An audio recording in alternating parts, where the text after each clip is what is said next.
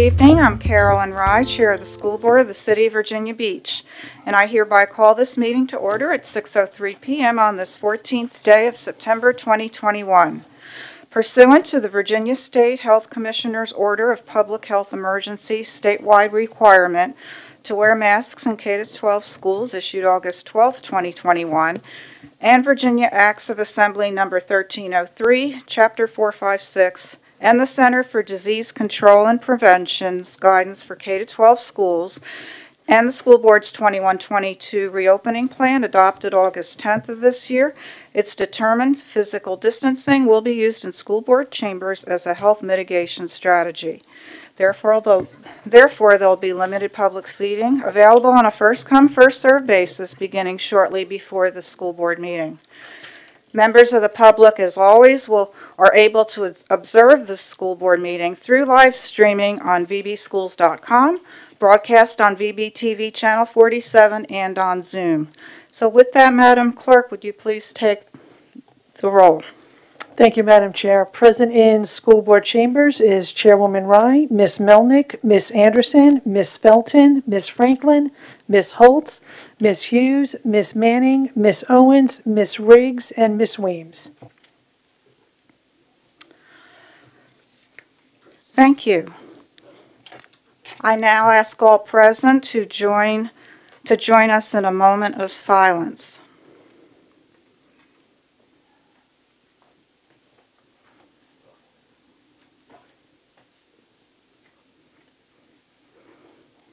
And please stand as you are able for the Pledge of Allegiance.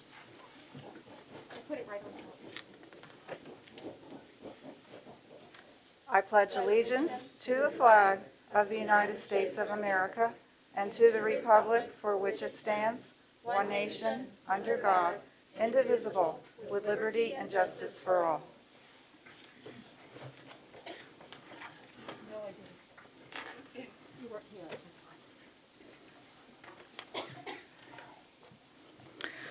All right, that leads us to the Student Employee and Public Awards Recognition part of the program. Um, Mrs. Melnyk, would you please proceed?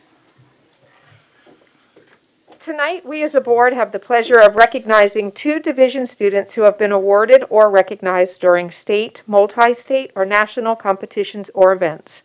With that in mind, we are pleased to announce the school board recognition recipients for September 14th, 2021. Mrs. Weems?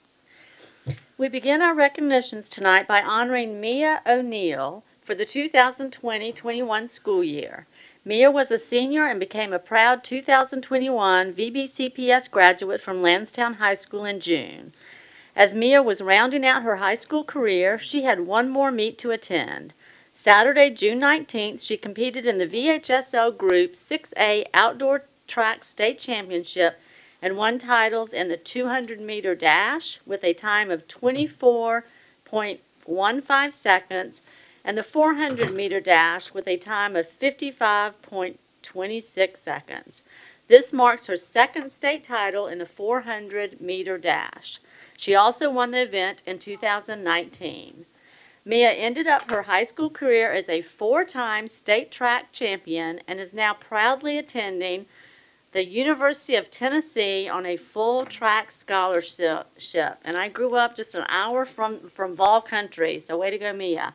Congratulations. We know you will continue to make all of us proud as you continue your education and grow as a collegiate athlete. Next, we are excited to recognize Ella Schumacher for the 2020 uh, and 2021 school year. Ella was a junior in the IB program at Princess Anne School, High School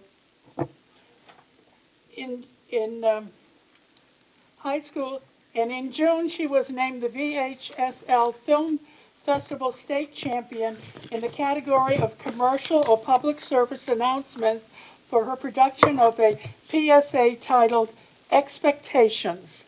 Her PSA focused on teen activity and reflected the pressure she and her peers faced regarding school and the future. This film was created last year as a project in her cinema studies class.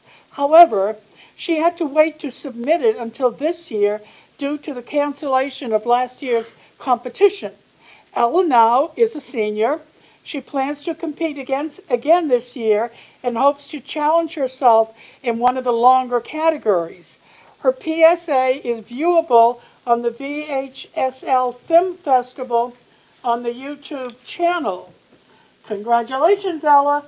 We know your future has great things ahead. This concludes the recognition for this meeting. Thank you, ladies, and congratulations again to our students.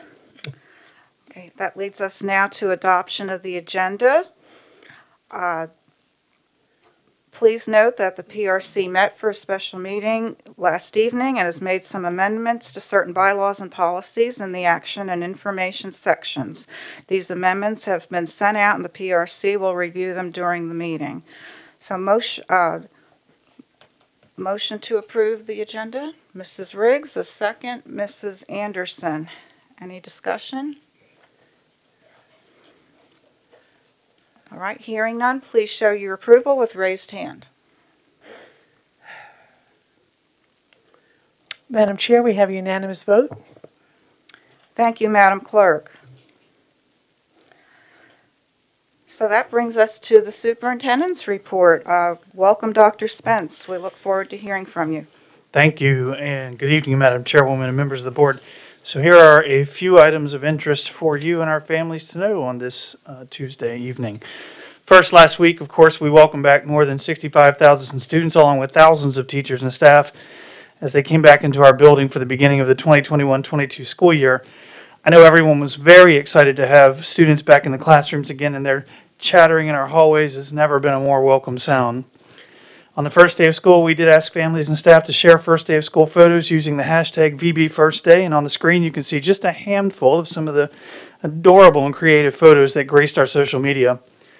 I was able to visit four schools and our environmental studies program students at the Brock Center classroom last week, and I can say the energy and excitement of this year is something that I have not felt in a long time.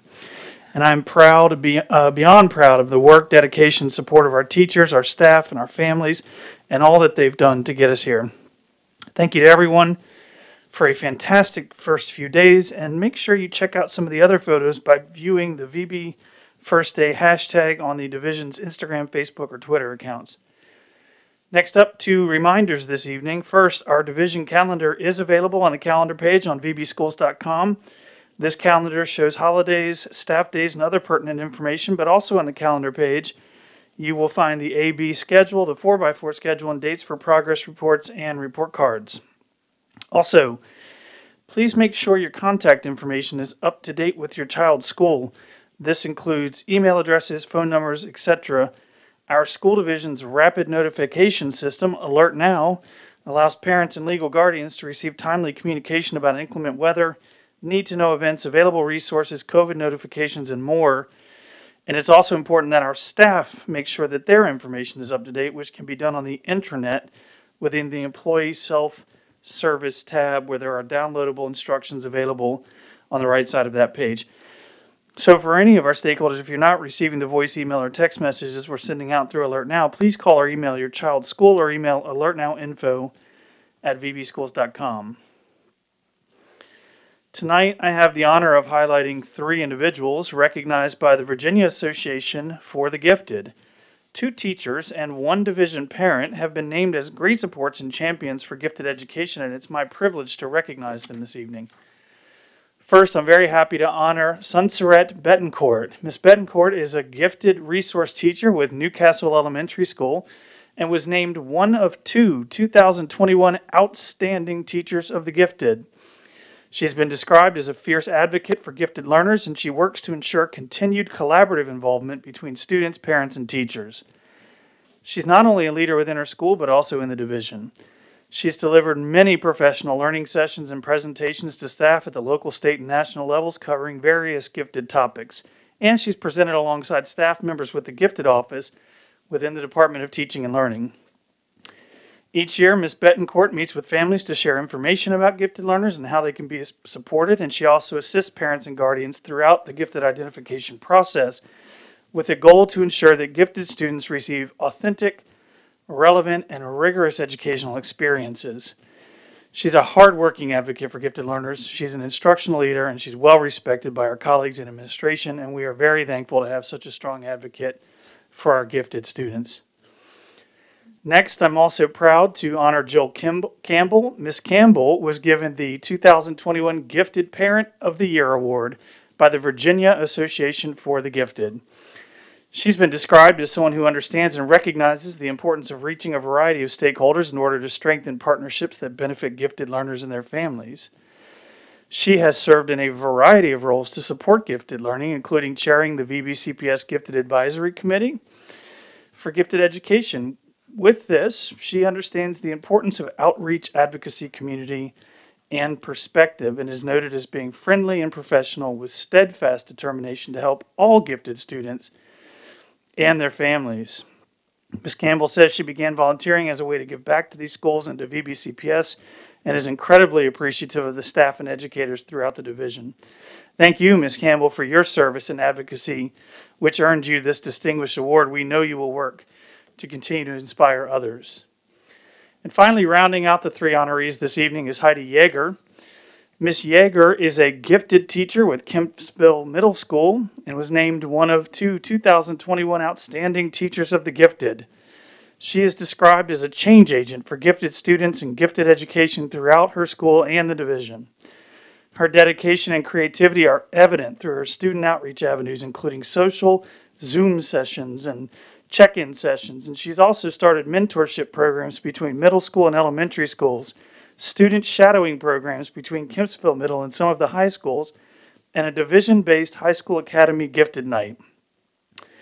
Ms. Yeager strongly believes in encouraging parents or guardians to be involved in a significant way and shows true commitment to the whole child by including families in relationship building activities such as gifted family book clubs.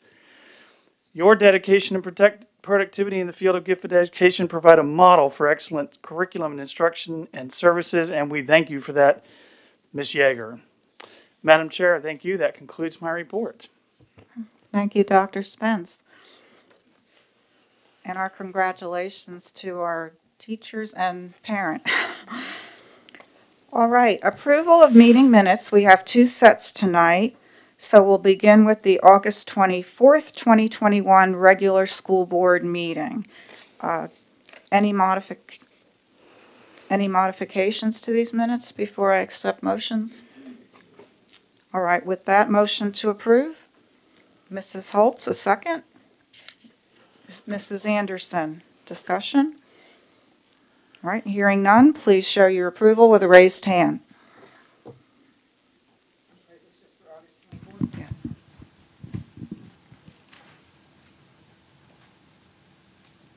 Madam Chair, we have unanimous vote. And for the record, how many votes, please? 11.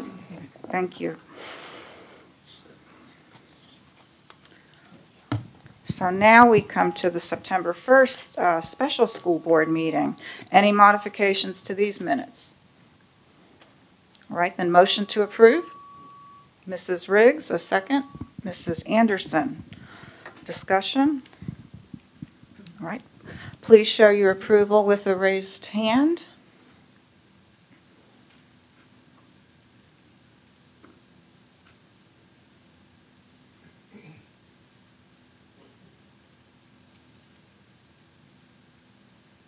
We have eight ayes. Okay, uh, nays, a raised hand. I will be Ab- abstaining since I was no longer there. Oh, I was going to say abstentions now, and please state your reason, uh, Mrs. Hughes. Or I'll let the clerk, I'm sorry, recognize Okay. you. Ms. Hughes, your reason for your abstention? The meeting was scheduled when I was out of town, so I didn't attend. Thank you. Ms. Franklin? Same, same thing. I was on, uh, not in attendance. And Ms. Manning? I was also not in attendance. Thank you. So we have um, eight ayes, no nays, and three abstentions. So the motion did pass. Okay, thank you. Now that brings us to hearing of citizens and delegations on formal agenda items. The school board will now hear comments on formal agenda items from citizens and delegations who signed up with the school board clerk prior to this meeting. Persons signed up to speak will be called up three at a time to line up. The speaker is, is asked to proceed to line up when your name is called. For speakers who are outside of school board chambers, school division staff, we'll bring those speakers into the hall to line up. In-person speakers will be called first, followed by those speaking through Zoom or telephone. We ask that you speak once your name is called. As a reminder, each speaker has four minutes to present and may be, and will be given a 30-second warning before time expires. Once your time has expired, the speaker's asked to stop making remarks and uh, to allow the next speaker to be queued to speak. If a speaker is not present when called to speak or not online when so called, the school board, at its sole discretion, may allow the speaker to speak at the end of the public, public comment session. The purpose of hearing public comments at this point in the agenda is for members of the public to address the board regarding matters on tonight's formal meeting agenda. If a speaker begins speaking on matters not on, as, not on the formal meeting agenda, the speaker will be ruled out of order and requested to discontinue remarks or and if the speaker continues to address the school board, uh, they will be ruled out of order and asked to leave the podium. Or online speakers would be uh, cut off. Any discussions regarding whether speaker is addressing a formal agenda meeting item or is following decorum and order rules will not extend the speaker's four-minute time period. The board reserves the right to maintain appropriate decorum and order in chambers so that the board and viewing public are able to observe and hear the school board meeting. Uh, Public comment is only allowed when a member of the public has been called up to speak during a public comment section. Speaking out of turn, excessive cheering or clapping, heckling of speakers will be considered violations of the decorum and order. Uh, Should members of the public interfere with the orderly conduct of this meeting, uh, this board reserves the right to take appropriate action to restore order and allow the business of the board to continue without disruption. Uh, Please keep in mind, the school board invites the public to also submit comments through our group email account, which can be found on our website. If any speaker signed up for the formal agenda item public comment section would like to speak on informal and non-agenda items, please speak with school division staff in the hall and to be moved accordingly. If a speaker is ruled out of order once the speaker has begun addressing the board, uh, that speaker would not have the opportunity to continue uh, later on in the program. Uh, We do welcome the the public in person and those viewing us this evening. And with that, Madam Clerk, please introduce this- the first speaker. Thank you, Madam Chair. Our first speaker will be Gavin Grimm, then Jana Staltesiak, and then Matthias Paul Telkamp. Welcome. Thank you very much for having me. Good to see everybody. Um, my name is Gavin Grimm. You may or may not recognize my name, but if you do, it is likely as the client in a landmark civil rights lawsuit, Gavin Grimm versus Gloucester County Public School Board. My lawsuit happened, we filed in 2015, um, and six years later, I was victorious. The lawsuit hinged on whether or not banning me from the boys' bathroom because I am a transgender man violated my rights um, uh, as, a, as a student in that school. I'm here to speak to you today from that perspective the perspective of a child victim of discriminatory policies, the perspective of a child victim for lack of support from my school board, lack of concern for my well being and my rights. And I want to address some um, arguments we may hear today and make a point about um, this issue more broadly. First and foremost, if people want to engage with the concept of safety in bathrooms or other spaces, we need to talk about the real issue, which is that trans people are disproportionately more likely to experience sexual violence in areas where they are deemed not acceptable to be in. My school board wanted to force me into the girls' bathroom because they did not consider me a real boy. The issue at hand is not about predators going into the girls' room, as people love to argue. Um, and interestingly, with that argument, uh, assaulting people in bathrooms remains illegal, and criminals don't typically sit around waiting for loopholes. Um, This issue is fundamentally about the autonomy of students and their right to safety, recognition, and support in their schools.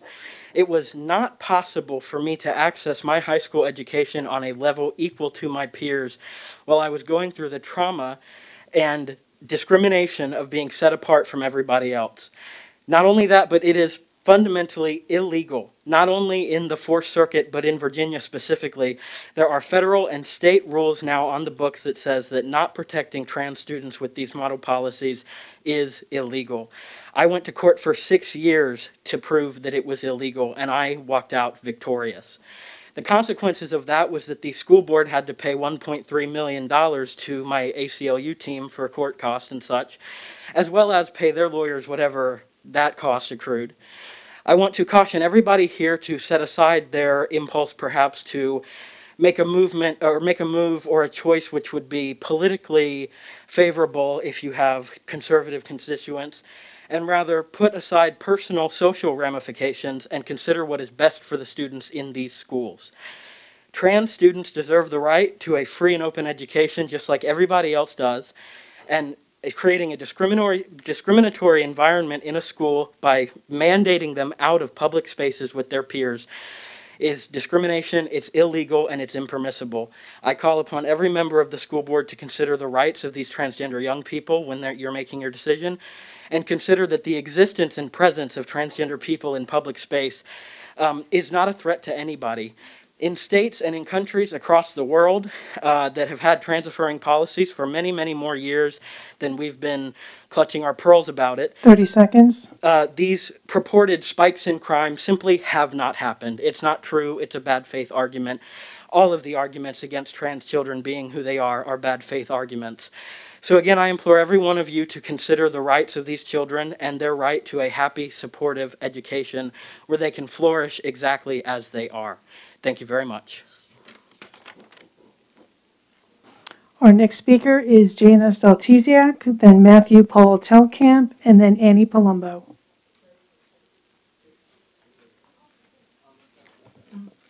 Welcome. Hi, my name is Jana, and I go to Virginia Beach Schools. I've come to talk to you a couple of times, but mostly on Zoom because it still makes me really nervous to come in around all these people. So thank you for making sure that there is space here and that everybody's wearing masks. Because what I have to say today is very important to me, and I wanted to come to say it, even though last time I spoke, people laughed at me when I talked about how afraid I was of my father getting COVID and dying. So thank you for making it as safe as you can. So most of you know my mom. So it would probably be surprising that for you to know that when I started questioning who I am attracted to, I was actually scared to tell her and my dad. I mean, my mom is very supportive and accepting, but she's important to me and I love her. And it would be awful if, like, sh- she didn't accept me. So I talked to other people, like some of my really close friends or my brother, and coming up to them helped me gain more courage to come out to my parents. And I'm lucky because it went as well as you would expect. And my mom has helped me as I have had to come out to other people about it, like the other members of my family and my doctors. But it feels like there's so many people I need to tell. And it gets scary, but nothing's as scary as telling your parents. But other kids, they aren't as lucky as I am. There are kids whose parents would rather hurt them than accept them. There are kids whose parents would kick them out because they don't love them enough to be around them if they aren't exactly who they want, they think they should be. And there are some kids whose parents just take some time to get used to it, but can it can really hurt while parents take that time. And there are kids whose parents will just refuse to accept that it's fact and will continue to refer to them by what they really are not. Some of those kids are friends of mine. They're figuring out who I am. They are just like I am, and they deserve to not have someone at school decide if and when they are ready to talk to their family about it. They deserve to be who they are and to have some place where it is safe to just be themselves while they are figuring it out. I hope that is home, but I know that there are many LGBTQIA plus kids that are in foster care and homeless shelters, and it's a disproportionate amount. I have seen my friends scared to talk to their families. I've seen them excited when a teacher lets them be who they really are. Please don't force my friends and others like them by to and make it worse for them by forcing them to talk to their families about it when they aren't ready. Don't out kids whose families could hurt them because they want to be themselves. Please give them a place where they can be safe. It's like when home isn't a safe place, you go to school almost every day. It's a place where you spend most of your time. And if that place isn't safe for you to be yourself, then I don't know where you would find a safe place if you can't find it at home or at school. And just 30 seconds. so thank you. Have a great day. Our next speaker is Matthias Paul Telkamp, then Annie Palumbo, and then Amy Solaris. Welcome. Welcome. Thank you, Chairwoman Rye, Dr. Spence, and board members. My name is Matthias Paul Telkamp. And I'm sorry to see that you will be having a long evening yet again. It seems like the religious right has come out to tout their own personal ethics yet again. My only complaint with Policy 57 is that you appear to be putting all the onus on Dr. Spence and his team when you should be shouldering that responsibility. See, we know that the rules will be interpreted differently at every school. And let's be honest with each other, the dress code is currently written with the same language. The problem is that with me having three kids in three different schools, I have witnessed how that was implemented. Dress codes in this country are used to slut shame our daughters and blame women for being objectified without telling the boys not to objectify them. There are many videos online as examples of how a male can wear the exact same clothes as a girl and not suffer the same consequences. And the guidance is that the policies are guides but not an enforcement position. And maybe you should consider that any policy that is outlined is handled the same at every single school. Otherwise, we will continue seeing disparity of equity between students. Kids should be able to wear what they want. They should be free to decide what they are comfortable with. And in, the end, you are leaving school administrators to make decisions that should be standard across the district. Every kid treated the same, regardless of their gender or dress. I understand that you will be dealing with a lot of heat tonight from those whose lips are spewing fire and brimstone with their hatred. And we should feel sorry for these unfortunate souls that are prideful and shameful. Their knowledge and thoughts cannot properly understand what is written in the policy unless you come down to their level.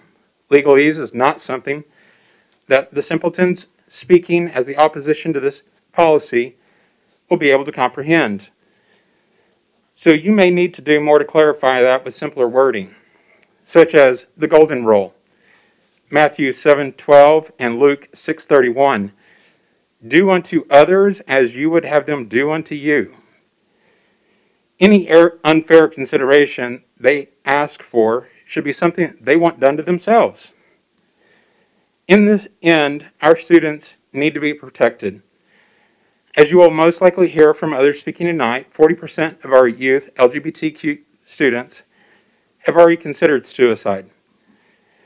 And what you should be asking is how you can help these students feel safe in their schools. The students that we should be worrying about being around our daughters are the boys that buy into the male superiority and not the students that just want to feel like they belong in the schools. Nurture an environment of acceptance and make these students feel safe. Stay the course, but shoulder the responsibility. Thank you.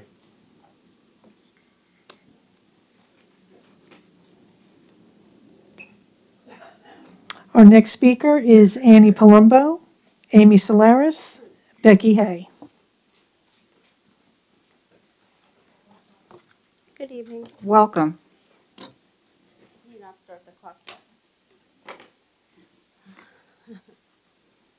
Good evening. My notes are going to be all over the place because I had them all ordered until I heard the speakers in front of me.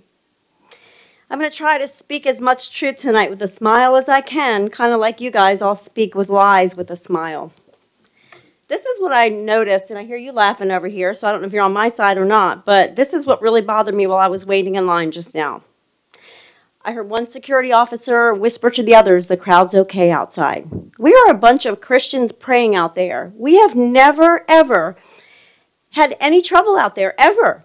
And these lies that are going around, I heard them yesterday in the policy review meeting. You guys, people, somebody just got escorted out the back door because they were afraid. There's policemen out there with us, there's security out there with us. Has anybody, really, I want to see the police report and I want to see all the, the emails of people saying that we are, they're afraid of us. Because you all know that's a lie. So stop spreading lies. Trenace, Beverly Anderson, I don't know where, oh, there you are. Because they're lies. It's not true. And you know it. Let's see, the crowd is fine. Um, protecting trans students. What about the straight students? I have no problem, nor does any of the other group, with transgender students. What I find alarming is the big number of transgender students nowadays.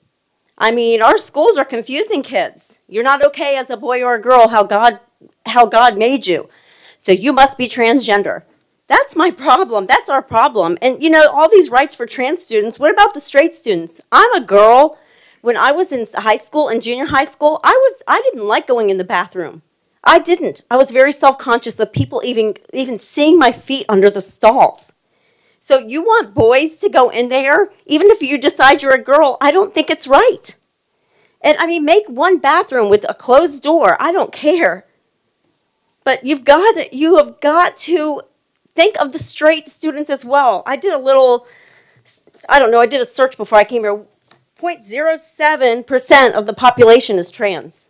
So we are bending the rules for such a small population and ignoring the rest of the students. I don't get it. What I have a problem with this policy is that you all are passing the buck off to Mr. Spence, Superintendent Spence.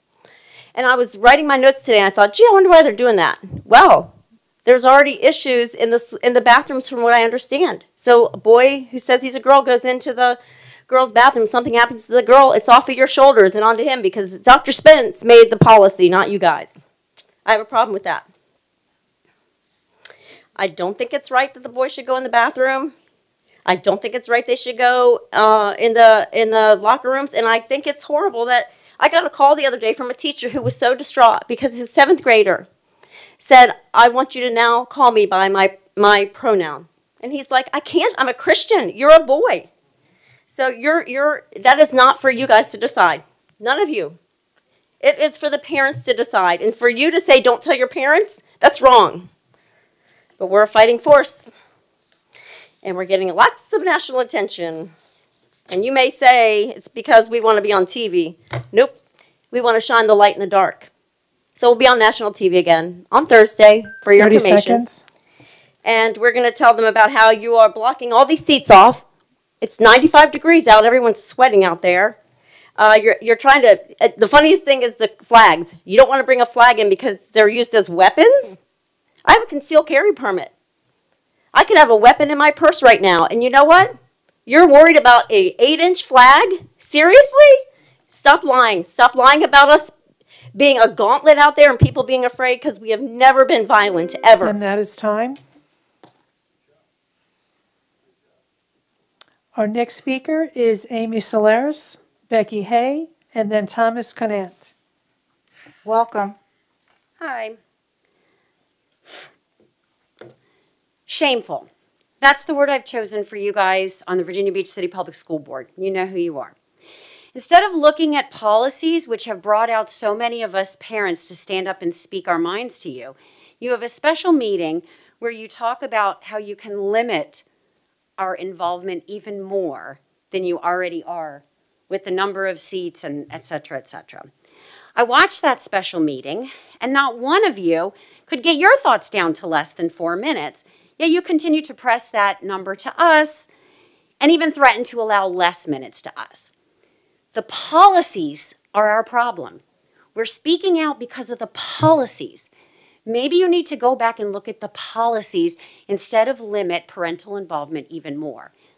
Seems very simple to me. You've taken away parental rights when it comes to masking or not our own children. You've taken away parental rights when it comes to this new transgender policy, and you've also successfully taken away the privacy rights of my children. You've taken away parental rights when it comes to allowing us parents to be involved in our children's education, as the Code of Virginia specifically states. Shameful. I know you don't care about what your constituency wants. It's clear from day one you couldn't care any less about that as long as you're willing to continue your political agendas. I will continue to speak to make sure other parents know what's going on and that they need to open their eyes. I'm still fairly new to this, but from the start, I will tell you, as a parent coming to a board, you've been incredibly unwelcoming, which is amazing to me considering all of you were elected. It's been eye opening for me and many others, which is why we're standing up. It's the policies. Don't limit us more. We're coming out because we don't agree with the policies. You're going down the wrong path.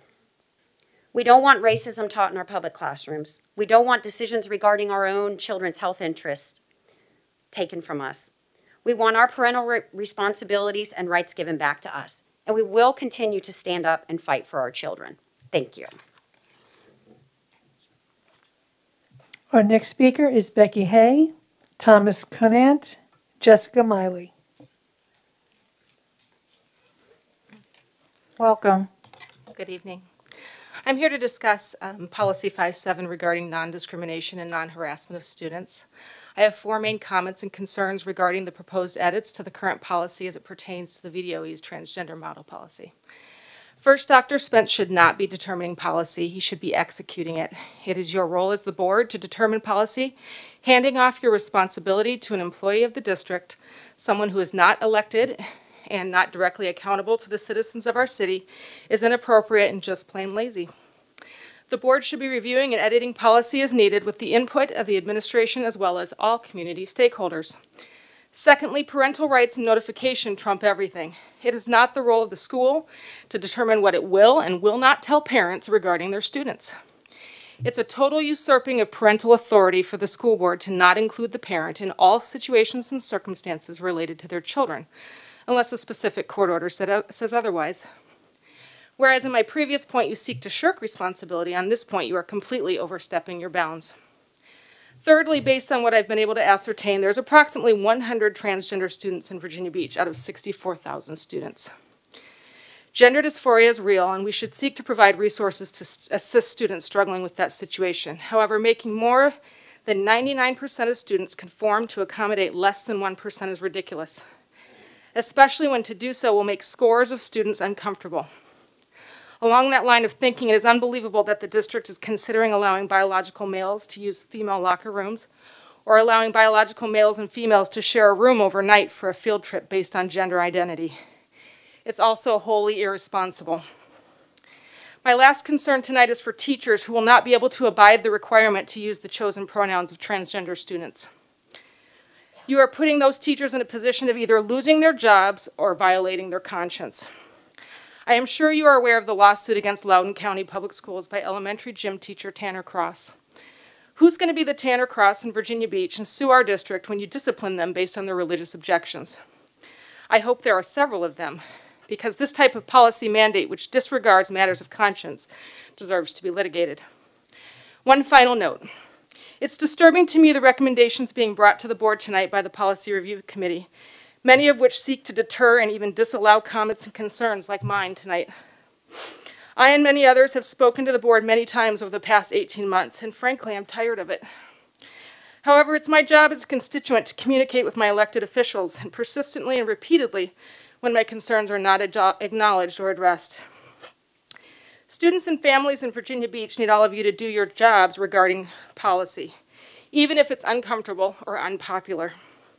The voters will hold you accountable as our elected officials based on your work.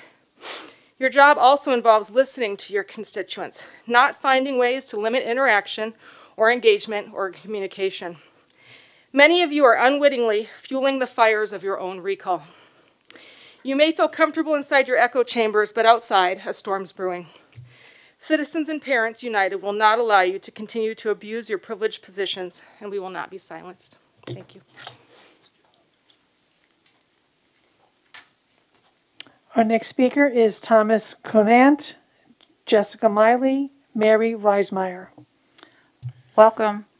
Thank you. I oppose Policy 57.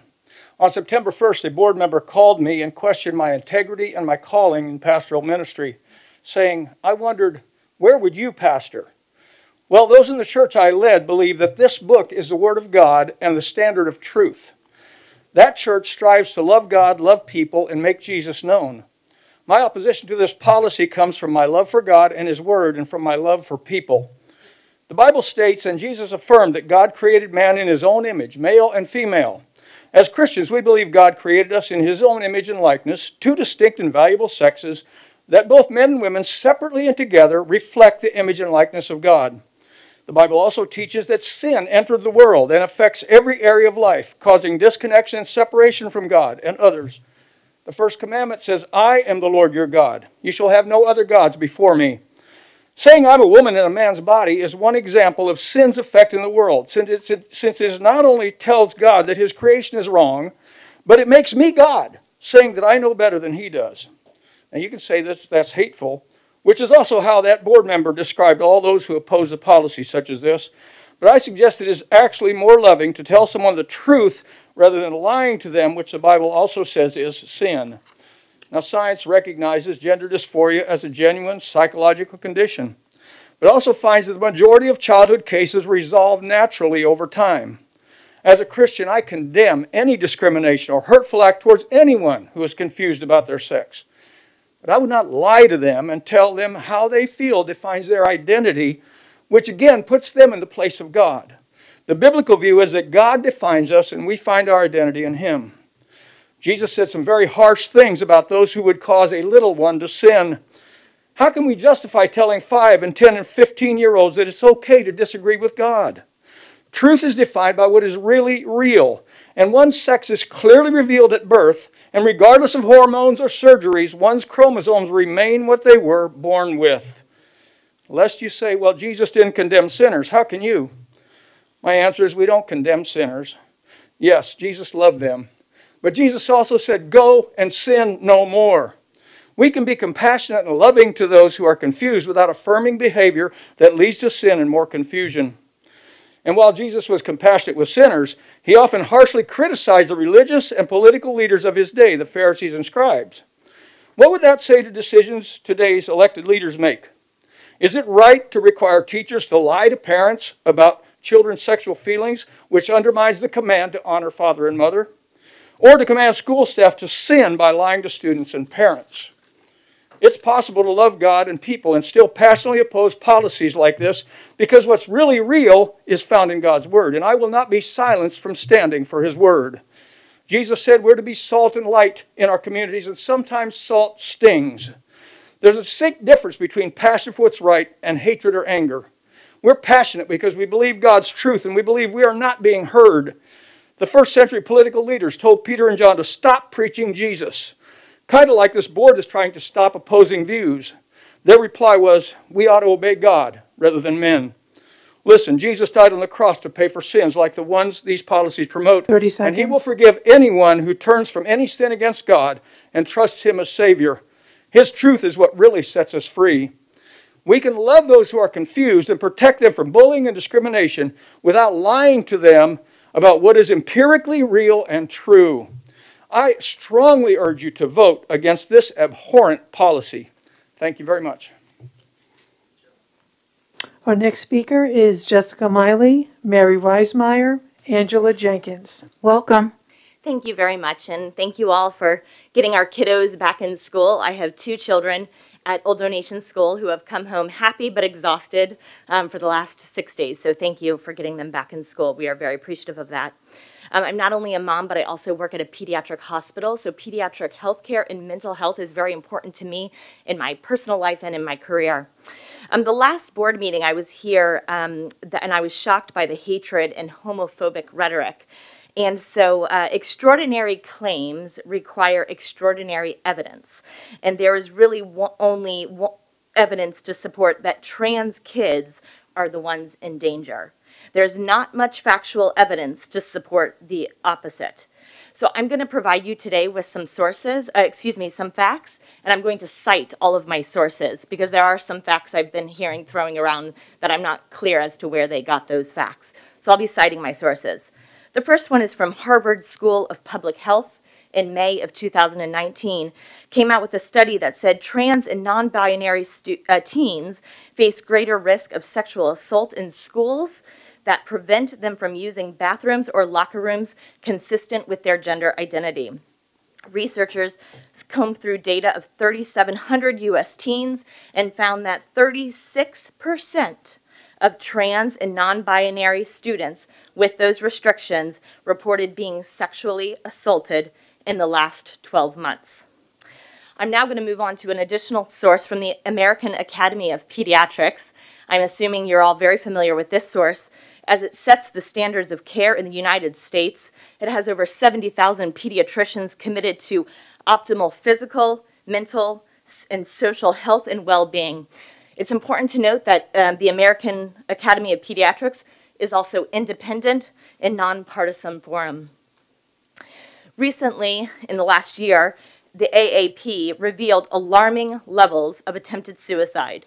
Their findings emphasized urgency of building welcoming and safe communities for the LGBT community. You all have the power to do that. You have the power to create safe environments for these kids. I'm now going to provide you with some resources from Drs. Johns and Meyer, who presented a, a, finding in 2020 that stated that LGBTQ youth face significant disparities in suicide risk compared to their straight peers. This was based largely on ways they are treated in their broad environment. That's school. 40% of the LGBT community contemplate suicide. 84% of the LGBTQ community feel unsafe. And this is not a small population that we're talking about. Over 15% of students in the schools of United States identify as gay. I'm going to provide you a statistic straight here from Hampton Roads that shows that 70% of the homeless youth identify as LGBTQ. So there's a direct correlation there.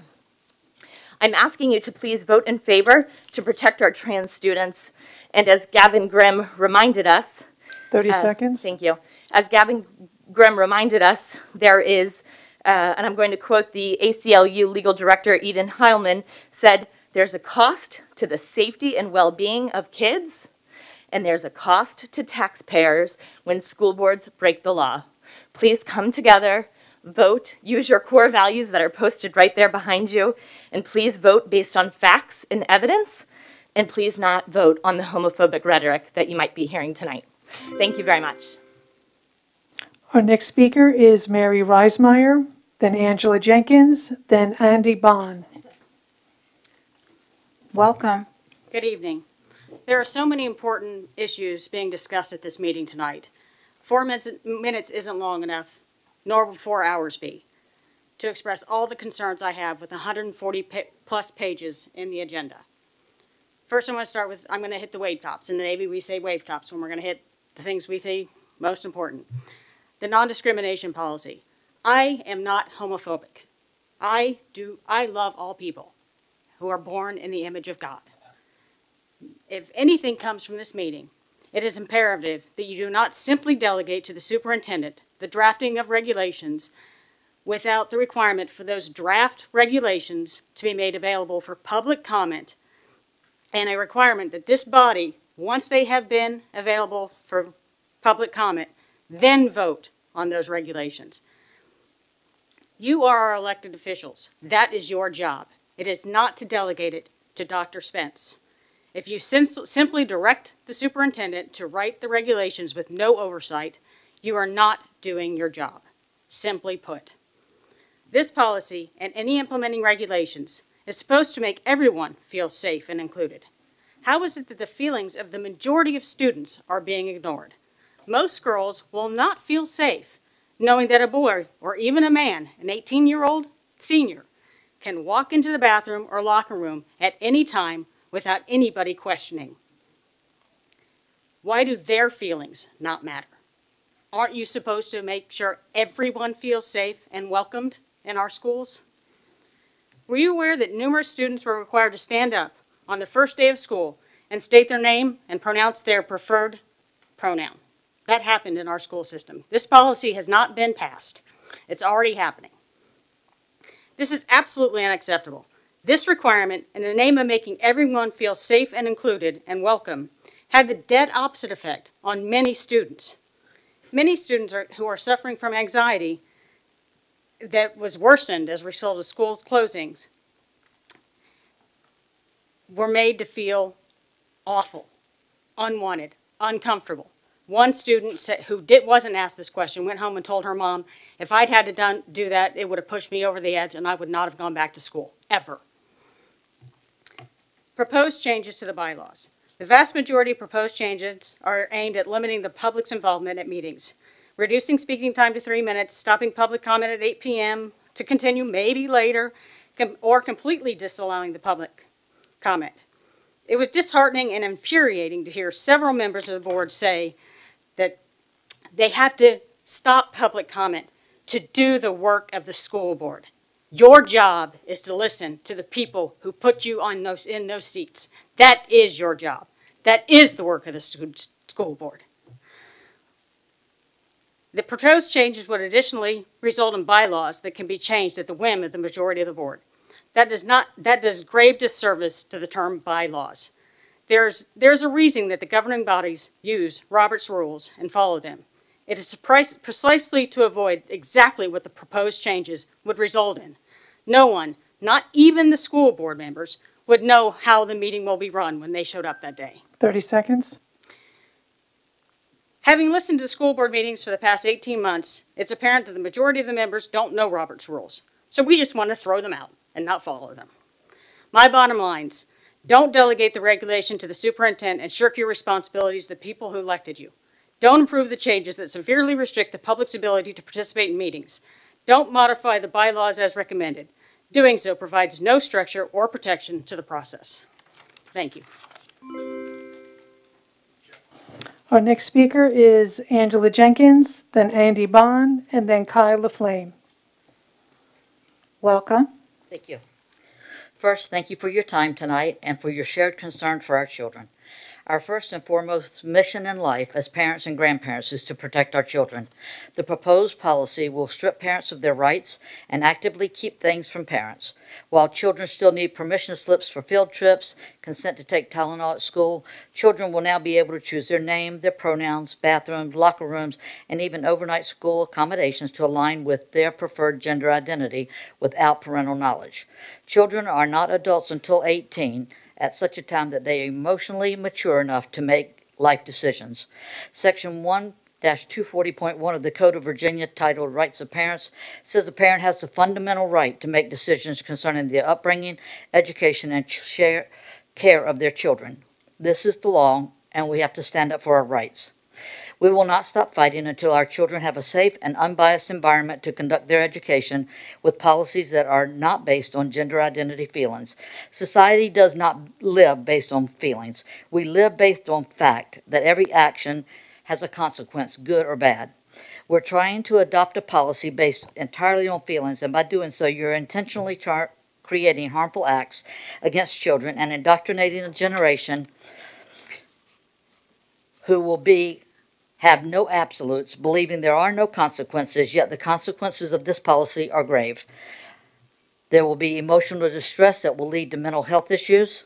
You'll have young boys and girls who will eventually become victims of molesting and potential rape. If you think this is extreme, it is not. Uh, inside the Central California Women's Facility, it's been reported that at least one woman, possibly more, is now pregnant after housing a gender confused man who entered the prison as a woman. The inmates are calling this a nightmare's worst nightmare. If you don't think this conduct will take place in school restrooms across this nation, you're wrong.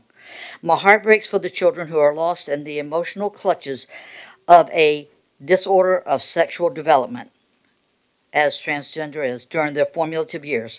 Many will suffer from depression, anxiety disorders, eating disorders, and other mental health issues that get swept under the carpet in the name of gender identity.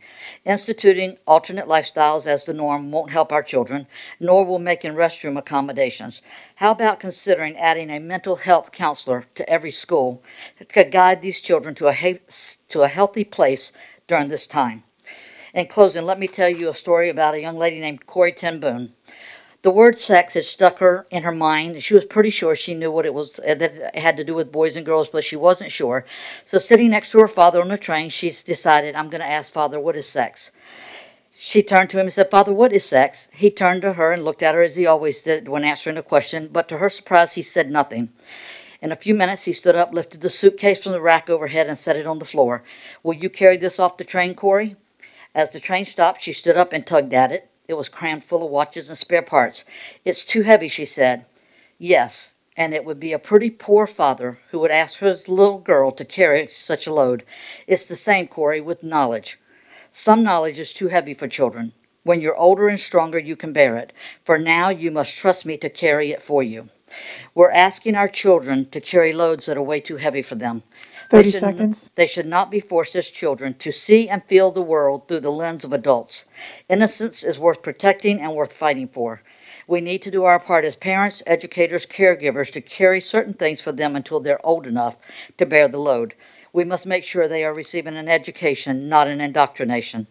Parents, continue to fight for the protection and safety of your children. Their innocence is precious. Keep it intact as long as you can. So tonight, Virginia Beach School Board, will you stand up for our children? And that is time. Should you dis- Thank you. Our next speaker is Andy Bond, then Kyla Flame, then Tara Chang. Welcome. Thank you very much, Madam Chair. Madam Vice Chair, great to be with you again. We need you to make these decisions because you're elected. Now, you've heard that, and I'm going to repeat it because we've entrusted you with the power to make decisions on policy. Here, this, it appears that we're, you all are suggesting you're just going to defer to the staff, but we already know that they want to inject parents and, or the, the staff into the parent-child relationship because, well, that's exactly what I talked about the last time I was here. So I'd ask you not to do that, or not to allow that to happen. I'd ask you to make, you to make the decision in favor of parental involvement. And the reason why I ask you to do that, and I'm relying on a woman that's just hugely smart, Abigail Shrier. She says there are three classes of trans kids. The first one in 10,000. So in our, all our population over our 80 something schools, there are six to seven.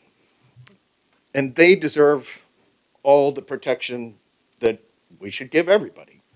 And they shouldn't be singled out for more or given any less. Gender ideologists don't represent them. The second class is a contagion. It's like anorexia. The first class is mostly boys, the second is mostly girls. Now, how do we know that it's a contagion? Well, why aren't we seeing 50 year olds and 40 year olds coming out going, hey, I can be the opposite sex now because it's safe in society? We're not seeing that. So, accommodating a child's decision to be the opposite sex, and because we're dealing with kids that are school age, you got to deal with puberty blockers. And if you do that, then you couple it with testosterone, because most of these girls are they're girls, so they're, they get the testosterone. You're causing harm because that makes them sterile.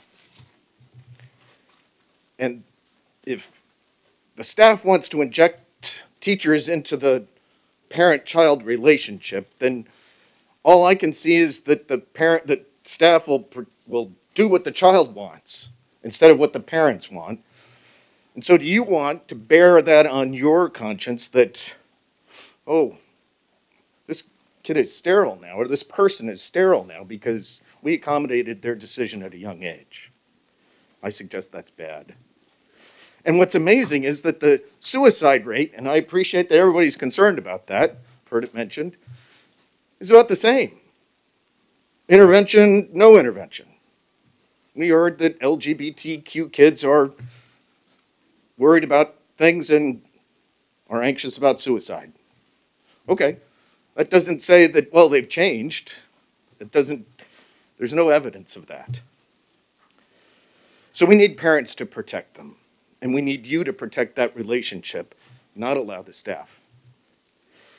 In class three, I said there were three, and that's just the activists that want to destroy the relationship in the families. 30 seconds. And want to destroy women's spaces, locker rooms, sports, because, well, CRT wants to divide by race, and there's a relationship here between CRT and, and the gender ideologists who want to break up families.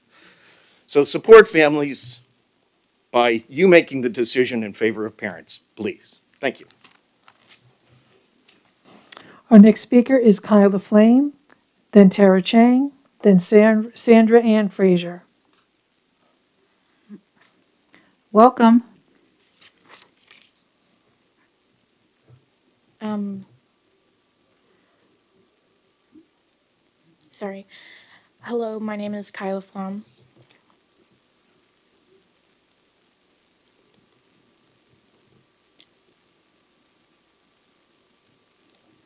Sorry.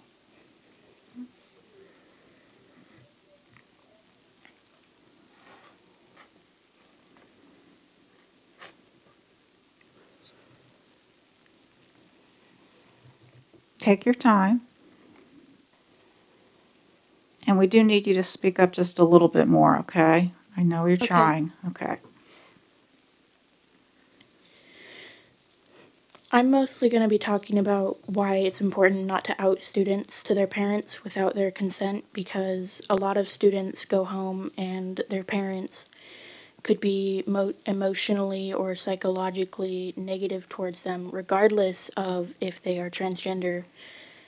And me, myself, I am lucky enough to have very supportive family, but I have friends who will go home afraid of their parents, and parents are supposed to be unconditionally loving. They're supposed to be there for them no matter what. And even it, without the fear of going home and being afraid, being accepted in school is also very important because as a transgender student, there's dysphoria, there's mental health issues.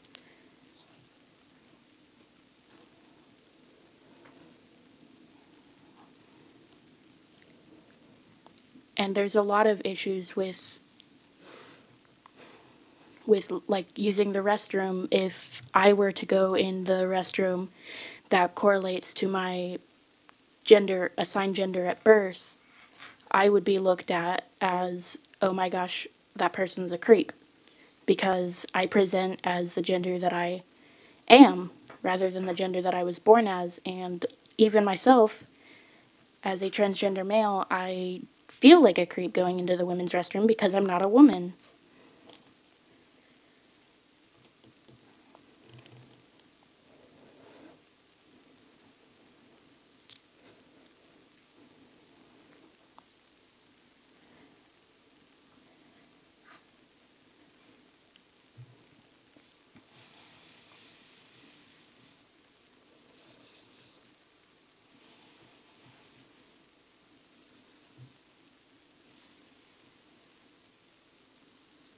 You have another 90 minutes, so think about what else you want to say.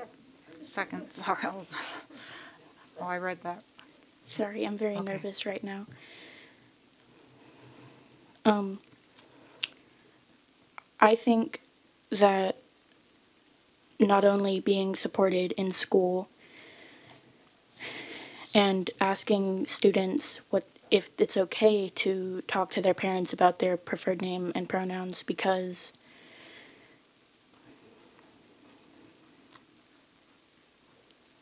Sorry.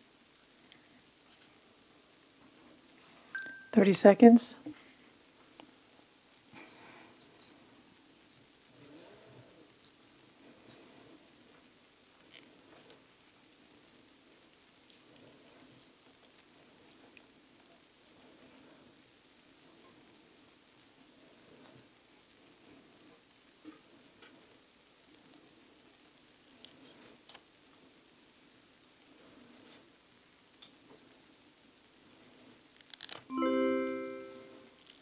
And that is time.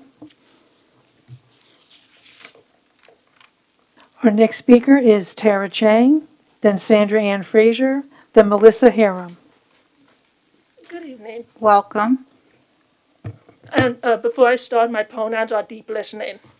Uh, let me list off a few names before I get to my point of bylaw 130. Marine Corps Staff Sergeant Darin T. Hoover, Marine Corps Sergeant jo- Joanna Rosario Picardo, Marine Corps Sergeant Nicole Gee, Marine Corps Corporal Hunter Lopez, Marine Corps Corporal Daegan W. Page, Marine Corps Corporal Humberto A. Sanchez, Marine Corps Lance Corporal David L. Espinoza, Marine Corps Lance Corporal Jared M. Smith, Marine Corps Lance Corporal Rylee J. McCollum, who, let me just tell you, he just had a baby girl. Marine Corps Lance Corporal Dylan Merola, Marine Corps Lance Corporal Kareem Nikoui, Navy Hospitalman Maxton W. Soviak, Army Staff Sergeant Ryan Knauss. His last message to his mother was, I love you. If you, I'm sure you guys don't recognize th- those 13 service members' names. Those were the service members who died in Kabul. Uh, all of those heroic service members have in common is they fought and died for the rights that you are stripping away from the Virginia Beach parents and citizens. You dishonor their deaths by trying to change bylaw 130. Have a good night. Our next speaker is Sandra Ann Frazier, Melissa Harum, and then Eric Fritz. Welcome. Thank you for letting me speak. Dr. Spence, Superintendent, members of the school board.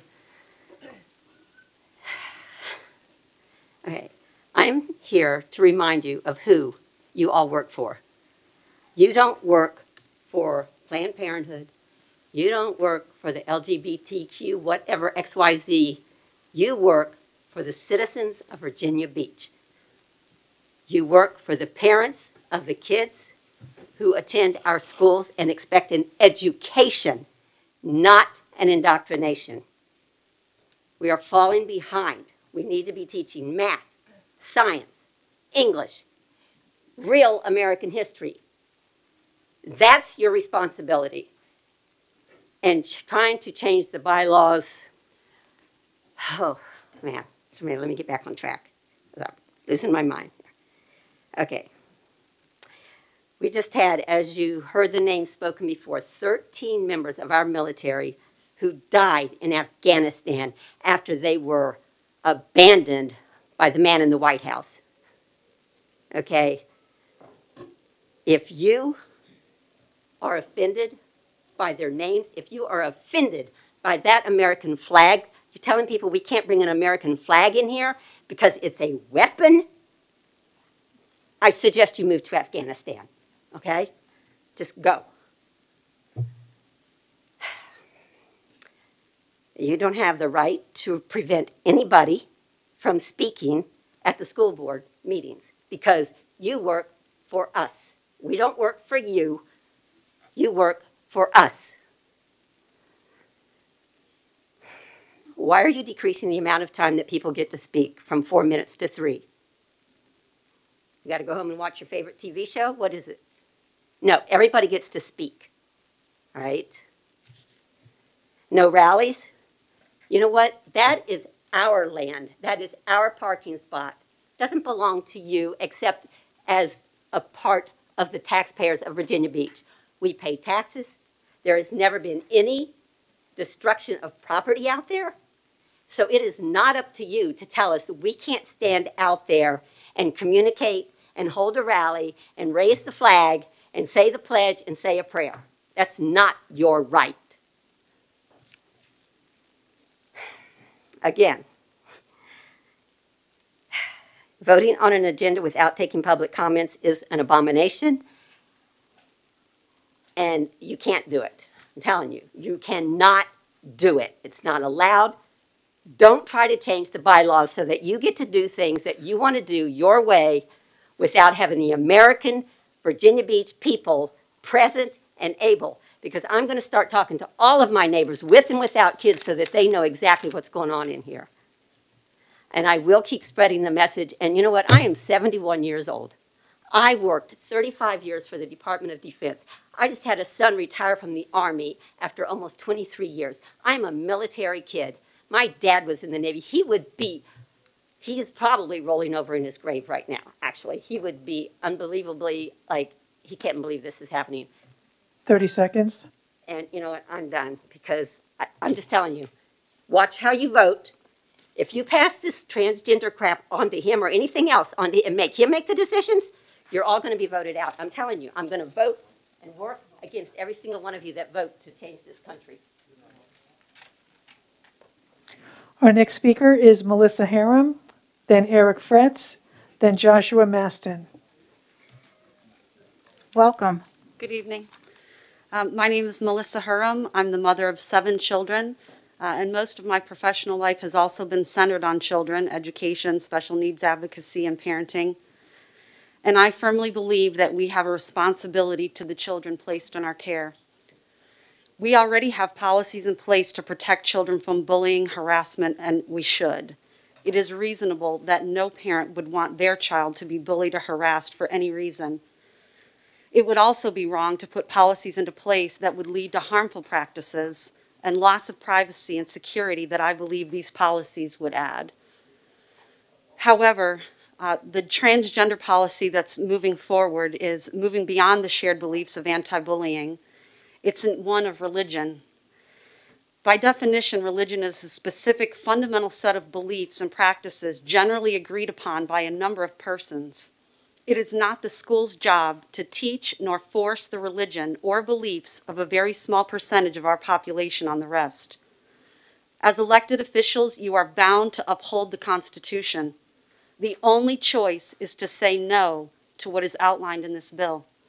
Saying yes would be a gross infringement on the religious liberties of countless students and teachers. It would be unconstitutional to force teachers and students to abandon their convictions regarding gender. Further, this would be a gross infringement on parental rights. As public servants bound by the Constitution, you are not the authors of our rights. As stated in the Declaration of Independence, our rights come from God and are unalienable. That to secure these rights, governments are instituted among men, deriving their powers from the consent of the governed. That whenever any form of government becomes destructive of these ends, it is the right of the people to alter or to abolish it, and to institute new government, laying its foundation on such principles and organizing its powers in such a form as to them shall seem most likely to affect their safety and happiness. It goes to say that we should have reasonable grace before we act. But then it states, but when a long train of abuses and usurpations, pursuing invariably the same object, which I feel has been done, evinces a design to reduce them under absolute despotism, it is their right, it is their duty to throw off such government and to provide new guards for their future security. We're awake and we're watching. We don't consent to this, and you all have been put on notice. I would further like to address the parents listening. Have you been watching and aware of the indoctrination of our children for years? I propose to you that this school and every school in our nation has not failed in its endeavor to persuade young minds to accept this as the new normal. We are here to oppose this belief being pushed in our schools and on our children. This will cause way more harm than the good intentions it proposes. Even Adolf Hitler knew and expressed how wildly successful a group could be if they just taught their ideology to the children when he said in 1933, if the older generation cannot get accustomed to us, we shall take their children away from them and rear them as needful to the fatherland. 30 seconds. Thankfully, we are not parents who have completely given up our children to the state. We have much fight left in us. We need to get involved. We need to throw off the old guard and become the new gatekeepers. Parents and not bureaucrats need to be the ones who decide what and how our children are educated. However, until we have school boards, schools, principals, and teachers who will actually do the work of public servants, every child should be removed. And that is time. Thank you.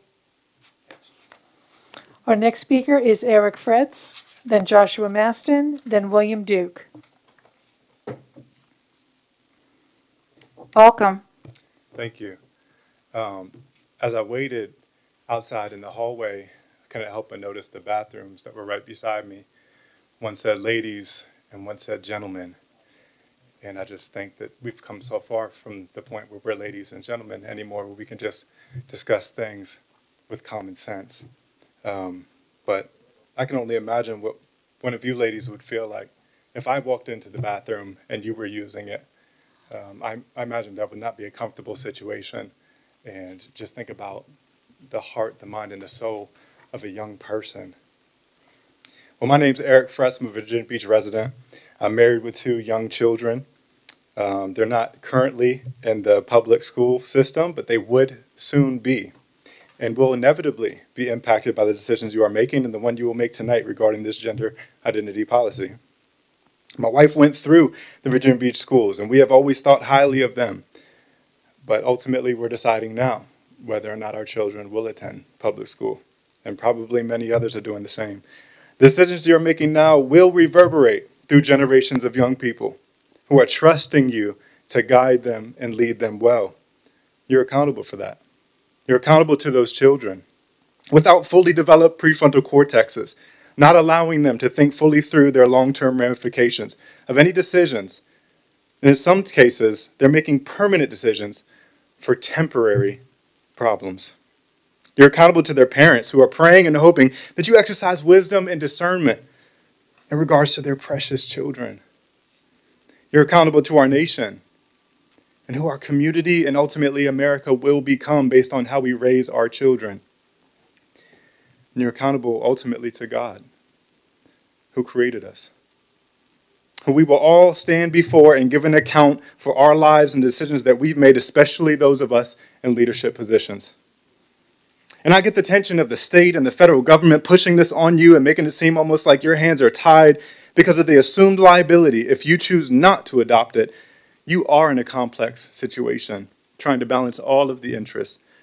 I'm not envious of you, it's a, it's a tough spot. But what about the protection of all those who are potentially negatively impacted by this who aren't LGBT? What about their rights? Play the movie forward. If we capitulate to this, where does it end? Should we be totally upending the lives of every student for the fleeting feelings of a few? This simply isn't about the, the person who is seriously gender dysphoric. I want I love them. I want them to have right. I don't want them to be persecuted. But what about the door that this opens to all of those who would maybe venture into the bathrooms and the locker rooms and take advantage of this policy? It's disheartening to think that you would elevate one group of students above the safety of the rest. The fact that any student can walk into any bathroom or locker room and a teacher can't say anything to them is a travesty. You have to protect our children. I've worked with middle school and high school students for the past five years, and I've experienced what, make their, what makes their souls light up.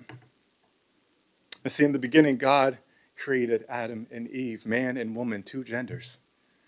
It's clear. Their gender wasn't assigned at birth like sex education is trying to teach them nowadays. It was given to them by the one who created them before they were ever born. God assigned a specific gender to our children for a very special purpose seconds. in this life. It was His decision, not a doctor's, and it's not theirs. Let's speak purpose into our young children and give them something to live for. Maybe then we would see the suicide rate go down. Something bigger than themselves, something that never changes. God's truth about their real identities, that they were made by Him and in His image. They don't need to change that. God created them exactly how He wanted them for reasons beyond their comprehension. This is what our children need to hear and know the truth, And the real time. science. Our next speaker is Joshua Maston, then William Duke, then Tim Kester.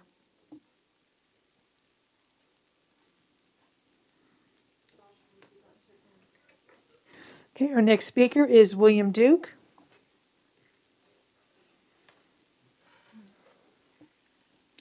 Welcome. Thank you, and hello, everybody. Um, I'm Bill Duke. I'm the vice chairman of the Tidewater Libertarian Party, so you know. Uh, but I'm speaking on my own behalf.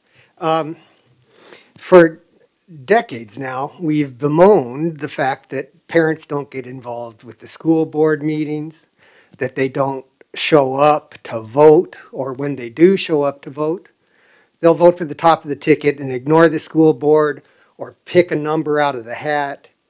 They'll, uh, uh, I know this because I've worked the, uh, the polling lines and seen people who come in totally uninformed about the lower part of the ticket. And uh, I think in LA, they have like hundreds of thousands of students and they have school board meetings that are attended regularly by about 40 people. That's my understanding. So uh, that's just, that, that neglect of our schools by the citizenry um, is turning around a little bit. Um, I don't think I need to tell you this, but uh, you could have you could have somebody in every seat here and people standing in the hall waiting to get in. And you know where those people are waiting? They're waiting in the parking lot, right? They're, they show up early, they, uh, they cons- uh, console one another, and they're angry. You know they're angry, right? So I guess it takes a sense of betrayal to get people involved in school board. And until today, I haven't shared any feeling of betrayal. I, I, I've seen you making difficult decisions. They're not easy decisions, and uh, I don't fault you for most of the things that I've seen happening around here. But I will say that um, that today, for the first time, I share a sense of betrayal with the angry people in the parking lot. I feel betrayed because, not because of transgender or anything like that, it's because you're trying to limit our rights. All right, here, Constitution of the United States, the First Amendment, one of the most important paragraphs in the whole Constitution, in, in the whole of our country's history. It says that Congress, and by extension, lower levels of law, can make no law abridging uh, the right of the people peaceably to assemble and to petition the government, that's you guys, for a redress of grievances. So tonight or tomorrow, next time you meet, whenever, you're going to vote about restricting the right of the people to peaceably uh, assemble, which is what we've been doing out in that parking lot. No one has been hurt, no one's been threatened. We've been very careful to get out of people's way, all right? There's no restriction going on to the movement of faculty and staff out of the building. Nothing like that. All right? We're peaceable people. And uh, we have grievances. Uh, a lot of these grievances I don't particularly share, but these are the people who've come to the meeting. They say, you know, uh, government is made by the people who show up. Well, they're showing up. And you know, they're not showing up because they support the majority of this school board. I'm sorry to say they're showing up because they're angry with the majority of the school board. 30 seconds. Okay, and uh, let's see. That's the main thrust of what I wanted to say, and I probably have a few other things that I'd add. But uh, I would, I would uh, uh, uh, definitely uh, encourage you to reconsider, as the majority in here, reconsider restricting illegally, unconstitutionally, the, uh, the rights of And that is time. our citizens. Thank you. Good night. Our next speaker is Tim Kestner, then Amy Morris, then Kathleen Brown. Welcome. Good evening. I return to oppose the changes to Policy 57. This policy must be rejected with prejudice. Consider that bulimia is not much different than gender dysphoria. Both cause intense feeling of anguish when you look in the mirror, and both deeply affect young students. Imagine if a student came to a teacher and said, I ate too much for lunch. Can you guard the bathroom while I throw up? Also imagine that the teacher was required to tell the student, you'll feel so much better when you lose weight. I'll make sure no one's in, make sure no one's in the bathroom and it'll be our little secret. This is how the DOE proposes we treat students wrestling with gender dysphoria. It's shocking how easily we accept this. Members of the board, refuse the demands of the DOE and we will stand with you.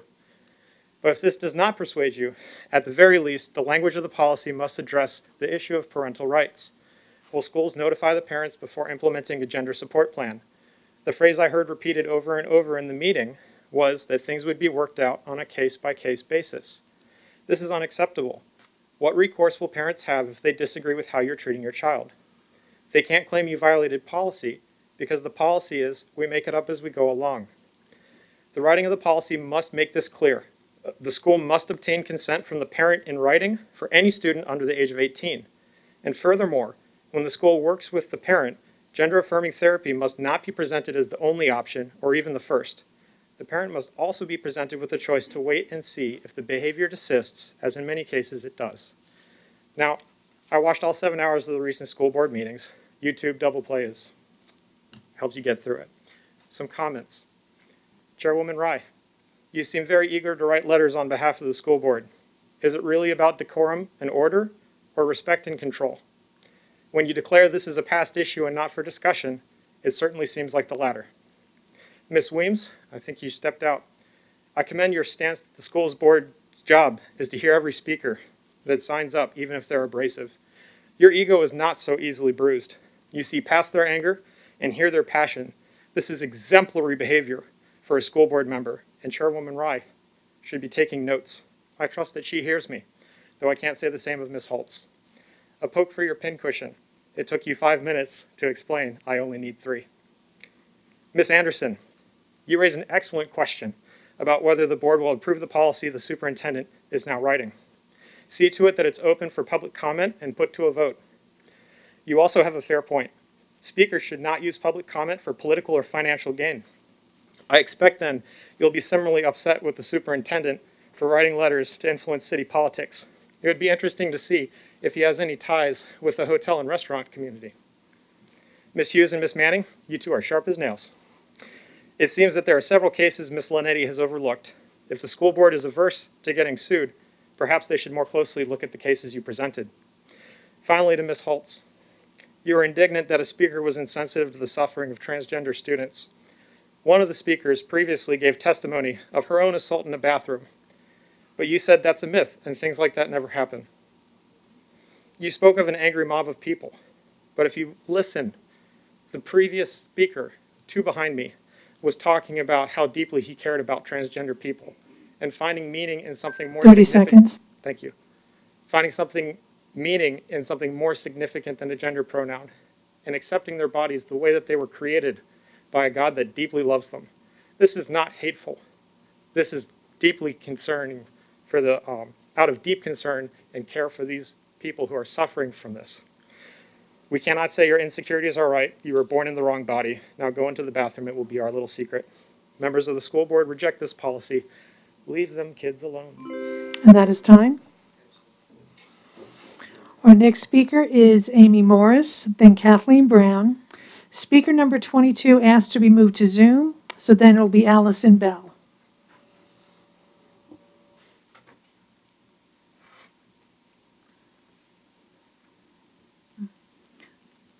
Welcome. Thank you. This policy is fraudulent and intends harms to all involved, and it's knowingly written for that reason. It's reckless endangerment to expose minors to this phony scheme. Child sex habit and fetish advocates do not belong in K through 12. I'll remind you again, cases on the books prove it's evident children are being victimized and told they have the wrong genitals by lying predators. My family is proof of that. There's thousands and thousands of cases on the book. Biden's being sued. Um, forcing minors to participate in this socially constructed perverted cult is knowingly blatant evil. Who is telling children it is not safe to use the accurate facilities and pronouns according to their birth sex? Who's doing that? How is it harmful for a boy to use the male's room? The only people labeling minors as trans are Dems, Democrats. They can prove they can't prove any validity um, to branding kids with sex habit and fetish for profit. They can't explain the sudden confusion which they fueled and paid for. Who exactly claims some kids require acknowledgement as the opposite sex, inaccurate pronouns, also known as misgendering, and somehow, oddly, the so called diagnosis or branding requires that they have access to the opposite sex bath and locker rooms. That's what they need. That's what they, that's, that's what we're calling that care for children that are confused and suicidal, lying to them, making everybody else play along. No child is born with the wrong genitals. It doesn't exist. In fact, according to those who experience things like this, uh, I'll reference Keira Bell, Jeffrey Johnston, and Walt Heyer, as well as myself. Telling the truth saves lives. It is our duty to be honest. I've witnessed this evil up front and close. I recorded it, and I intend to share that reality. They say men are women. Suddenly, boys are girls, and those are those are boys. Aggressors are the victims. Protection is violence. After coining the word trans, mandating widespread enabling of psychological disorders is sociopathy. And that's evident when little girls are being ignored, parents raising red flags dismissed of value by Democrat ran school boards on a mission to pimp minors to cult with no good intentions for anyone involved. Telling a boy he is trans doesn't make him a girl, it makes you complicit with predators and child abuse. There are infinite ways to be a girl, none of which tip you over into being a male. Girls' privacy matters. Is sex, is child sex advocacy, genital mutilation, forced participation, stripping female rights to safety and sex-based protections, stripping parental rights, banning accurate language for male and female, disqualifying boys from manhood, drugging them, and then chopping off genitals, now what we are calling LGBT rights. That's what the Virginia Democrats are funding. A state that makes it illegal to protect your child's privacy, speech, well being is corrupt. And VDOE better get their mess cleaned up. These are our children. To all the young girls with body image issues who are being led off to the slaughter by money hungry butchers who exploit your pain to line their pockets, we see you. We grieve your deception. To all the little boys seconds. being told their outfit choice and personality determines whether they qualify for manhood to keep their penis, we see you. On behalf of parents of kids who think they are trans, I'm here to share this quote. Parents like us must remain anonymous to maintain our child's privacy. And because we face legal repercussions if our names are revealed, parents who do not support their child's gender identity crisis being fueled in K through 12 are being reported to And that is time. CPS and losing custody. This is ridiculous. Our next speaker is Kathleen Brown, then Allison Bell, then Richard Pickens. Welcome. Good evening. I want to start by saying that I've never felt welcome to a school board meeting by the board majority. So for my first topic, I want to discuss the numerous bylaw changes proposed. I listened to the September 1st special meeting in its entirety, and I'm sad to say that most of what came into the Policy Review Committee and out of the Policy Review Committee was not discussed in the meeting. Who directed the school board attorney to draft these policies if it was not discussed? Was it Aaron Spence? You all must think we're too stupid to notice what you're doing, but we're not. My main takeaway from the special meeting was that the board majority wants to give themselves pats on the backs for being engaging and welcoming, and that is why you think there's more than 10 people here, even if they are in opposition. Ms. Felton, that is a very factually incorrect statement. The opposition isn't here because we feel welcome. We are here because we are very dissatisfied with the job the board majority is doing. We aren't welcome here. We know it, and these proposed bylaw changes prove it. The proposed changes do not meet the intent discussed at the meeting. Rather, they include banning flags, not protesting outside, reduced speaker time, being able to suspend speakers at any time, the ability to suspend Robert's rules, and the ability to make on the spot bylaw changes on a whim. Oh my gosh, that was so much for me to say. I can't believe it. Um, you all should really be embarrassed. I do not believe that banning flags will reduce how long you need to sit here. Yesterday, in an emergency meeting was held that because the board did not do their work correctly the first time. At this meeting, while discussing bylaw changes, Beverly Anderson said she has seen where flags have been used as weapons before. When asked further, you said, no, not here. I saw it on TV. That's pretty preposterous. This is our American flag. This is not a weapon, and it should be per permitted in our meetings. We are in America. We do have some solutions for the timing problem that I can suggest. First, you could combine agenda and non-agenda items. This will reduce the constant interruptions from the chair, Ms. Rye, while, while citizens discuss the work of the board. Secondly, I would suggest the board do their work accurately the first time to reduce the amount of special meetings or emergency meetings. I do also think you could be making better use of the time in the informal meetings as well. Lastly, if you feel overwhelmed by how long the public addresses you, you are welcome to step down. from your position. You are clearly in a different place in life than before you ran, and that's fine. We will happily accept your resignation and replace you with someone that wants to listen to the public. The people rallying outside in protest are not unsafe. If that were actually true, the same individuals would not be continually showing up into these meetings because nobody in their right mind shows up in a place where they feel like they're threatened. It just doesn't happen. Nobody walks into that. For my next topic, I would like to move to the anti-discrimination policy. I strongly believe Dottie Holtz is oversimplifying this policy entails by stating, and I quote, let them be in peace. On August 24th, the school board attorney already stated the kids may use whichever restroom they identify, as the board already passed policies to allow disallow discrimination of the transgender community in 2016. The only difference between this policy and what is already in place is the stripping of parental seconds. authority.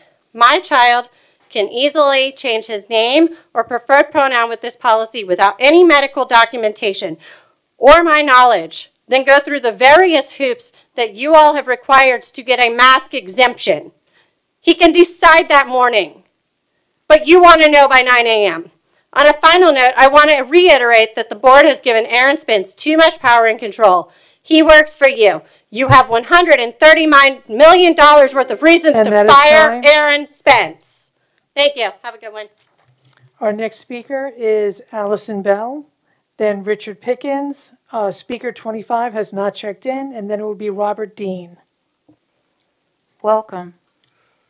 Thank you. My name's, excuse me. My name's Allison Bell. I'm a mother of four.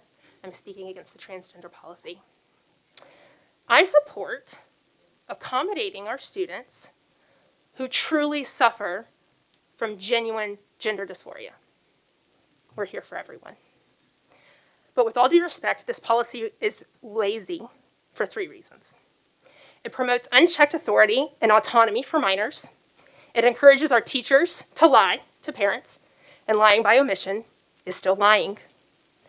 It disregards the well being and security of the other 99.75% of Virginia Beach students. Biology is an objective fact, despite one's experience.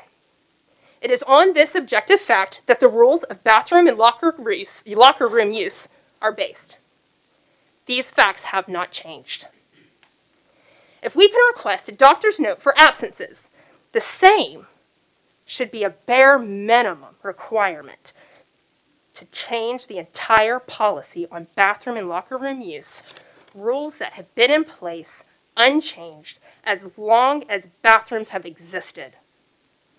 As this policy stands, however, it allows any minor at any time to decide which facility he or she cares to use, and teachers cannot even inquire about their status, quote, upon entry to the restroom, end quote.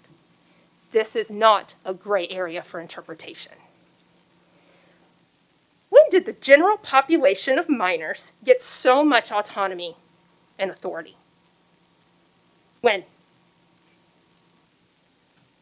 This policy is a free for all for students to take advantage, transgender or not, all students, without any authoritative interference.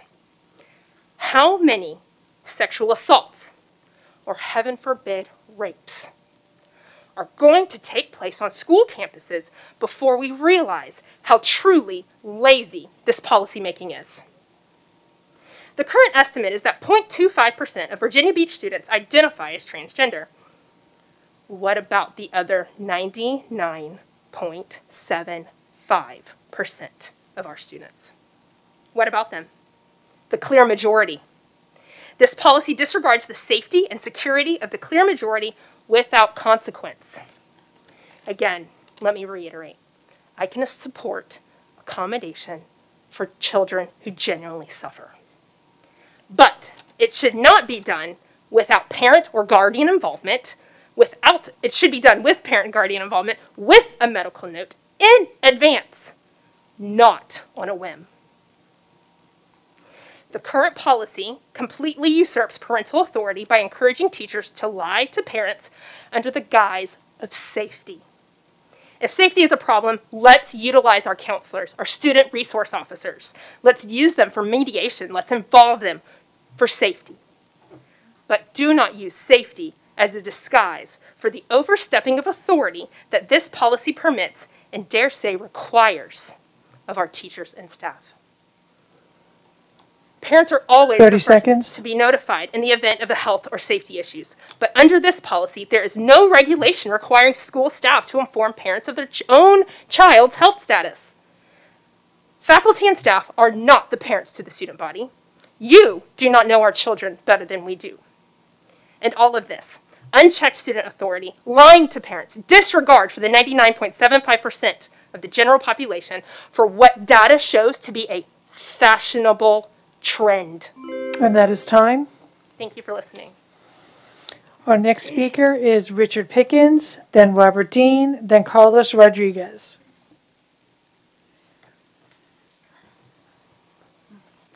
Welcome. Welcome.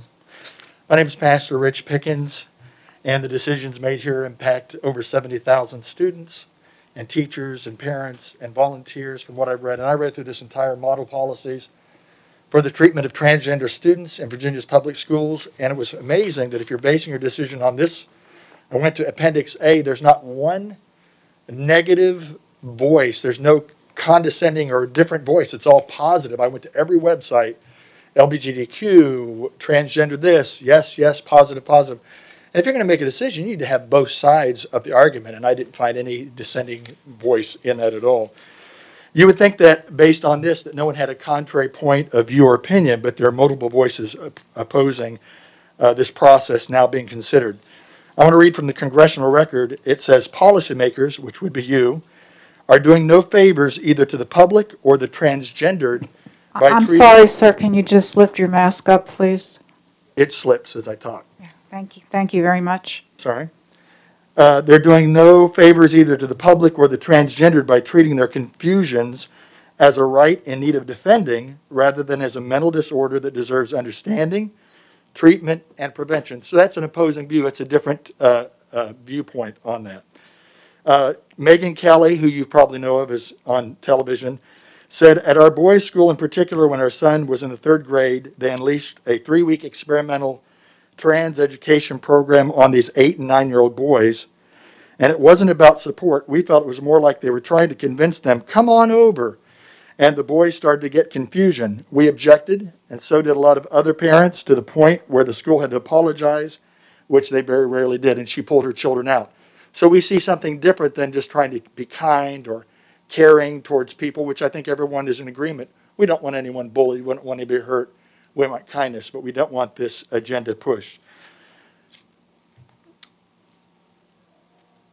When I read through this document, I see there's going to be forced upon teachers and students and volunteers and all kinds of people that if somebody wants to be called a man that's a woman, you're going to be forced to use that, or you're going to be said that you're bullying, or there's three different words that are used that are very detrimental to the person, I think, very awkward. And um, So I was just thinking in terms of anorexia. I've met people in my life who are anorexic. I'm a pastor. I've ministered to them. I've tried to help them. I would be feel it would be very wrong if someone said you've got to call that person fat because they feel that they're fat, and uh, when they're actually very physically thin and going to be in danger. But perception can be what someone's mind thinks. They believe that they are, so I understand that. But to make to try to force me to be in agreement with someone else's perception is itself a bullying tactic. Is itself oppressive to my rights and my freedom of speech. I read through this uh, statement right here. It says parents are going to be uh, taking away their First Amendment rights. Teachers are going to have their First Amendment rights taken away. The First Amendment says clearly Congress shall make no law respecting an establishment of religion or prohibiting the free exercise thereof or abridging the freedom of speech. Well, if Congress can't do it, then certainly this board should not be even touching this to say to, 30 seconds. to say to parents and different ones, you have to call a he a she and a she a he. And then the worst of all that every English teacher should be opposed to is calling someone they. Crazy stuff that you guys are proposing. So there's penalties on teachers, students, employees, up to termination. I think that's bullying, discrimination, harassment. And Gavin Grimm, who was the first person up here to speak, she is a lovely young woman, but she is a woman, even though she claims to be a man. And I would not, I would encourage her to embrace her femininity.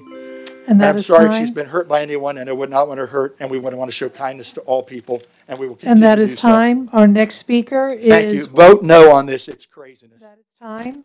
Our next speaker is Robert Dean. Vote no Then Carlos Rodriguez, and then Lizzie Bohan.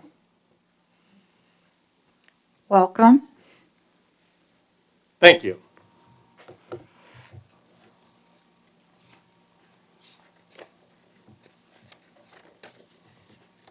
I haven't started yet, ma'am. Could you reset the clock, please?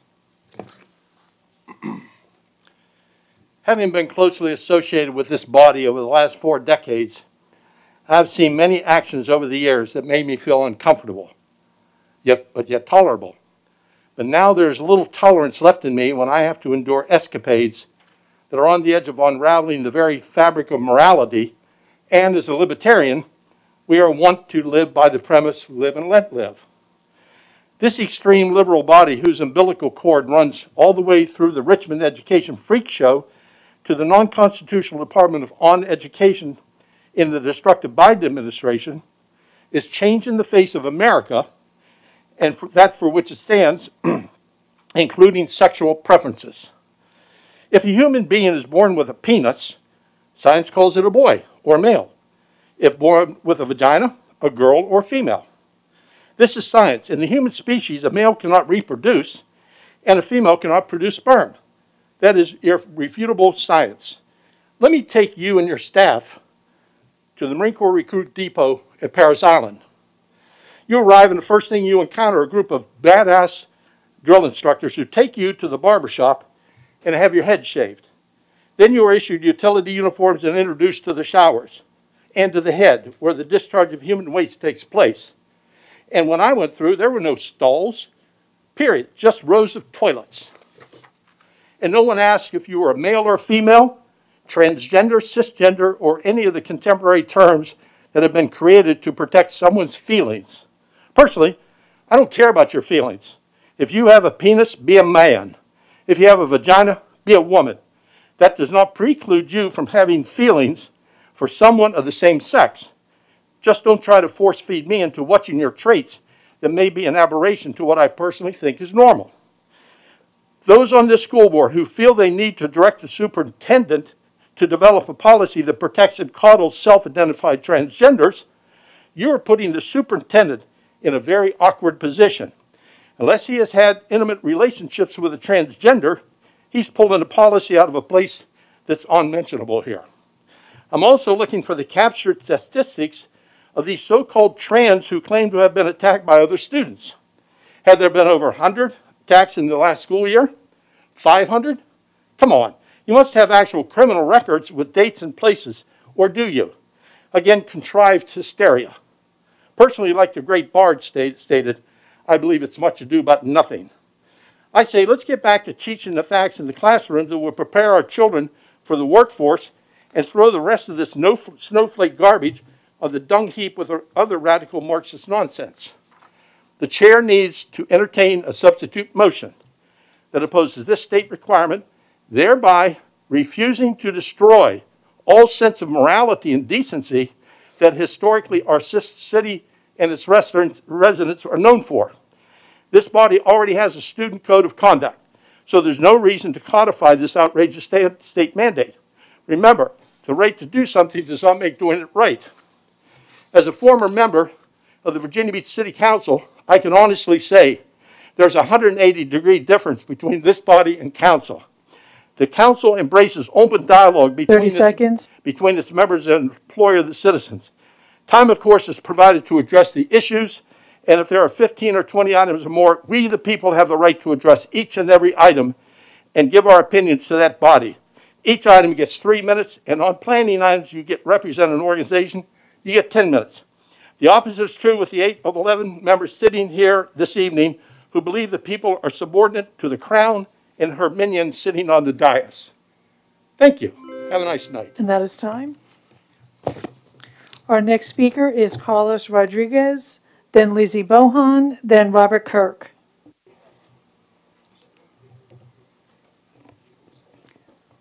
Welcome.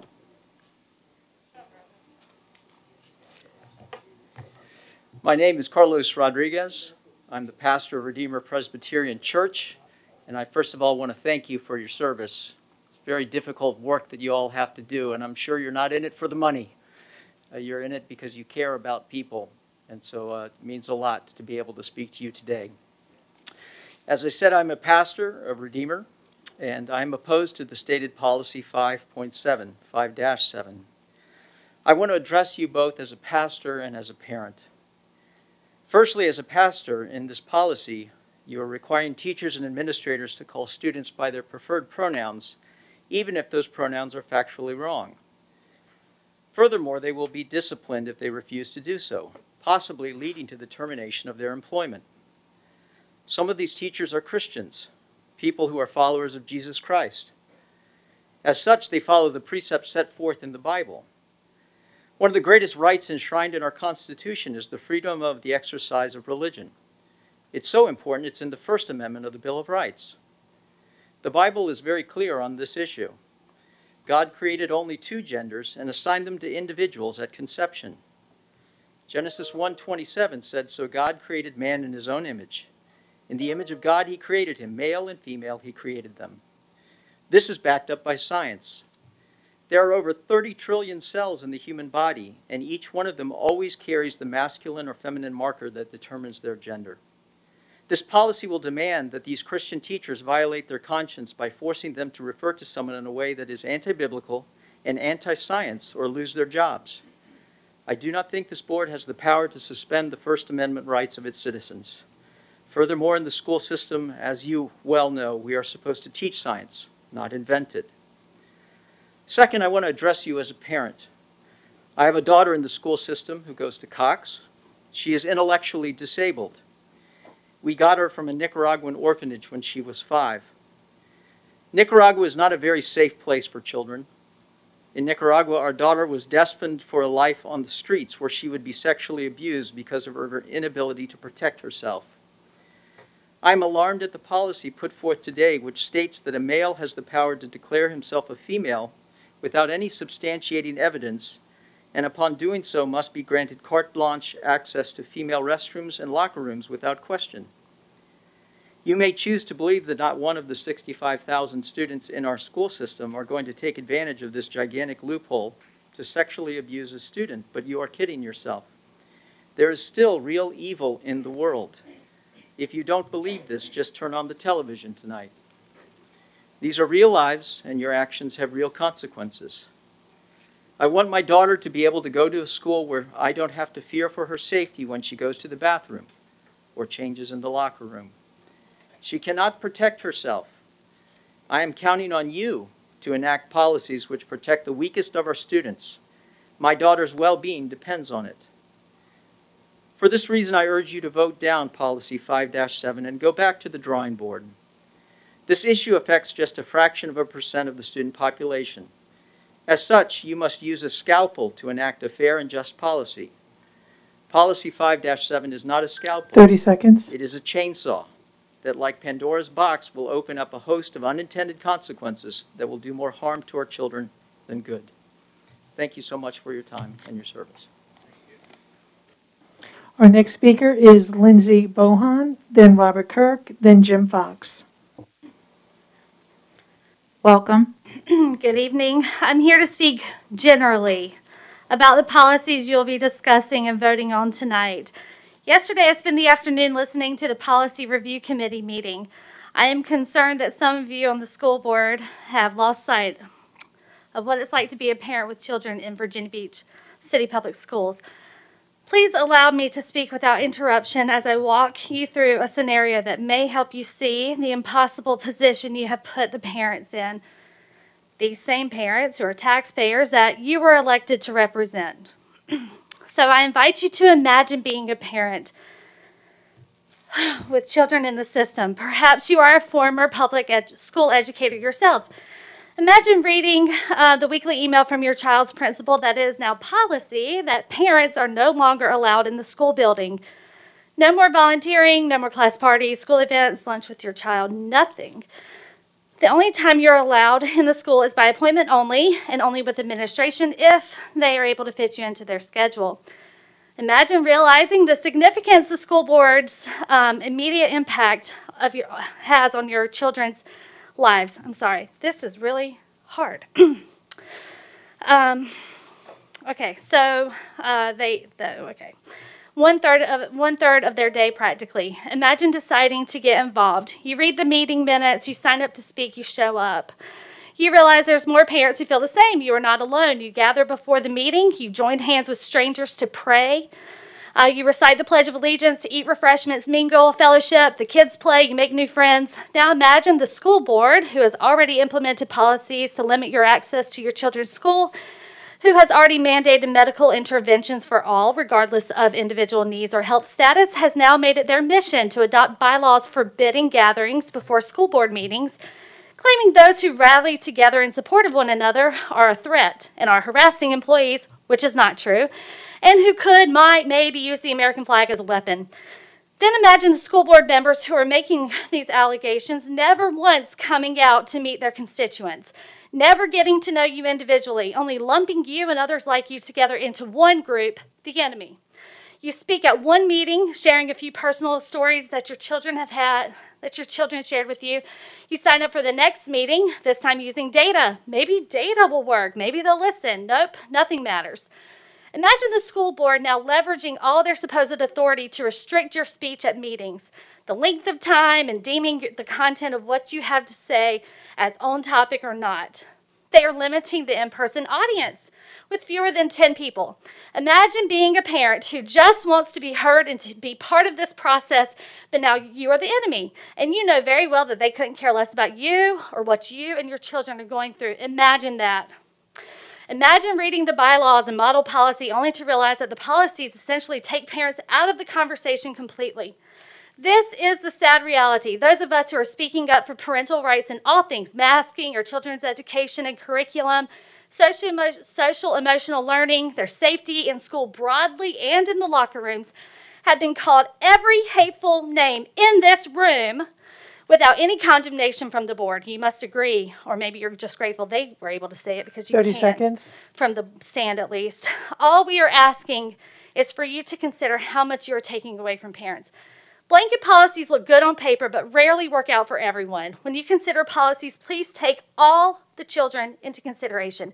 If you were a parent, would you stand by and allow the school board to strip away your rights like you are doing to us right now? Our next speaker is Robert Kirk and then Jim Fox.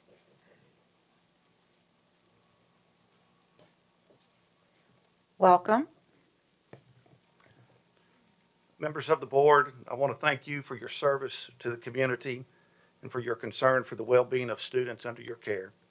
You have a difficult job, and I thank you for undertaking the vital task. I also want to thank you for this opportunity to speak against the issue that's at hand. And I humbly ask and encourage you to reject the adoption of the Virginia Department of Education's model policies for the treatment of transgender students in Virginia's public schools. As a resident of Virginia Beach, a Christian, and a pastor, I am deeply concerned with the school board's consideration of adopting these harmful policies. I'm concerned because these policies defy logic and reason. They ignore historical precedent. They reject traditional morality upon which our society has been constructed, and they undermine parental authority. Uh, first, in the, talking about defying logic and reason, these policies are not being implemented based on compelling evidence derived from scientific and peer-reviewed studies. In fact, there is a body of evidence that suggests that fast-tracking, transitioning individuals into the process can be detrimental to their health. Uh, for example, Dr. Lisa Littman of Brown University had to republish a study that she did uh, in 2019, basically because she identified a topic called rapid onset gender dysphoria. And what she was seeing was teenagers who had never presented anything in their life saying of gender dysphoria, all of a sudden just coming out as trans, just all of a sudden. And so she did a study, and it was peer reviewed. Come to find out, it was more social media, peer influence that was doing this. And she found in doing her study, talking to clinicians, talking to the parents, told her that when they go to the doctor, clinicians saw they were only interested in fast tracking gender affirmation and transition and were resistant to even evaluating the child's pre existing and current mental health status. I found these stories compelling, she said, and heartbreaking. Gender dysphoria has been studied for a long time, and I recognize that this presentation was not consistent with the existing research. I saw that kids, parents, and families were suffering, and I felt like I needed to do something to help. She continued, she said, if these descriptions of the clinicians refusing to evaluate and treat trauma and mental health issues were true, it means that a vulnerable population was being deprived of much needed medical health, mental health issues. Now, I'm afraid that if you implement these policies, you're going to see a lot of those things taking place. I also just want to speak to the fact that the motivation for speaking against adopting these policies is not from hate in any way. As a believer in Jesus Christ, I realize that we are all made in the very image of God. And I like to illustrate it this way. It was explained to me one time. Let's pretend that on these little pieces of paper was written everything I ever did wrong in life.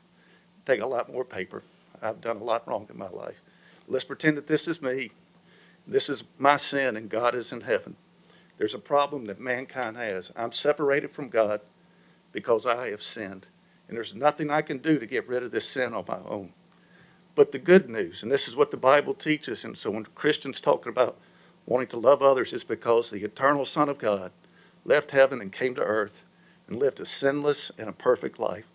And then one day he died on a cross, not for his sin, but for the sin of the world, for my sin, for your sin, the sin of the world. 30 seconds.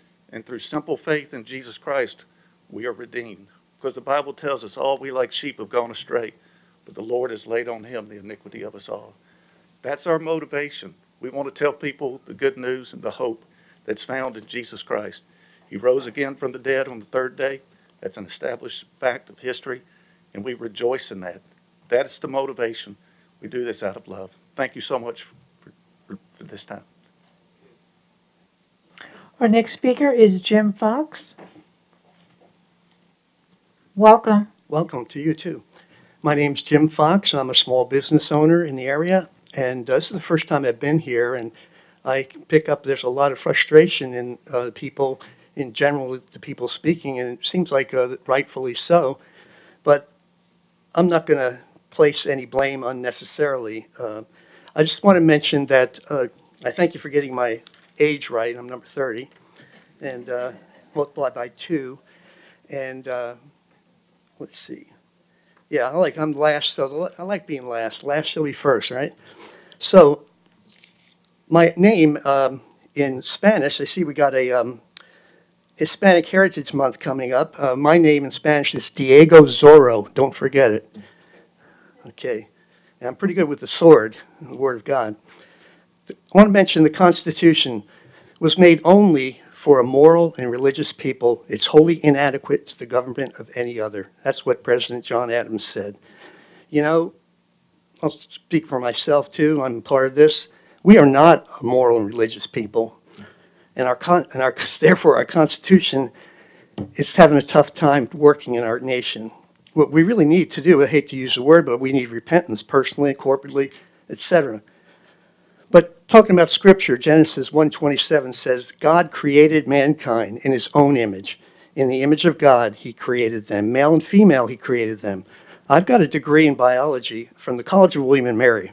However, I don't need that degree to know the difference between a biological male and a biological female. Speaking of a biological male, um, you may know this, uh, hope it doesn't offend you, but one of our leaders, not re- really leaders, he's bottom of the barrel, Obama's boyfriend, Michael, is a trans. And if you don't know that, you can just look it up online, see what Joan, Joan Rivers said. She was killed a few weeks after that. That's a confirmation. So the potential legislation here is not only spitting on the image of God, like Jesus was spit on while hanging on the cross, it's spitting on the, each male and female because each male and female are created in God's likeness. So I want to mention that um, something else. You know, what happens in a culture when it's at the end and dying, gasping breath is what's described in Romans number one. You know, God loves us all. However, He loves us enough not to keep us in our sin, that whether that be individually, family, otherwise. And once again, I'm not going to put ultimate condemnation on you. I'm sure there's plenty to go around for all of us. But it says, The wrath of God is revealed from heaven against all ungodliness and unrighteousness of men who hold the truth in unrighteousness. Because that which may be known of God is manifest in them. God has showed it to them. People profess themselves to be wise. What we here have here is a lot of intolerant secularism coming down from the DOE, from here. And I just want to say the bottom line is that parents are ultimately accountable, not you. They delegate to you, but you don't, you don't, you don't recognize that really. Because if you did, you wouldn't have any of this transgender policy stuff that's it's just 30 secular intolerance, very intolerant. And um, people, what happens, people change the truth of God into a lie, worship the crea- creature more than the creator, and then people give themselves up to all kinds of sin. God gives people over. That he wants them to change, but if they don't, He just lifts His hand. So that's what I'm saying. I'm going to pull the plug from public education and let it go down the drain because that's where it's going unless you repent. And that is time. Madam Chair, that was our last in-person agenda speaker. We will move on to our online speakers. Yes, we will, thank you. Just, can we take turns and continue?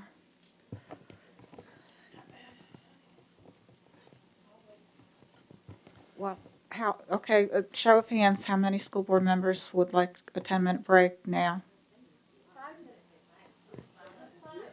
All right, five it is. Thank you.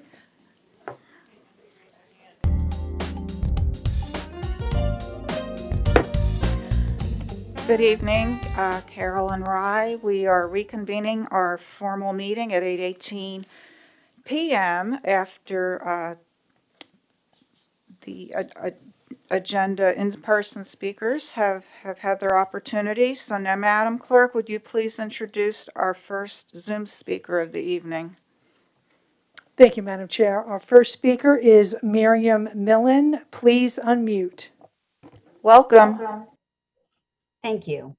I'm speaking tonight because while there seems to be many loud voices filling this room with propaganda, ignorance, Miriam, please unmute. I am unmuted. Can you hear me? Miriam, give us one moment, please. Okay.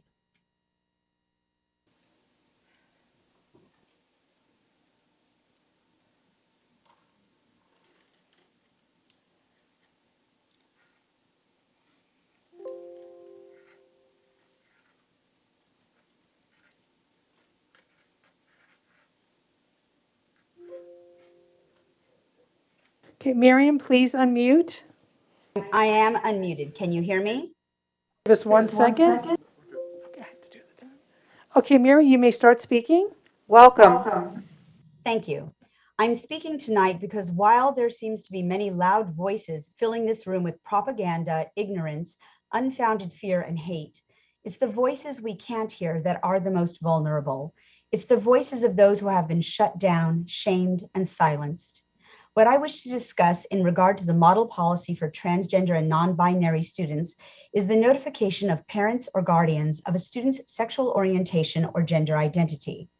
School officials should remember that parents of LGBTQ students may not be aware of their child's sexual orientation or gender identity, and those students may have grave concerns about their parents' response. If the response is negative, there could be the very real consequences of rejection, depression, suicidal ideation, abuse, and homelessness.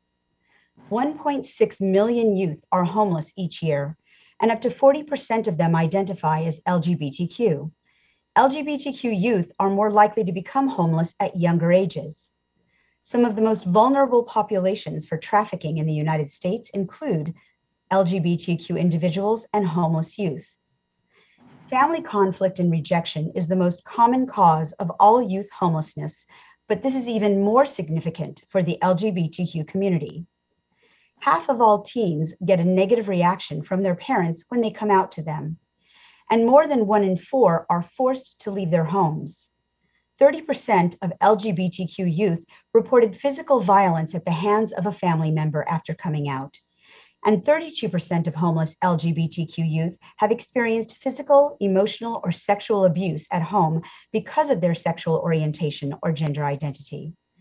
Rejection and discrimination at home can lead to severe personal and social problems, including self harm and academic failure. So please never out or disclose a student's sexual or gender identity without their consent or knowledge, even to their family. The priority is to maintain safety in the moment, as there may be a long term process of acceptance. And a few additional notes. The average age of identification of sexual orientation for both males and females is around the age of 14. The age of gender identity is much younger. There is no evidence that letting transgender people use public facilities that align with their gender identity increases safety risks. Being transgender or gender nonconforming is not a religion. It is biologically and scientifically based, unlike the imaginary religious tenets that somehow condemn anything that is not the socially constructed status quo. Please stop speaking for all the students or assuming that your narrow view is the majority. Please stop misquoting the Bible to validate your ignorance, fear, and hate. The misinformed, hostile, ignorant, and hateful comments that I have heard tonight could not be a better example of why we should protect the health, welfare, and privacy of our LGBTQ students please pass this incredibly important policy. Thank you very much for your time. Our next speaker is, is Tova, Tova Gold. Gold. Please unmute. Welcome. Thank you. Good evening, everyone. My name is Tova Gold, and my pronouns are they, them, and Zezer. I'm not a woman nor a man. I'm non binary. I'm back here again to express why it's imperative to implement the VDOE model policies for the treatment of transgender and non binary students per Section 12 of the agenda. It kills me to still see so many of you full of hate, fear, and misunderstanding. You should all be ashamed of yourselves. For those who don't know, I'm Muslim with a Jewish background and part of the LGBTQ plus community. I just finished my master's degree in Washington, D.C., and currently work in anti human trafficking. I also volunteer with several LGBTQ plus organizations in the D.C., Maryland area. I'm also a product of VBCPS, having gone to school from pre K until graduating from the first class of the Global Studies and World Languages Academy in 2009. I knew I was queer when I was in elementary school, but I ignored it. I had a major crush in 10th grade to a similar gender expressed person. I ignored it again. Even with my LGBTQ plus friends around me, I wasn't yet ready to accept my own identity. I didn't fully come out until 2019. I'm still learning more about myself. I had a fantastic education, but if I had had support in school with advocacy policies and inclusive language, it would have made me feel much more comfortable in embracing my identities early on and would have saved me from a great deal of stress and depression. One major reason to implement this policy is the high rate of suicide among trans youth. According to the Trevor Project's National Survey of LGBTQ plus youth 2021, 52% of trans and non-binary youth considered suicide, with 20% having attempted suicide. As outlined in the bill on page 14, transgender youth with supportive families experience a 52% decrease in recent suicidal thoughts and 46% decrease in suicide attempts. Not only suicide, but human trafficking is an issue for LGBTQ plus youth. According to the Polaris Project's 2019 data, of the 40% of trafficked youth who identify as LGBTQ plus, 46% ran away because of family rejection. I know none of you against this policy would want to be responsible for that happening to your child. The blueprint to make VBCPS a safer, inclusive, and more positive environment is right here in the model policy bill. Implementation of this policy will lead to an exponential decline in bullying, an increase in student happiness and success, and a positive, holistic educational environment where students can focus on their studies and relationship building. They can have the skills they need as adults to navigate this world and spend less time trying to undo trauma from trans and homophobia, like we're hearing tonight. I especially appreciate that the bill includes dialogue sessions and trainings that address the concerns of parents, students, teachers, and staff. This can break down misconceptions while helping individuals understand and fully support trans youth.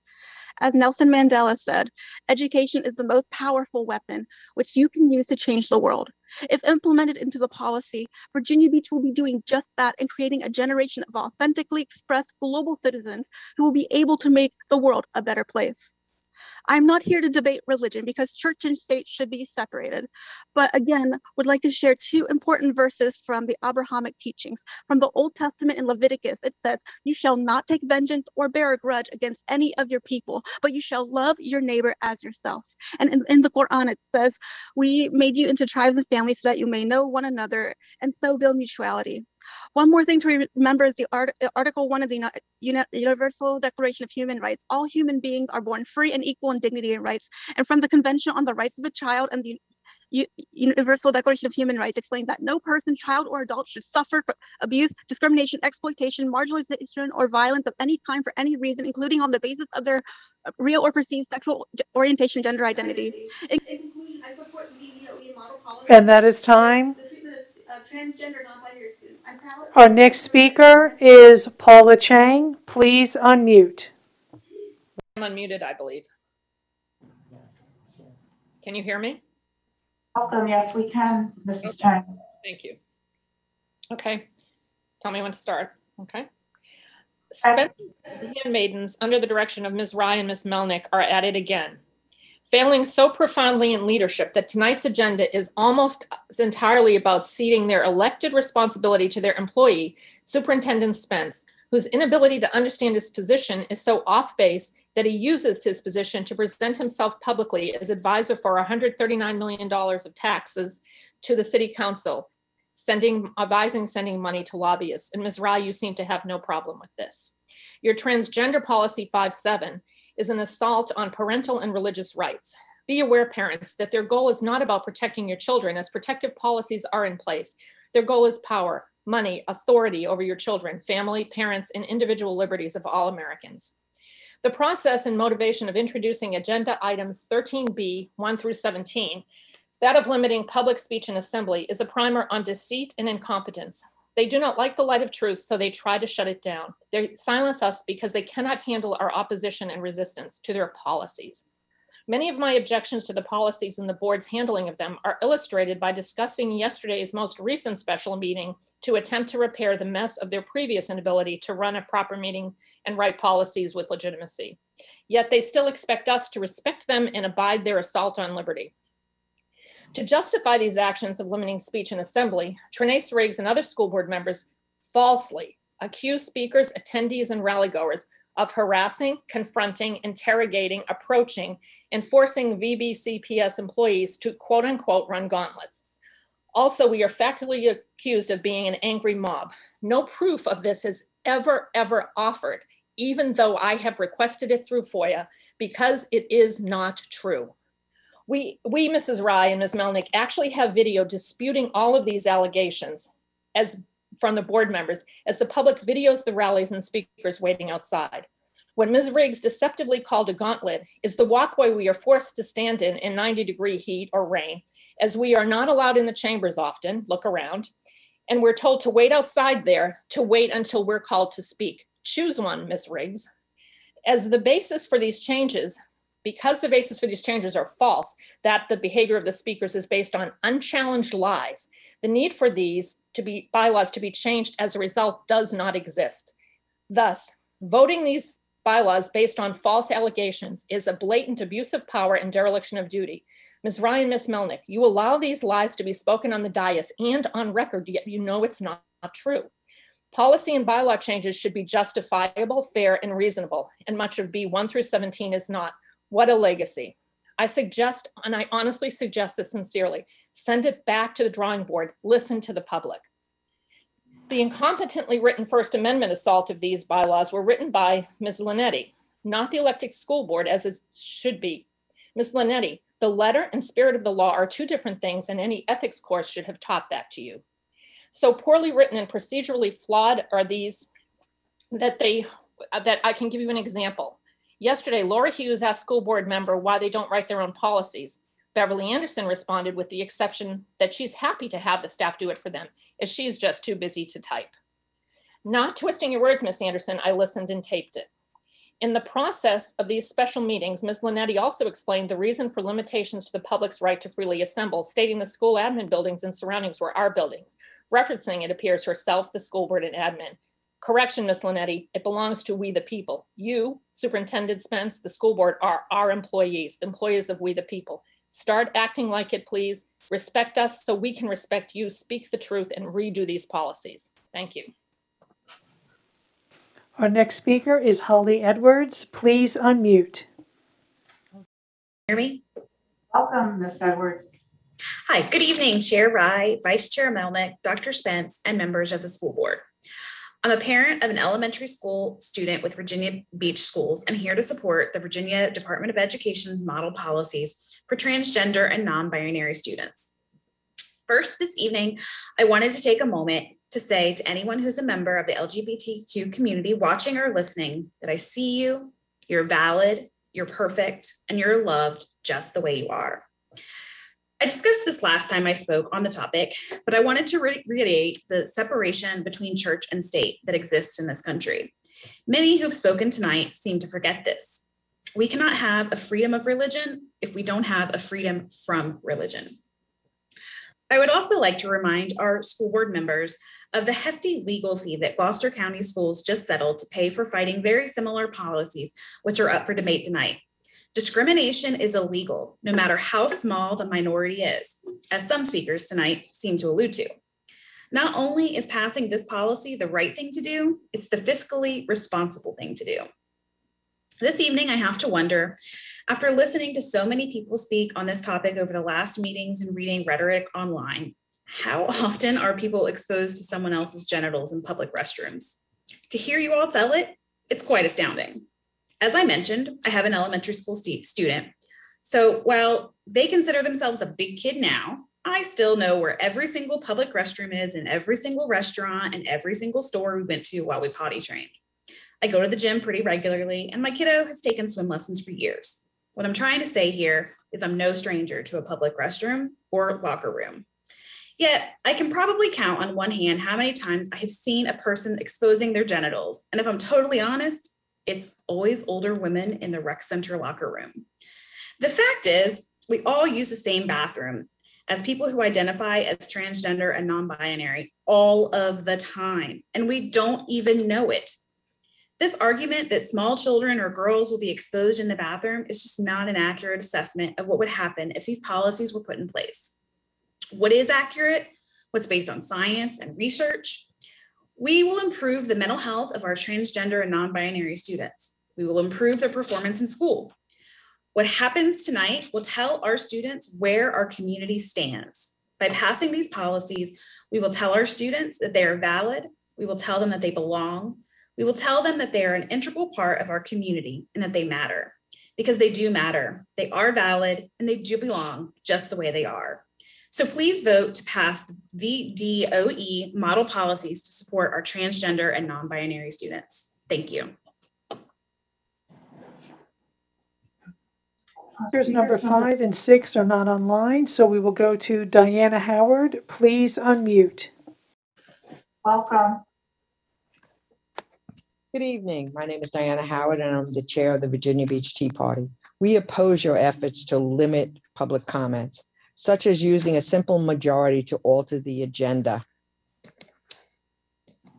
Do not follow Robert's rules and suspend the bylaws or portions of during a meeting whenever you choose. Altering the bylaws to say the school board may instead of shall accept public comments during school board meetings and reserve the right to discontinue or remove public comments from the agenda altogether. Saying public speakers signed up to speak during a school board meeting may be allotted up to three minutes to address the school board, reducing the time to speak from four minutes to three minutes or less, eliminating the non-agenda item speakers altogether suspending public comment at 8 PM to handle other matters on the agenda and resume public comments later in the meeting. Obviously, you don't think public comments are relevant. Not replacing a speaker's time when you're interrupting their comments because you don't like what they're saying or you think they're off topic. Eliminate, limiting our right to assemble by not allowing gatherings outside on public property we pay for while you are not even allowing the public inside the building for meetings and requiring a permit to do so. Banning the American flag for fear it could be used as a weapon. I could use a sharp pencil as a weapon. Are you going to ban that? We object to the superintendent, an unelected person being designated to draft the transgender policy, to create other means by which the public may observe the school board meetings, how speakers may sign up, the order of speakers, the accommodations that may be provided to speakers in seeking accommodations, and not the school board. Coincidentally, today is National Virginia Day and Friday is Constitution Day. Virginians wrote our founding documents, the Bill of Rights, George Mason, the Declaration of Independence, Thomas Jefferson, our Constitution, James Madison, which gave us this great American experience in self governance. Free speech is not only a right, it's necessary. It is our responsibility to engage our government. You should be considering encouraging more public comments by parents instead of suppressing it. Thank you. Our next speaker is Kat Evans. Please unmute. Welcome. Hi, good evening. Chairwoman Rye, Dr. Spence, and the board. I'm speaking today to ask you that you approve Policy 57 to allow transgender and non-binary students to have the use of restrooms and locker rooms to request accommodations, to have menstrual supplies required in all restrooms middle and high school, and be, have them made available in elementary school. It might seem like this is just about a bathroom, but telling a child you have no rights to be who you say you are, it has a powerful impact. Schools form the center of kids' social lives. And that's where they also develop their sense of selves. And according to a study in 2017, bathroom safety policies for transgender students had a significant impact on overall school safety, safety self-esteem, and grades. Almost half of all transgender students reported skipping a class at least once in the past month and missing at least one day in the past month because they felt unsafe or uncomfortable. Reducing harassment of transgender students significantly raises their GPAs. So students have all kinds of needs, whether they are gifted and talented, speak a first language other than English, or transgender, and schools have a duty to provide for these needs. Dispelling harmful stereotypes and prejudices of all kinds creates spaces where every student has the opportunity to learn and thrive. I'm a teacher and I support my students and help them receive the services that they need to be successful and feel confident. Why can't our trans and non binary students receive the support that they need? My daughter attends an academy at Virginia Beach City Public Schools. She has friends who are trans and non binary. Her friends should feel safe to go to the bathroom of their choice. I promise you, they are not trying to expose themselves or act inappropriately. They just want to pee. These are children. A child who identifies and dresses as a girl would feel awkward in staying out if she was forced to go to the boys' bathroom. It would expose her to derision and bullying. A student should be able to use the bathroom without discrimination. This is 2021. Whether you like it or not, transgendered and non binary persons are in society. And they've been here all along, by the way, and our students will certainly know a trans person in their lifetime. So, showing respect for a student's chosen identity not only will help them to show respect for people later in life, but it'll help that student feel more confident. It express they allows them to express their identity, and using the bathroom that expresses their identity not only impacts their confidence, but it also can negatively impact their academics. Adolescents coping with stress due to gender related stigma are more likely to respond with avoidance of school via dropping out, low self esteem, and social anxiety, all of which are disruptive to educational achievement and attainment. I hear many parents who may not be willing to accept trans and non binary students as they are, but if you ask the students, they accept them and they don't care which bathroom they use. They barely have time to go, anyways, because they're racing across school to get to class or they have to get back to class so they don't miss out on what they're supposed to do. About half surveyed adults think that transgender individuals should use the bathroom that correlates with their gender they are assigned at birth. However, 8 in 10 young people aged 14 to 24 years old, that's 79%, say that the bathroom used by transgender people should not be restricted. The majority of respondents believe bathroom use is a pri- private and personal decision, a matter of equality, freedom, and human rights. This suggests that young people's views on bathroom use by gender individuals different from the narratives that often presented in public debates.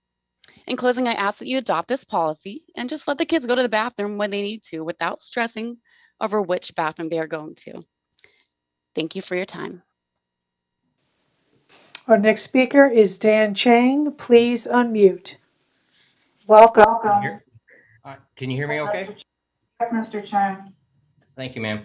Um, regarding parental rights and transgender policy 5 TAC 7, Ms. Ryan, Ms. Melnyk. Your board fails to follow its own bylaws. Virginia code required transgender policies by the start of the school year. You missed a deadline due to incompetent leadership and the zeal to pass 5 7 with minimal public comment and review, sneaking it in. That did not work. You delegated the school board's responsibility for the transgender policy to Superintendent Spence, not the board, as Virginia code states. Yet you conveniently cite code as a need for this policy, picking and choosing as it suits you. Where are transgender regulations 5-7.1, 5-44.2, 6-56.1, as they contain the meat of the VBCPS transgender policy? Are they still the same as previously briefed at the 24 August school board meeting? Why are you hiding this from the parents? There is no transparency to parents regarding these regulations and future changes.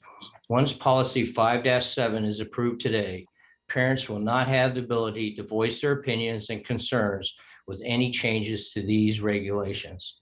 The policy review committee's items listed tonight are further examples of this school board's incompetence and failure to properly function as a body responsible for the education of our children and the care of our tax dollars. I observed two PRC special meetings on the 9th and September, 9th and 13th of September, and appalled by the lack of professionalism and and competence displayed at these meetings, as well as your own handling of the board meetings and the board itself. By the way, Ms. Anderson, which is on tape, apparently agrees with this, as yesterday at the PRC meeting, she stated that Superintendent Spence should be given some authority to run the school board meetings as there is too much in the chamber for you to keep track of. Previous board chairs seem to have done this, have seemed to been able to do this. If you cannot, you should step down and not turn over your responsibilities to an employee of the school board. As a retired vice president of a Fortune 100 company, I have run many meetings to develop policies and pr- procedures. I see these policies presented today as unstructured in writing and implementation. The legality of the policies are not vetted prior to placing them on the agenda, school board agenda. Ms. Lannetti adjusts language after meetings, actually writing the policies, not the board. The board does not tell the truth about, about, about and the insults the public as a basis to change the bylaws and policies. This is particularly egregious as the public hired you.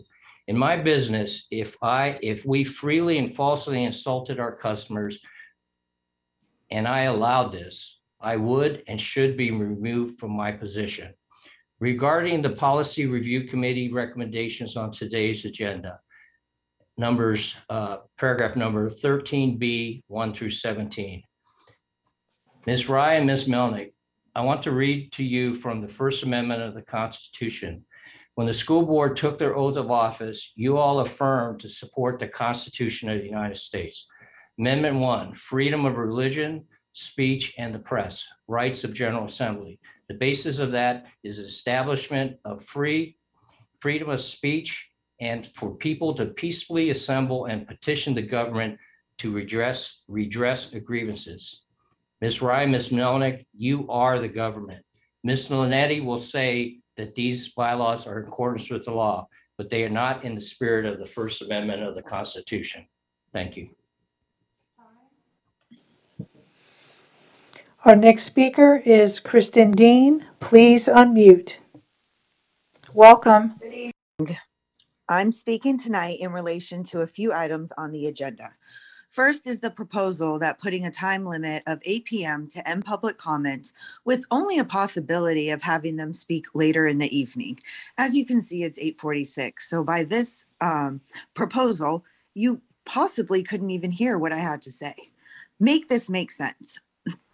In listening to your special meeting, some of your concerns were about having to get up early the next day since some of you have other jobs. You knew what the duties and responsibilities of being elected as a school board member meant. If you can't juggle more than one thing, then step down. You forget that we, the parents, voted you into these seats, and listening to the public's concerns during these meetings is your duty as a school board member. It is your duty to listen to all who have signed up to speak prior to voting on anything. This proposal is absolutely ludicrous, and I cannot believe that this is up, even up for debate. Second is decreasing the length from four minutes to three minutes, as this is limiting our voice, especially when you combined it with the above issue that I just spoke on. Third is the banning of the American flag and the deception and tricks you try to pull in the wording and changing um, the wording from one meeting to the next. I watch and listen to every meeting that you guys have, and you have during the sudden special meeting last week, this item was specifically said flags. But yet, during yesterday's meeting, it was switched to clocked symbols and emblems. When Mrs. Hughes asked if anything else had been changed, you guys said no, but yet this had. And she continued to call you out on it because it had, in fact, been changed and you tried to cover it up. This is another item that is ludicrous to be wasting time on in the first place, as you should never, ever mm-hmm. ban American flags. What kind of example does this show our children? Lastly, is the disorganization you have when it comes to your planning sessions and the time in which you send out the agenda last minute with errors and oversights. I am not even going to start with the confusion you have when reading it.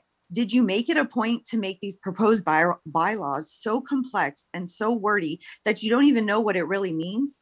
Listening to your meeting yesterday, it was clear that even you are confused on what you're going to be voting for. Why the sudden need to get all these bylaws voted on? What about discussing and voting on matters that impact our children and their education? You have seemed to lost the reason you were elected. You spend more time and energy going over items that are not relevant to our children's education and futures and spend countless of time discussing how this agenda item should have been A instead of B and how it's a typo. Why? Why are you not, you are not exhausted from listening to the public comments. You are exhausted because of the amount of time wasted on items that shouldn't have even been suggested in the first place. If you were really trying not to limit public comments, then you would vote to delete these suggestions since they shouldn't have even been brought up in the first place. Thank you for your time tonight. Our next speaker is Michelle Jones. Please unmute. Welcome.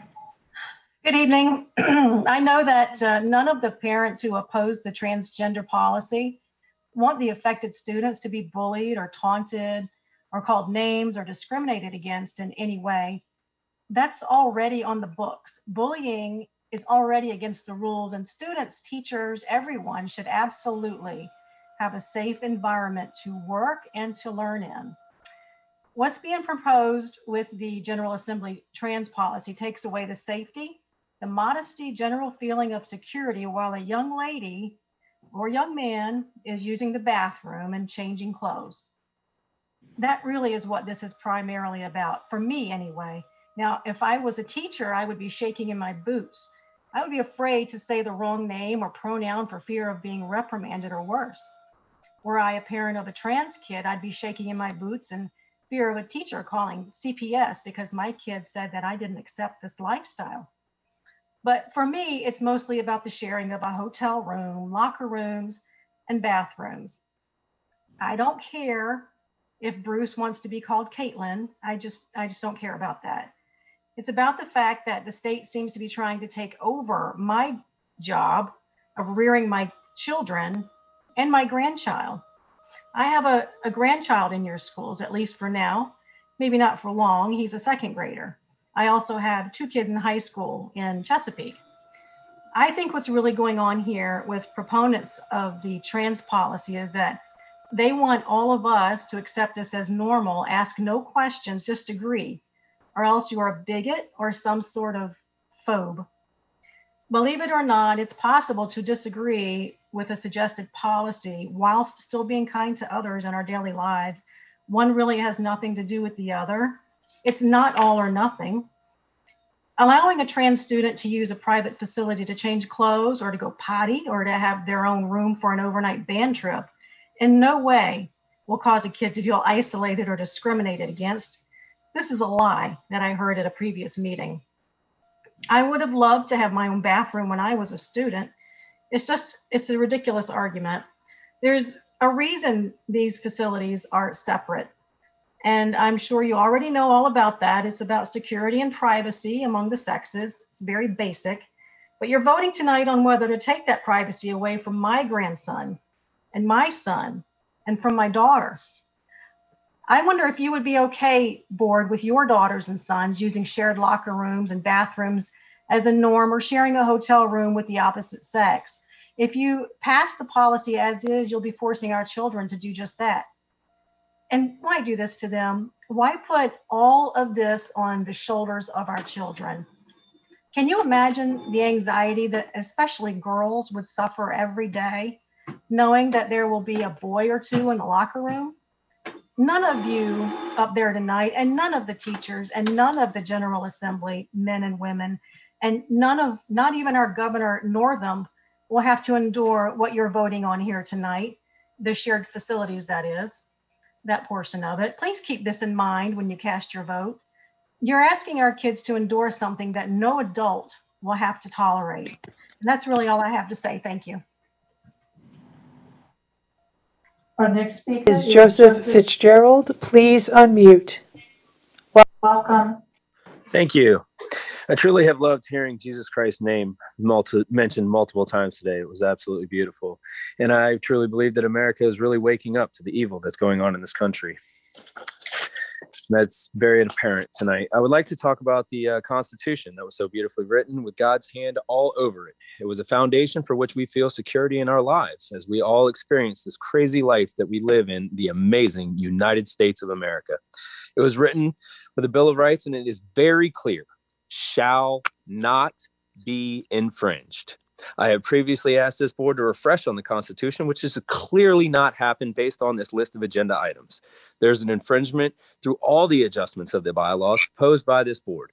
You have proposed infringements on peaceful assembly, religious freedoms, and you have reserved the right to infringe all over our freedom of speech, which I find fascinating considering it was just last year Double Dip Spence was claiming it was defending his wife for public posting on Facebook, tagging him in her post that told the sitting president of the United States to go F himself. And I quote, I understand some people are upset about my post my wife made on social media. I am rarely on Facebook, was not aware of the post, and was regrettably tagged without my knowledge. Her views are of her own, and I apologize to the post offended. Like everyone else, my wife is entitled to her opinion, and I defend her right to speech and self expression. I agree with that statement, Spence. However, we discussed this, what this means for us as a family in our community, and I'm confident a situation like this won't happen. I love how this guy double dips on the Constitution as he tramples all over the very rights that he hid behind, just as he hides behind the board, double dipping with all kinds of technology companies. And Lord already knows whatever goes on. On topic, please. Sir, Mr. Fitz, Mr. Fitzgerald, one more warning. Please get back on topic. Begins to infringe on parents' have to terminate your comments. never be closed. You do not have the authority to help my seven year old identify her sexuality. The age of consent is 18. Has everyone forgot that? She shouldn't know what sex is. Spence does not have or plan a plan for this bathroom debacle, nor has appropriated any funds from this, but I'm sure he's getting all kinds of fundraising and we'll be asking more for the taxpayers. Does the board know what the plan actually is? This kind of reminds me of the implementation of the cultural responsive practices before the surveys were passed out to actually identify the needs of the community. As I was listening in on the Zoom meeting the other day, last Thursday, when talking about suspending the bylaws, the question was asked, what is a good res- reason for suspending bylaws on a whim? And the answer that was given was to pass the Virginia legislature that was given down to them. What do we need the school board for if you're just going to pass everything that's given to you? We elected you to make the best decisions for our community. These are not the best decisions for our community, as you can clearly see, is what's being told to you uh, night after night as we have gone over this for the past 18 months. Also, I'd like to appreciate, thank you for proposing the Amer- the banning the American flag because now I feel justified in calling you all communists. Good night. Thank you. Our next speaker is Jamie Fitzgerald. Please unmute. Good evening. Can you hear me? Yes, welcome. Okay, thank you. Good evening. After reading the 140 page agenda, one word immediately came to mind control. This is not about a collaboration with parents nor the community, but an opportunistic approach to further the school board's ego and agenda. I find it particularly concerning just how many times the phrase reserves the right is used throughout these proposed revisions.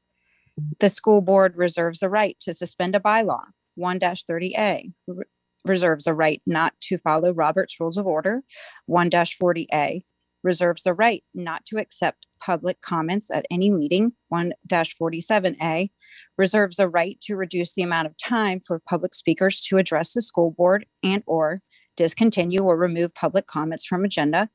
Um, and lastly, but certainly not least, reserves the right to take any action needed to ensure meeting proceeds in timely, orderly, productive, and safe manner.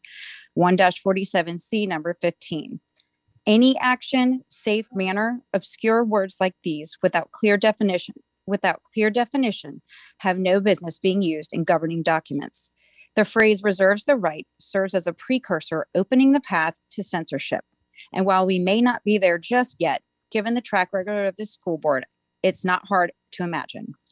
Freedom Forum Institute states many situations arise in which citizens are silent because of the content of their speech or because they have disagreed previously with a government official. This raises the specter of censorship. Government officials may not silence speech because it criticizes them. They may not open a public comment period up to other topics and then carefully pick and choose what topics they want to hear. They may not silence someone because they consider him a gadfly or a troublemaker. Legal dictionary says censorship becomes a civil rights issue when a government or other entity with authority suppresses ideas or the expression of ideas, information, and self. This leads to my next point the suppression of expressive activities before, during, and after meetings, but specifically under items not permitted 1 48C, cloth and cloth symbols and emblems. Delicate language used here, but naturally one begins to wonder could this be interpreted to mean the American flag? In closing, these proposed revisions are alarming. Not only is control a common theme, but there are instances where authority is being shifted away from elected officials to an appointed individual who is not accountable to the public in the same way. In my opinion, it is reckless of the school board to even suggest something like this. I urge your careful consideration over the next few weeks prior to voting. Thank you. Our next speaker is Vic Nichols. Please unmute. Thank you. 11B1, why hasn't National Disability Employment Awareness Month been placed on there? Discrimination. Policy 5-7 and 5-28, Children can enter into contracts, vote, hold a full-time job, or enlist in the military. What makes anyone think they're capable of a decision that at least 40% end up opting out of or regretting? Handicapped people who can be parties to contracts, vote, hold a full-time job, and depending on the handicap enlist, they're not giving rights to handicap bathrooms, but transgender people will get their choice. That's discrimination, which the school board is furthering by allowing the repeated legal slander of one group. The state of Virginia has stated that they have to build handicap bathrooms, but the handicapped are not entitled to them. So explain to me why others should feel entitled to any bathrooms they choose. SCOTUS decisions always give control of children to the parents, not to the government. There's no consideration for others' feelings that they would be uncomfortable in that situation. Why should we listen to the other side? Where are the dollars going to be in the school board's budget for lawsuits, given that Wolf, the Women's Liberation Front, has demonstrated that males, including sexual predators, have pretended to be transgender and raped women in California prisons? They get pregnant. And when a female gets pregnant because someone pretended to be transgender to lose bathrooms or locker rooms or whatever as trust areas, or guy gets raped, it's the school system that's going to be nailed. Even if state law indicates no requirement to file, the fact that you do not protect kids under your control will get the courts and the public's attention. Discussion now is that lawyers are going to attempt SCOTUS involvement as the elected officials that we have appointed to govern in Constitution and state laws are passing that power to non elected single power persons.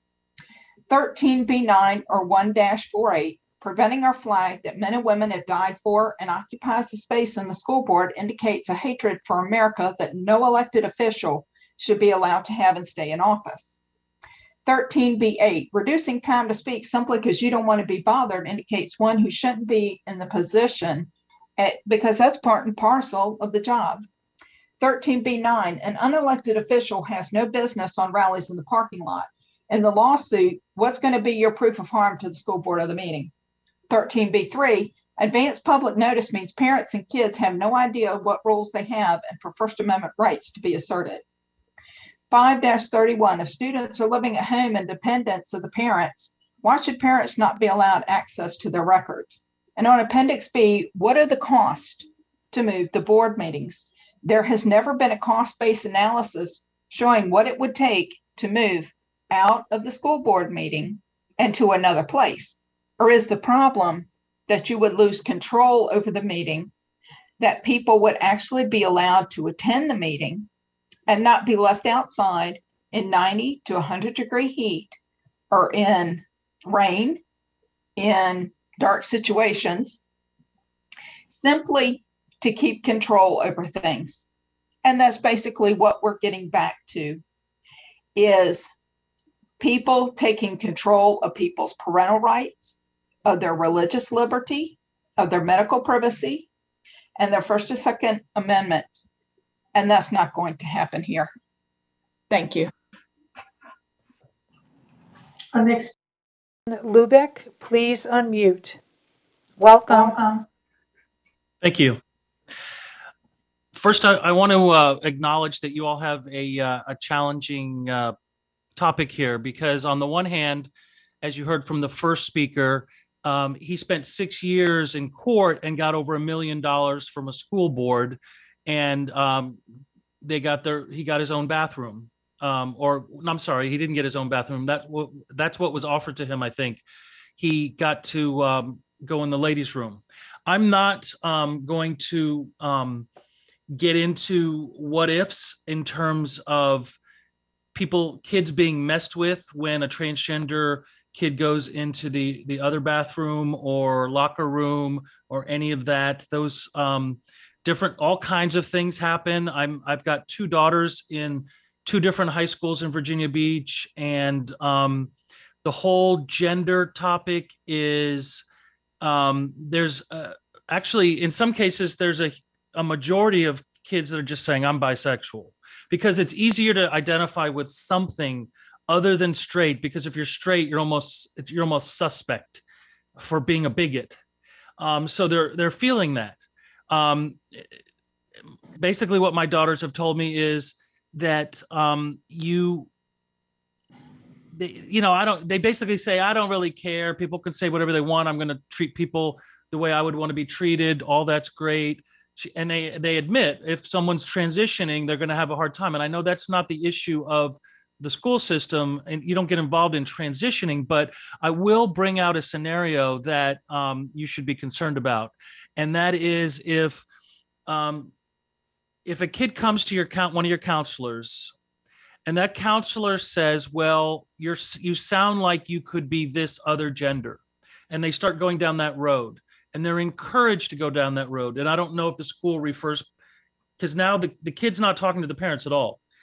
The kid uh, is referred to a, a doctor who does the transition um, is that still not in the purview of the parents um, and then what happens when, um, in some cases, doctors now feel like they're obligated because if they don't go full force and go with what the child is saying, they get labeled and can get in trouble depending on the state.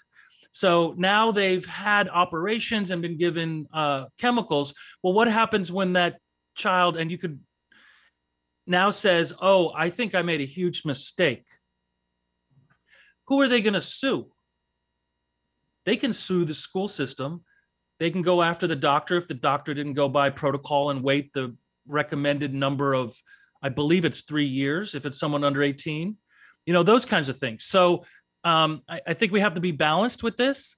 Um, i also think it's the responsibility of the school board to to wrestle with this issue um, and I, I do want to say real quick since i have less than a minute uh, pastors are here not they came today a lot of pastors not because they are trying to convert people. They are sharing a different worldview.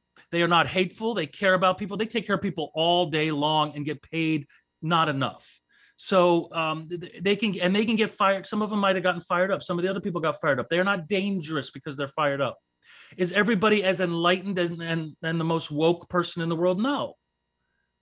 I mean, it's a it's a it's a range of all types of people. Just like I know on the left, you have some very dangerous, wacky people. So there, there's also though a constituency of about 90% or 80% of Virginia Beach that's going to be in agreement on this topic and be sensible. Um, and I do think we need to deal with any kid that's suicidal for whatever reason. Get to the heart of the matter. Let's let's solve that piece, and and help everybody get educated. Okay, speakers 16, 17, and 18 are not online. So our next speaker is Lindsay Nathaniel. Please unmute. Welcome. Good evening, Chairwoman Rye, Vice Chairwoman Melnyk, Dr. Spence, and school board members. My name is Lindsay Nathaniel, and I'm the mother of a junior at Princess Anne High School. I saw online that the ACLU of Virginia sent Virginia school boards and superintendents a letter on Friday to urge them to adopt the Virginia Department of Education's model policy for transgender and non binary students. The letter also served as a reminder to school officials that it's illegal to disclose a student's gender identity without their consent, even to their parent or other teacher, and outing a student could have severe negative consequences to their safety and well being.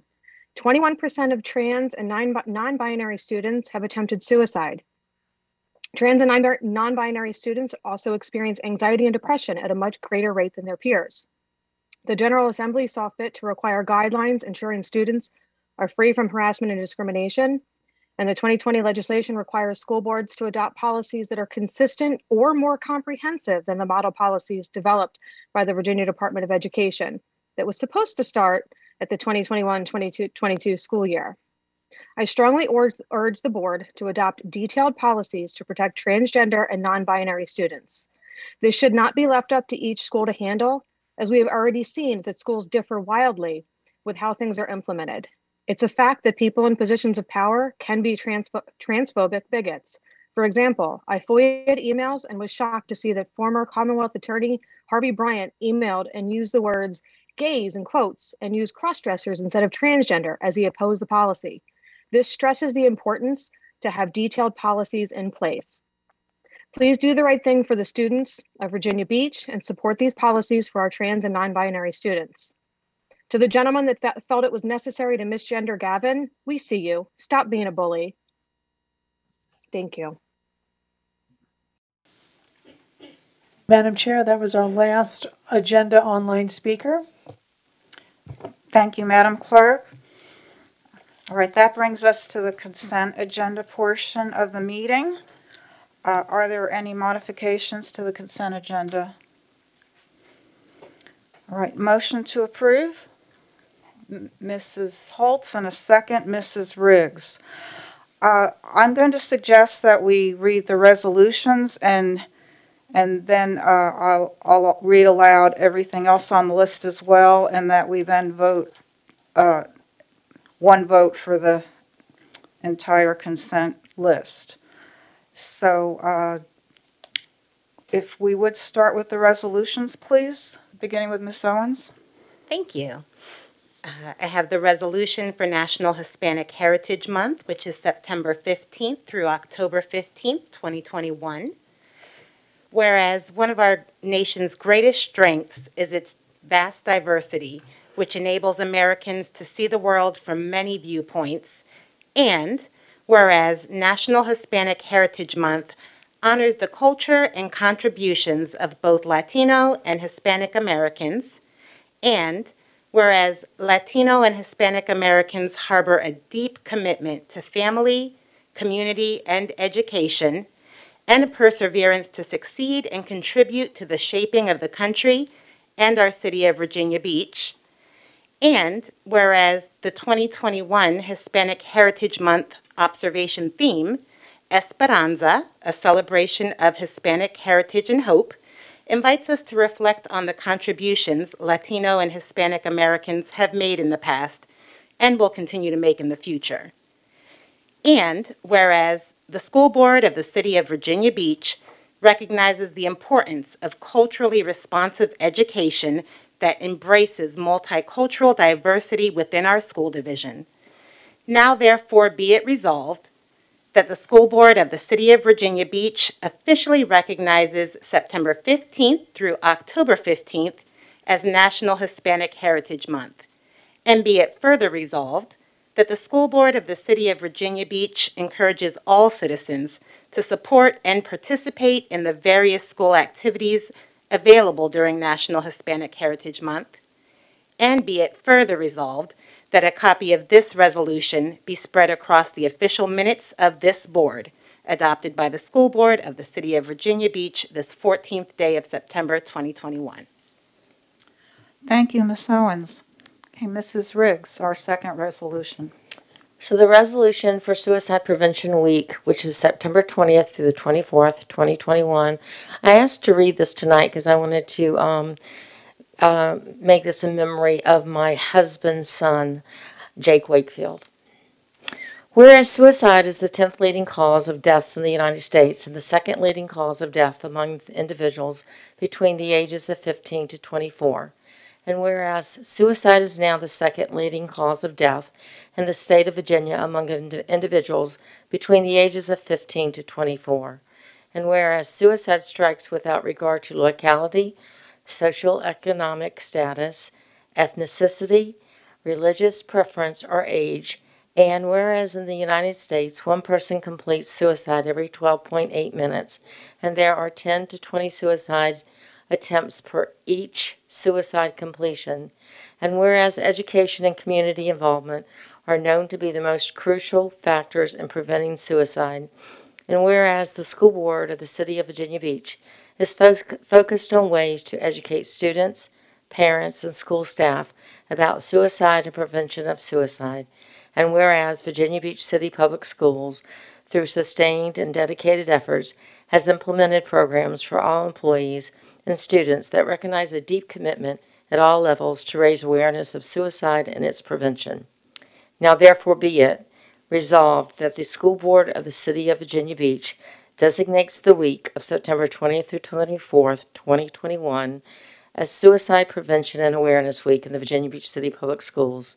And be it further resolved that strategies and activities to address suicide prevention and suicidal behaviors be ongoing in Virginia Beach City Public Schools.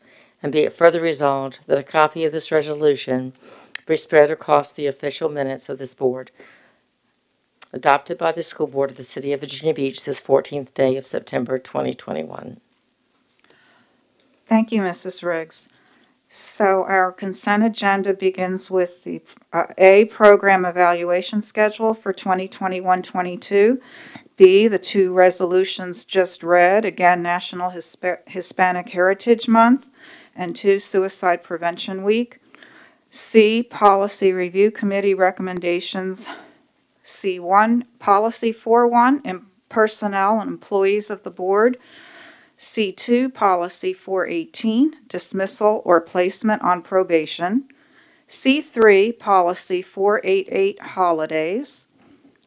C4, Regulation 5.21-.1, students, student suspension and expulsion. C5, Policy 5-25, student placement. 6, Policy 5-26, course load. 7, Policy 5-27, promotion, retention, and acceleration. 8, Policy 5-28, reporting student progress. 9, Policy 5-31, scholastic records. And 10, Policy 677, literacy and response to intervention screening and services. With that, would you, uh, all in favor of this consent agenda, kindly show a raised hand?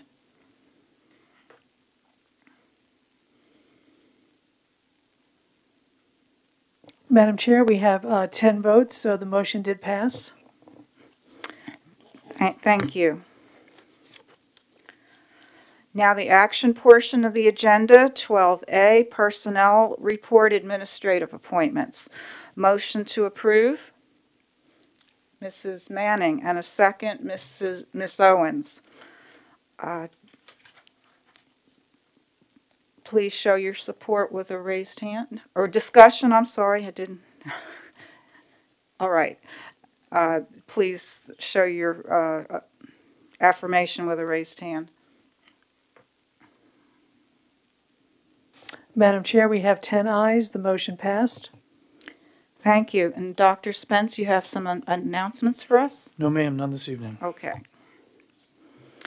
So 12B, Policy Review Committee Recommendations, Policy 4-75, Conditions of Employment. Motion to approve. Mrs. Holtz, and a second. Mrs. Riggs. All right, discussion, and we have Mrs. Lannetti at the podium.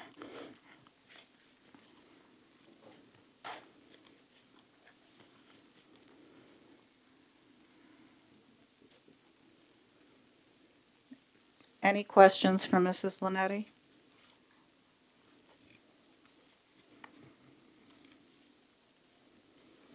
Or discussion? All right then, please show your approval with a raised hand.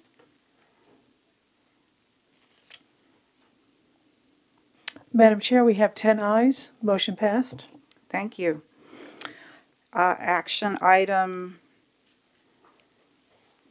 B, B2, Policy 5-7, Non-Discrimination, Non-Harassment of Students. Motion to approve. Mrs. Felton, and second, uh, Mrs. Holtz. All right, discussion. This is why I'm just going to point out, this is one of the policies that the updated amendments were in your packet today. We clarified this at the PRC. The two amendments have to do with the citation to the statute. Should read 22.1, 23.6. We've discussed this at previous information session before the school board. That was a clarification that came back through the PRC. So that is the amended, the the policy that you saw in the initial agenda. You do need to look at the amended um, version that came out later today, earlier today. So online, it's still showing two point two 23 two, that's what's still showing online? Madam Clerk, did the amendments were posted? It was revised and it was also sent to the board. That would have come out this morning when we verified the corrections that came out of yesterday's um, PRC special meeting. Okay, so it was fixed on our agenda? It was uploaded to the SharePoint site and was also uploaded for the public on the website. I'm looking at it right now, but maybe it's because I had uploaded it earlier, it just needs to be Yes. That's a possibility. All right, well, discussion, Ms. Owens, then Mrs. Franklin. Thank you. I know that we've heard from lots of speakers today and over the past two weeks through emails and uh, other meetings. And I just want to take a moment to kind of speak to the transgender and non-binary students listening um, and those who have transgender and non-binary students in their lives who may have been made to feel less than worthy of the rights and protections of their peers. Um, I want them to know they are loved, they are heard, you are worthy of physical and emotional safety. Ensuring safety for you doesn't take away safety from others. Um, I know we're open to comments and discussions at this point, um, but for me personally, the right for a person to feel safe simply for existing as their true and authentic selves doesn't have room for debate. Um, while I would have been fine passing the VDOE model policy as Virginia Beach policy, I'm comfortable having the language um, that regulations will be in compliance with code as an acceptable start. I know that no policy is perfect and any policy may need tweaking and adjustments some sometime down the road as we evolve in our knowledge. Uh, but I think our students have waited long enough for our division to comply with Virginia code by implementing these protections, and so I am looking forward to getting this voted in. Okay, Mrs. Franklin. Thank you. I just want to thank the public for the large amount of feedback that you have provided um, both for and against the policy. I think it is important to understand how the community feels on these issues. I also want to state that this has been a very, very difficult decision for me as I do have many people that I love and care deeply for in the LGBTQ community. Ultimately, this does come down to an implementation issue for me, though. Um, the number of students that would be impacted one way or the other, we have heard from numerous people on both sides of the issue. And I do feel like, um, quite frankly, I do not believe that a transgender student would put themselves in a situation where they would harm someone else. And sadly, um, the way I feel has less to do with them and basically how the policy opens up an opportunity for others to do something harmful as well. I don't know that I could live with myself um, if something happened uh, in a situation where the policy did open up others to be have access to um, the locker room, and also. Um, and I'm also not opposed to working or working on creating spaces in the buildings in the future where transgender folks and kids would feel more welcomed, but I don't feel like we are currently able to implement that right now without putting others in a position where they are uncomfortable as well.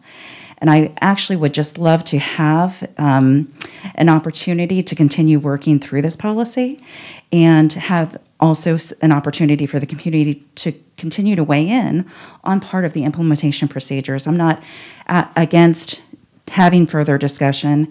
I think that maybe if we could continue working on um, the policy that we currently have in place and then allow for community weigh in and uh, weigh in not just on their feelings as they did tonight, but also on the implementation of how we could work forward in the future. I would be very much in favor of that. Um, thank you very much for allowing me to speak on this. Okay, Mrs. Manning, then Mrs. Hughes, and Mrs. Felton. Okay, I have several questions and, and then some comments. So I'll just start with my questions and then um, give someone else some time. Um, I, my first question is in our last packet at our last meeting, the regulations, the proposed regulations were also included, but they were not included this time for the public, and I'm just wondering why that is. I don't know who that question is for, but whoever would like to answer it. It was my, my direction was to only put the policy in, as we explained it the last time. The, the regulations was show, were shown as support for some of the questions that had come up, but when putting the agenda, I was told to only put the Who, policy. who was, who told you? The chair. The chair. Miss, Miss Rye, can you explain why the regulations were not put in this time? Well, they weren't part of the agenda packet because this was a vote tonight. It was an action vote, so the regulations aren't being voted on. But they had been as, was, they were. But it was there for information on the first, meeting. why were they Right. there for the, in- for information? it's just not typical to not include in the packet what's not part of the vote. Anybody who had, we had the presentation with Mrs. Lannetti on the 24th and a follow-up during the formal meeting, and they were post, they were, put- they were posted as part of that agenda packet. Yeah, so Yes. if, if it was presented for information, then it should have been pre- presented, um, Well, for I mean, I guess it's a time, so- fair, you know, there's, you can look at it either way. Again, the, the, per- here what was to just make clear what the actual vote was on was the policy. And, and I did want to remind everybody, we had a pretty extensive discussion about the regulations at our last meeting. And there was an opportunity for people to follow up with, uh, Mrs. Lannetti, and, and I'm told that a number of board members as well as staff members did so. So, and, and that's kind of what I want to address right now is this being a regulation and not a policy. I've done some research um, because I never really understood where regulations originated on the board. It was just something that I was told happens um, when I first started on the board. So I started doing some research and wanted to know what the laws say and what our bylaws say about regulation and who can implement them. So in code twenty-two point one seventy-eight, it talks about a school board may adopt bylaws and regulations not inconsistent with state statutes and regulations. So this state code says that a school board may adopt them.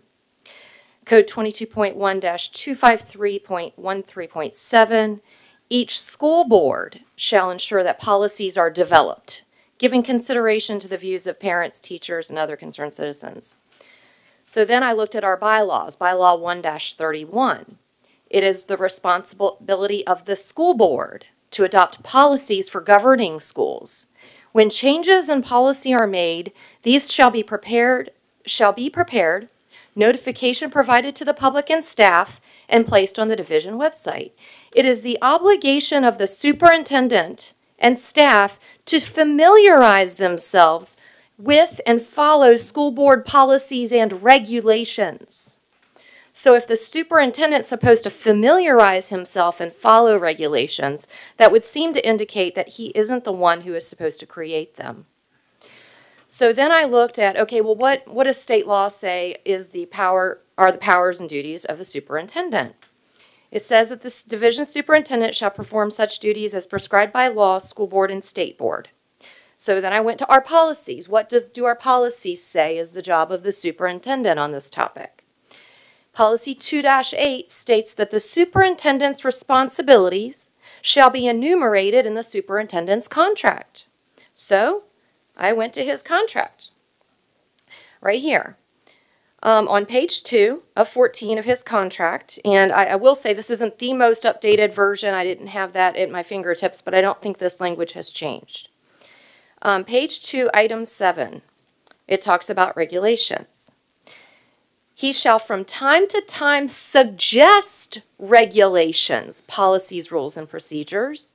And then under item 11, it says, shall make recommendations for needed policy or regulation changes.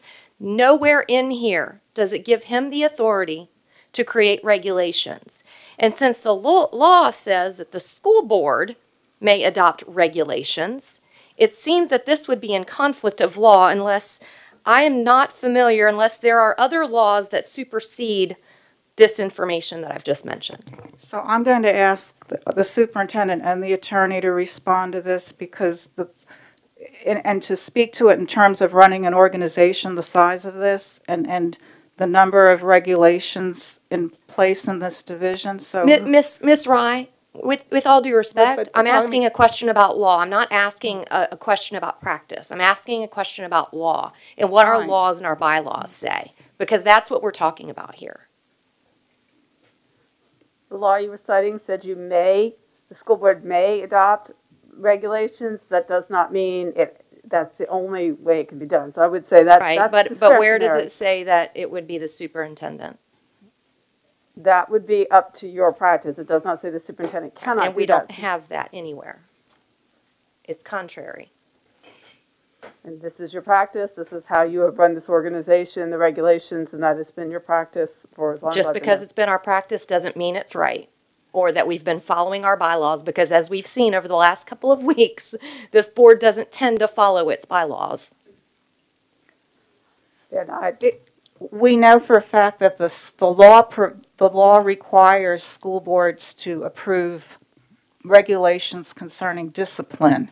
So the fact, so that suggests that other regulations are subject to each school division, and this, for, for all of us who've been on the board this many years, regulations get, and I, and I would like, ask staff to speak to this, they get into the, I mean, for lack of a the, my, the, the, the running of the division and all the details associated with that, we have six hundred policies, and most of them have associated regulations. But I'm looking for a more explanation here. Could I, could I just say one thing? Mrs. Um, Anderson? So, so I, I believe, if if I'm not reading this wrong, this policy directs, we can, we can direct our superintendent to do things for us. And this policy directs the superintendent to come up with the regulations. Am I reading that wrong?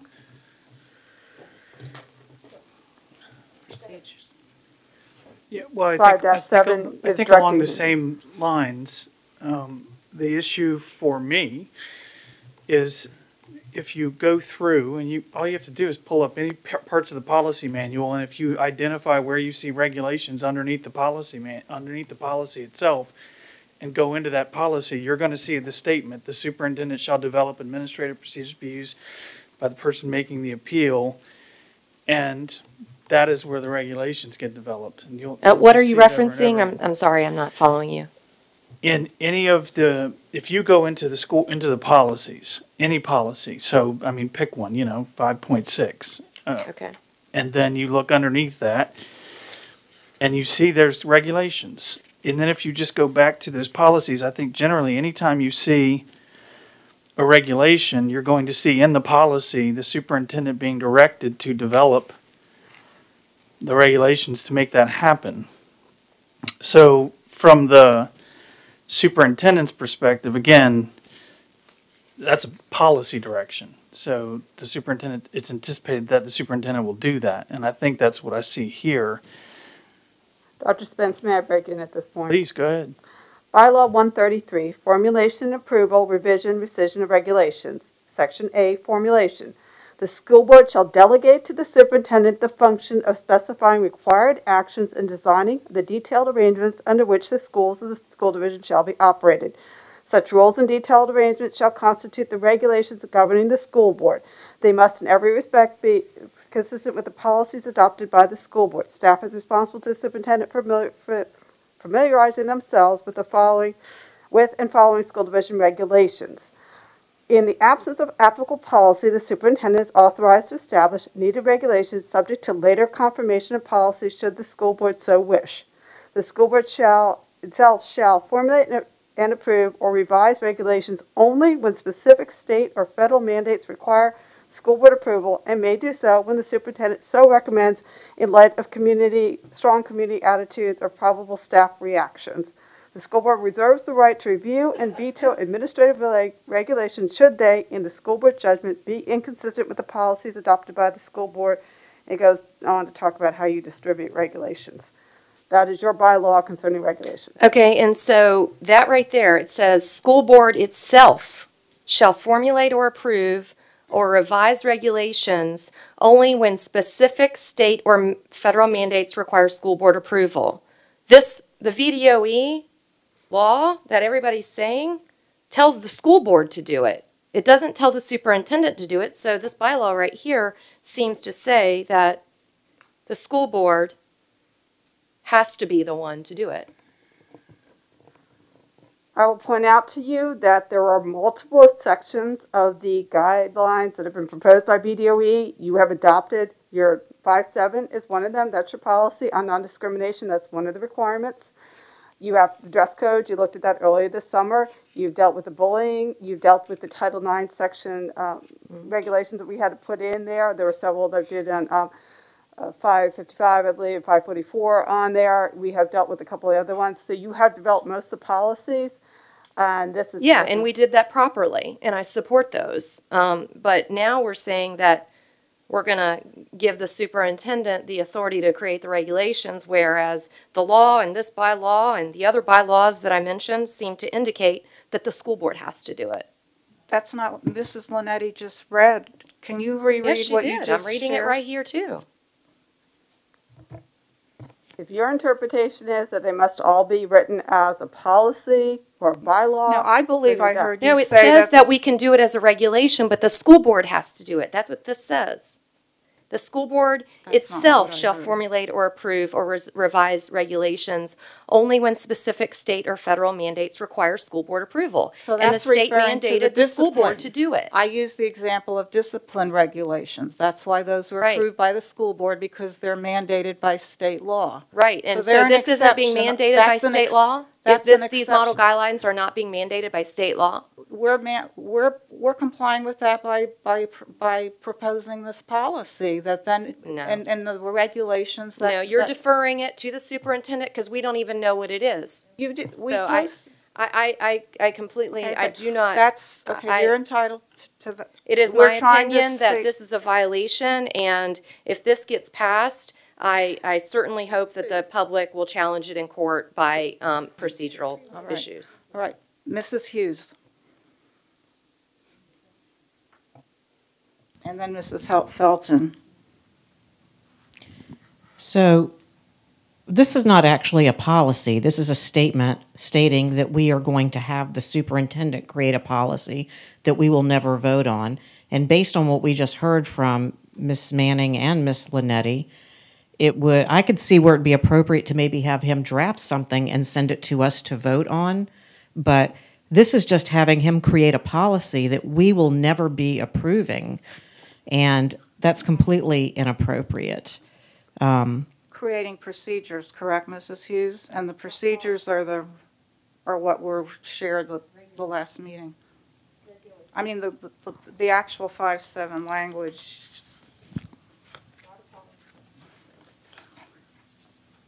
It's an existing policy with an amendment. And can you, so that we can all know what the actual, uh, proposed wo- adjusted, uh, new wording is, Mrs. Lannetti, to five-seven? Five seven. Five seven is section five, policy how to. But Students, non-discrimination and non-harassment of students, again, an existing policy that you've had in place. Within policy, uh, subdivision A, the purpose, well, the couple minor um, adjustments, scrivener's changes, but then there's a suggested pair, sentence that would read, "The superintendent or designee is directed to develop regulations, practices, and trainings related to compliance with the Code of Virginia 22.1, 23.3 as amended, and the Virginia Department of Education model policies for treatment of transgender students in public elementary and secondary schools." That is the addition to that. In the end, the end, there's the citations and the legal reference. Thank There's a you. couple scrivener's changes. All right, thank you.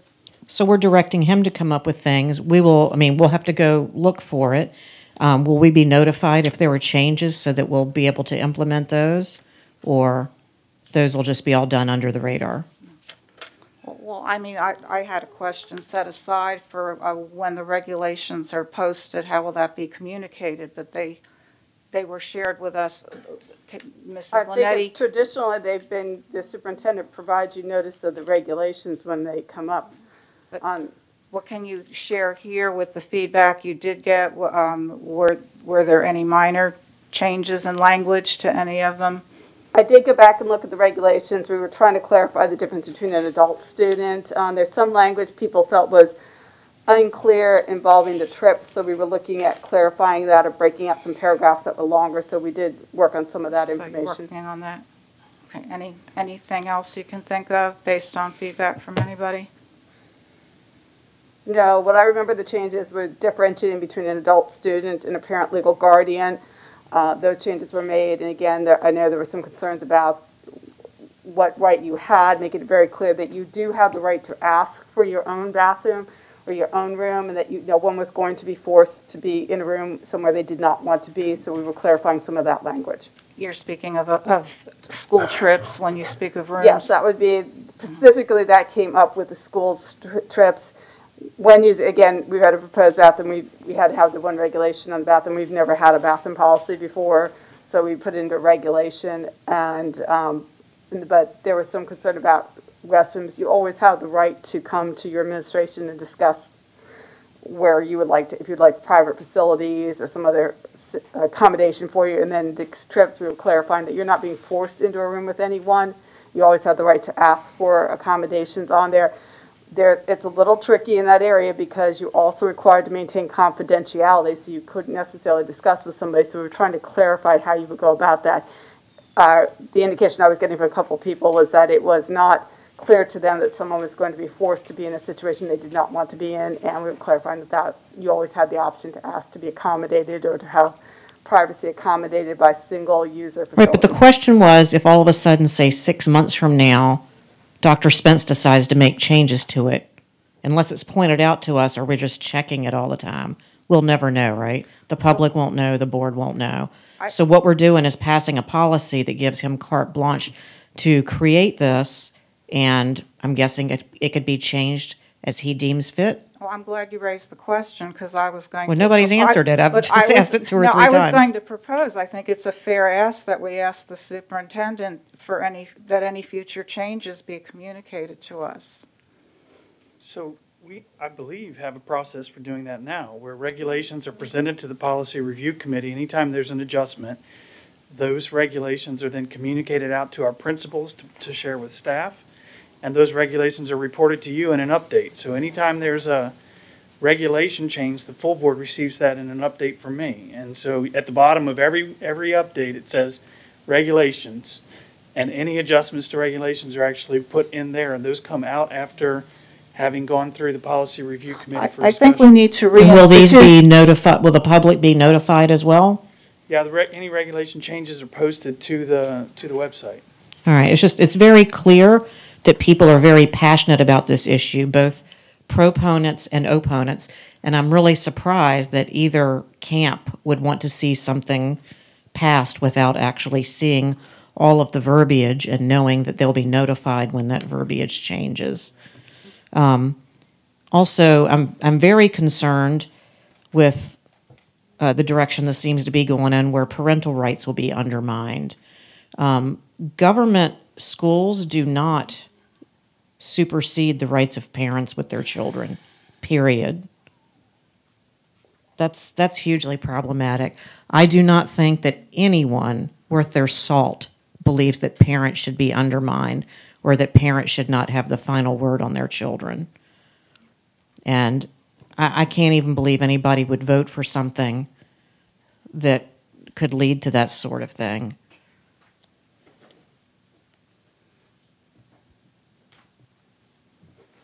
Right, Mrs. Felton?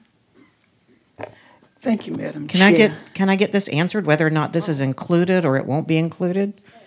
Oh, if, if I'm not Mrs. clear, so are you asking the legal question as to what rights? I mean, we will have to respect the rights of someone who had legal authority over a student. Parents have the right to know what's going on with their minor children. Again, and I would point out to you, there is no, prior to this time, we have never, there's no form, there's nothing we say which bathroom your child goes into. We've never had anything, so I don't know where you want to create a procedure for that. If it involves a name change or something official in the documents, we are going to have to follow whatever the court order is appropriate for that. Uh, depending on what's coming out, we would have to involve a parent changing something that is a legal matter. If it involves the safety of a child, then it's going to fall under different rules and regulations depending on what is going on. So, again, I will say I agree that the Virginia Department of Education did not do a good job of explaining how we were to balance legal rights on this, and this is something we will have to take up with the individual fact patterns. But we've been doing this for years. Nothing about this has changed. We always try to respect what the legal rights are for the situation that we're proposed. So Except that we're now hearing that people are, or that staff, faculty are asking students what they want their pronouns and names to be and whether or not they want to use them in front of their families. That completely undermines parental rights. And that is something that should not be allowed here. I don't know at this time that we have any form that a parent fills out stating how you want to refer to your child, so I don't know that there's been a violation. I'm not clear what's been given out to the school division as to ask about pronouns uh, at this time. But there is no, other than you signing when you register a student on there, you never say on that form he or she. So I don't know where we're violating a parent's rights. So that unless a parent When you say, how do you want to be addressed? And then how do you want to be addressed in front of your family? What you have just said to a child is, do you want me to help you deceive your parents? That is completely inexcusable. And again, I don't have, you're telling me that this is happening. I don't know that we've directed the school division to go out and do this, or there's been a guidance on this at this time. I will sell, tell you, and I've pointed out this before, federal law has made it extremely clear what the federal government considers the law to be. And when they look at the term sex, it includes gender identity and sexual orientation. So choosing to discriminate against somebody based on gender identity and sexual orientation is going to be a federal law issue. The Virginia Human Rights Act was amended last year, which included sexual orientation and gender identity. And I remind you that you adopted those into your policy in 2016, so you've already guaranteed the protections for that. So I do run into a problem, and I, I get what you're saying because I will tell you the Council of School Attorneys was very concerned about how we were going to interpret some of these issues. But right now, you have both state and federal law guaranteeing protections for sexual orientation and gender identity. How that will play out with pronouns, the guidance has been given by the Virginia Department of Education to work with the preferences of the child or their family. We are going to have to deal with that as to whether that's a legal issue or not when it comes down to it. I will tell you, this happens. We have been dealing with this as long as I've been here, which is 20 years, on an individual basis with the student and their family and try to handle that. I don't want to do a, across, there's, there appear to be a across the board blanket things that people are saying. I think that's inappropriate. I think we have to look at what's going on with this student and handle what's going on with this student. I can't guarantee, I can't tell you what the factual basis will be for that. I do understand that there are legal rights of the parents and we'll, we'll have to deal with that on an individual basis. Well, and I'll just layer on because you said you don't know that administratively, the division has not promulgated any guidance to anybody to say, to ask what pronouns do you prefer. And the regulations as written do not suggest that. The regulations as written say if a child requests or if a parent requests. It doesn't say we ask. Um, so I want to be clear about that because there's also been some indication that we do gender counseling and we don't do gender counseling in Virginia Beach. So it was stated that, you know, where the counselors are saying, well, it sounds like you're a boy or a girl. We, that's not, we don't do gender counseling. We do school counseling. We don't refer to medical doctors. We never refer children to medical doctors. And so that, um, I want to clear that up because there, it seems to be some misunderstandings about what's in those regulations. And those regulations are available and were discussed at length at our last meeting. Teachers have reached out that it is happening, that Well, some and- teachers are asking, you know, what do you want your pronouns and name to be? And do you, do you want us to use that in front of your parents? And so what you're telling me is that the only way for us to definitively decide whether or not it's illegal is for a parent to bring suit? That's a that's a matter of, of law that I can't dis- decide because I didn't write. No, I was the just model asking Ms. policy. Lannetti Yeah. that. It But I will say this: another reminder to the school board: if you hear from somebody that something's happening, you've got to let me know that, or else I can't address it. The first time I heard that was tonight when you made that comment. So, if it's happening and we haven't promulgated guidance to suggest that that should be happening, I need to know that so that we can understand what's going on, so that we can address it. So if you hear that, just pass that back to me as required by my contract.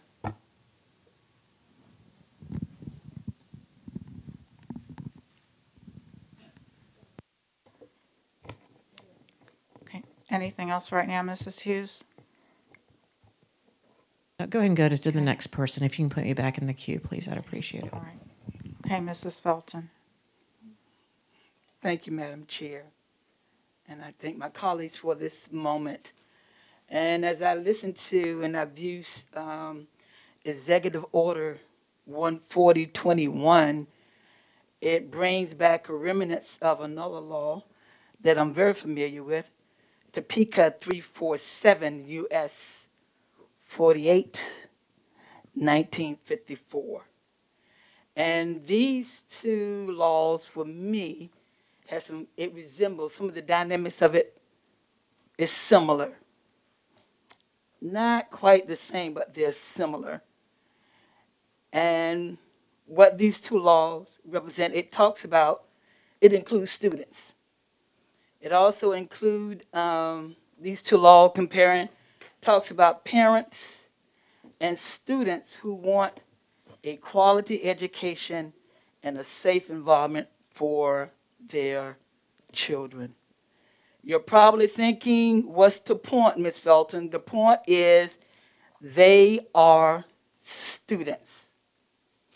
Over 60 years ago, plus 60 years ago, the board, Brown versus Board of Education, started the path to integrating schools.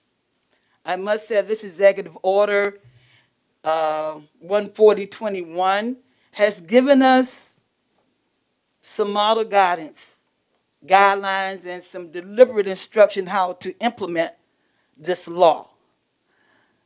When board versus, when Brown versus Board of Education, no such uh, guidance was given to us, no policies, no regulations. I lived through this. And because the schools were slow in implementing it, they had to go back and implement Brown 2, making sure that all schools with authority move with all deliberate speed to integrate schools. We didn't have policies. And I attended First Colonial High School. It was no regulations either. How I know that? is because one evening, late after school, in the last ending of our classes, we had a pep rally outside. That's where they used to hold them. And it was a lazy day because it was the end of the day. But as we proceeded back to our classroom, no policies, no regulations in place, as we proceeded back to our classroom and we, as we settled over the PA system, that's what we used to call it, the PA system, public announcement system. The principal got on the PA system and said, all black students come to the cafeteria. There were no laws, no regulations, no policy. I live this. So what we are going through tonight, I, I still feel those tendency of what went on. Thank God that the executive order 14021 is telling us that we have to put policies and regulations in place. And as we got down to the cafeteria and we moved in, all the black students sitting in the cafeteria, this principal began to berate us because, and he said, You black students will participate. You black students will do this. But there were no laws, nothing to protect us. Um, I know what separate, separate and equal means. I know what it looks like bathroom for the blacks and bathroom for white. I know that. I experienced that. I guess you're saying, what's the point, Miss Felton? These are students. We were just students trying to to to to embrace what society said that we needed to have a quality education from their educational system because if we didn't, we didn't qualify for the jobs. What's the point? These are just students. And I just like to say that in the 50s and late in the 50s, there was only one black high school in the city of Virginia Beach. Separate but equal. That's what they said. It was one black high school, and it was called Union Kempsville. And if you want to familiarize yourself with it, sitting in it, it was sitting in the same place that Renaissance sits now. And all black students from Creeds, Pongo, Back Bay, Blackwaters, this area, we went to that one high school, Union Kempsville, until they said schools had to be integrated. After 1955, 1955, it took another 10 years before Princess Anne County, Virginia, the city of Virginia Beach fully implemented their schools. After the fact, another 10 years. What's the point? They're just students. We were just students trying to get in to do what we needed to get done. The EO 142 is not, it's not perfect, but it is the law. And the main focus is to, to qualify education in an inclusive environment, period. The purpose of the education equity policy, in short, it says the school boards value diversity in our community and staff. The school board believes that all student, staff, and community members, regardless of background, deserve a rigorous and respectful learning and work environment where diversity is valued and used towards achieving positive academic and social outcome. What's the point? There exist in Virginia Beach City Public School students. And when I look at this policy, I had no doubt I relived some of those days. It's the law.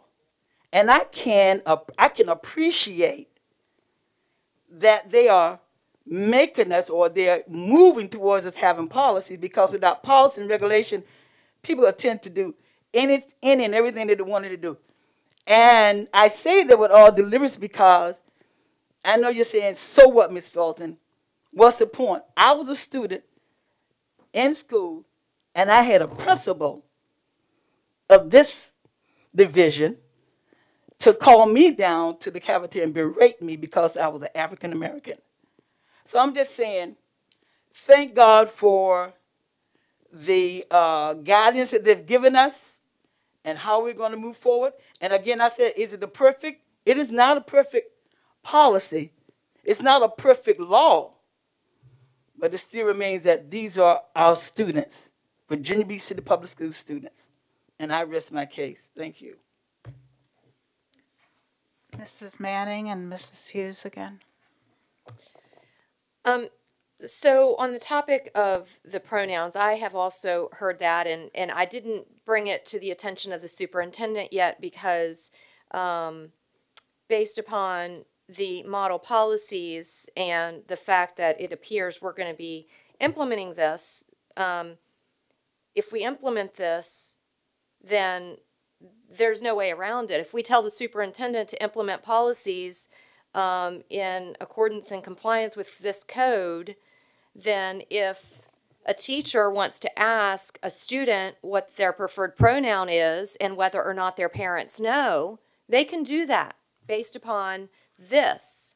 I have not been provided with any updated regulations. It sounds like they've been they have been changed since the last time. We haven't seen them. So I'm going off of what's in this policy 5-7 here is that we are going to be in compliance with Code of Virginia 22.1-23.3, which says you can do this. So um, again, that's another reason why we should have these spelled out in policy, not a regulation that's going to constantly change and that our public is not going to be notified about. Saying that it's going to be on the website doesn't mean that the public is going to know about it. The public's not going to keep going on the website every week to see if that regulation has changed and what the regulations are.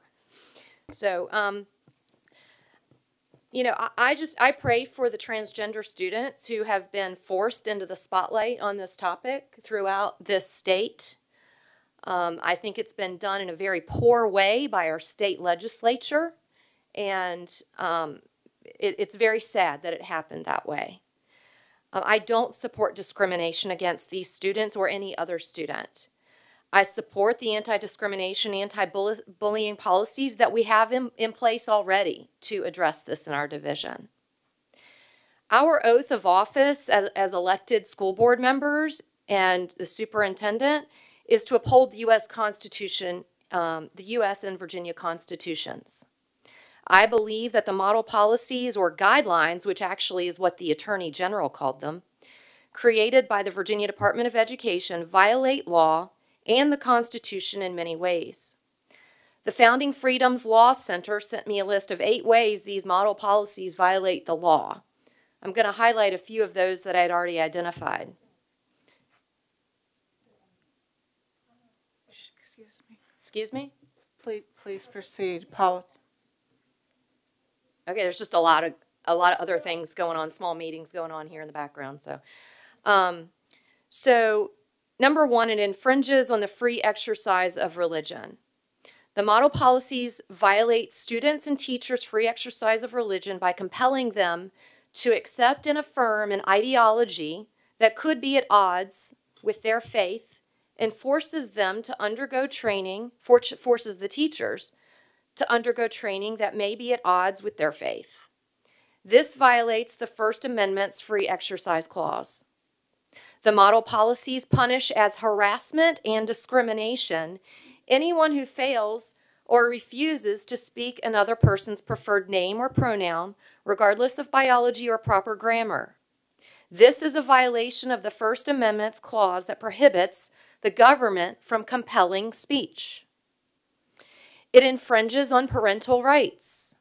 Virginia Code 1 240.1 Rights of Parents. A parent has a fundamental right to make decisions concerning the upbringing, education, and care of the parent's child. On this topic, the model policy states students will be allowed to use a name and gender pronoun that reflects the gender identity without substantiating evidence, and no parental requirement of approval or notification is required. At the writ written request of the student or parent is what the, um, I believe, the original regulations, draft regulations that we received. At the written request of student or parent of a minor student, use the name and pronoun that corresponds to the student's or parents um, or students or parents request. So this is telling me that a student can make the request and the parent doesn't have to. In the situation where parents don't agree with the minor student's request to adopt a new name or pronoun, the student and parent will work with school administration to determine how, the address, how to address the student's needs.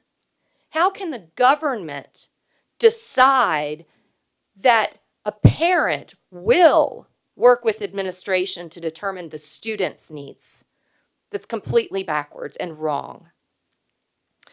These policies also require school staff to report parents to Child Protective Services if they believe that the parents may not be affirming of their child's gender identity choices. Another way that it violates laws is it violates FERPA. It allows schools to shield out parents from receiving information about the school's plan to accommodate the student's needs and requests, which is page 21 from the model policy document. I firmly believe that this policy is in violation of both the U.S. and Virginia constitutions, religious liberty protections, the First Amendment of the Constitution, parental rights laws, privacy laws, and more. I believe that anyone who votes in the affirmative for this policy or anyone who implements items in this policy will be in violation of their oath of office. I also believe that any administrator, teacher, or employee who enforces or implements the practices I have mentioned could be in violation of law and subject to lawsuits against them. If this policy is adopted, I feel there are school employees or parents who feel that their religious or First Amendment parental rights have been violated, or if they are disciplined over this policy, I hope they will seek relief in courts because I believe that it's a huge violation of our rights. Thank you. So, Mrs. Manning, to clarify, you were reading from the model, you were, what you just shared with us was what source?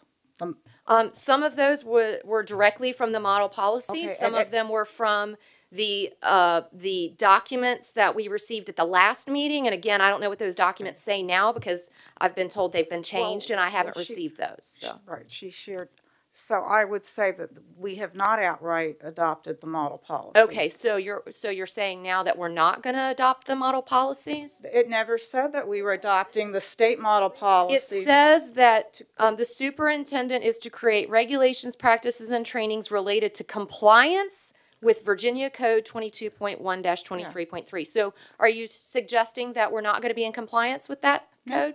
There's a difference. in There's a compliance- difference? There, we didn't, ou- there are divisions out there that just outright adopted the state model policies. We instead went back to existing policy, If I can documents we have. clarify, what VDOE did in their guidance, when they couldn't resolve a lot of these issues legally, they said consult your school board legal attorney.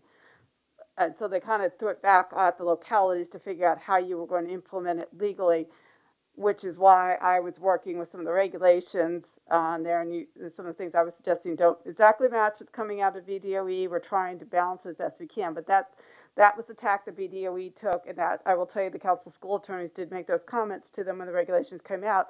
How are you resolving this? And they said, talk to your legal counsel and you figure out how you implement it.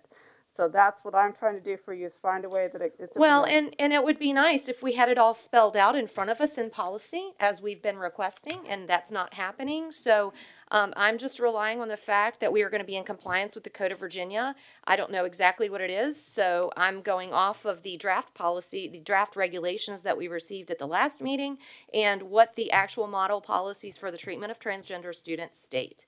And, you know, I, just think it's very unfair to the public to not have this spelled out for them. For people, whether they are, as Ms. um, Hughes said, whether they're opponents or proponents of this. It's not fair. It is not fair to the public. Can, can I just get some clarification? Because I'm going to need to know how to communicate to staff tomorrow. And I just heard a board member say that if this policy gets voted in tonight, that she believes that my building principals and my teachers will be violating the law and the Constitution. So I need to understand where to go with that when I communicate to staff tomorrow. Ms. Lannetti, I'm going to need some help. I do not believe that that argument has been made at this point. I believe, I don't believe it's a violation of First Amendment rights. I, the, the law involving employees is a little bit more complicated. They don't have an absolute right to First Amendment while they're performing duties for the school division, so they would have to prove that in court. Um, I don't know that it's a violation of law to ask about pronouns. I, they may have jumped the gun. That's another issue we'd have to deal with, but I don't, I, that is consistent with what the federal law allows them to do. The question involving parents' rights and what we're doing with that, that's more complicated. And honestly, I would have to say it's a fact by fact situation, as with any court case. I need to know how you're bringing it into court and what you think the factual basis is. So uh, I can't tell you it's against law. I do not believe it's a violation of First Amendment. I think the Religious Freedom Act has to be interpreted in, light of the factual situation brought up. Again, you just don't file a lawsuit. You have to have a factual basis to get into court for that. So I can't answer that question without knowing the facts. I do not believe, as we've drafted this information, that we are in violation of the law at this time. And again, we are all perfectly aware that these are issues that individuals are looking for the opportunity to file a lawsuit for, and we will have to deal with it, as does every other school division in Virginia at this time. Mrs. Hughes. Okay, so I have a few quick comments and then one question. Um, one is, um, Ms. Lannetti just said she didn't believe he'd be violating any laws, but I do imagine the Tanner Cross case would be used as that was the issue that he felt that he was um, having to violate his own ethics and morality, religion, using um, pronouns that were contrary to biological pronouns. Um, Dr. Spence, we did just receive an email from the mother of a sixth grade child, which would be 11 years old, second day of school, received the gender preference survey. So I will forward that to you as soon as we finish. She Thank copied the whole board that. on it. Okay. Um, you know, Ms. Felton spoke very passionately about segregation, and I absolutely agree with her that no one should be segregated. But I also look at the fact that every child who attends our school can attend whatever school they're zoned for, can apply for any program. Um, So I don't see this as a segregation issue. Um, my last comment before my question is we had a speaker tonight use the phrase slut shaming, and then we heard him and several others refer to anyone who disagrees with them as hateful, ignorant, homophobic, a, a bunch of other ugly names. This is thought shaming, which is no better or worse than slut shaming. So that that's a real problem, and it's not a real selling point when you're trying to get someone to come around to your viewpoint. Um, the question I have is I'm trying to figure out if we have implemented so many of the components of the VDOE's policy already, as far as um, you know, non-discrimination, um, dress codes, that sort of thing. Why why we need more? And I'm looking at don't we already have non-harassment and non-bullying policies on the books? Well, the answer is yes, we do. So are we failing at enforcing them? Because if we're not failing at enforcing them, then why we would need more, I don't understand. And if we are failing at enforcing them, why are we failing? And why do we think adding more policies is going to make it better if we're not able to enforce what we already have? It just doesn't make any sense. I think you need to address the General Assembly uh, and that because they put in 22.1, 23.3, directing the Virginia Department of Education to develop this and telling you as a school board that you have to develop. You've had non-discrimination forever. You dress code that was actually a separate law that came through in the 2020 General Assembly, so we had to comply with that and make it um, neutral we did that anyway. They just incorporated this in there. The menstrual supplies, as I mentioned before, that is another law that came out in 2020, was not directly part of this. They just implemented it in there. Title IX came down for the federal government. We had to amend that. So we've had a lot of these things in there already.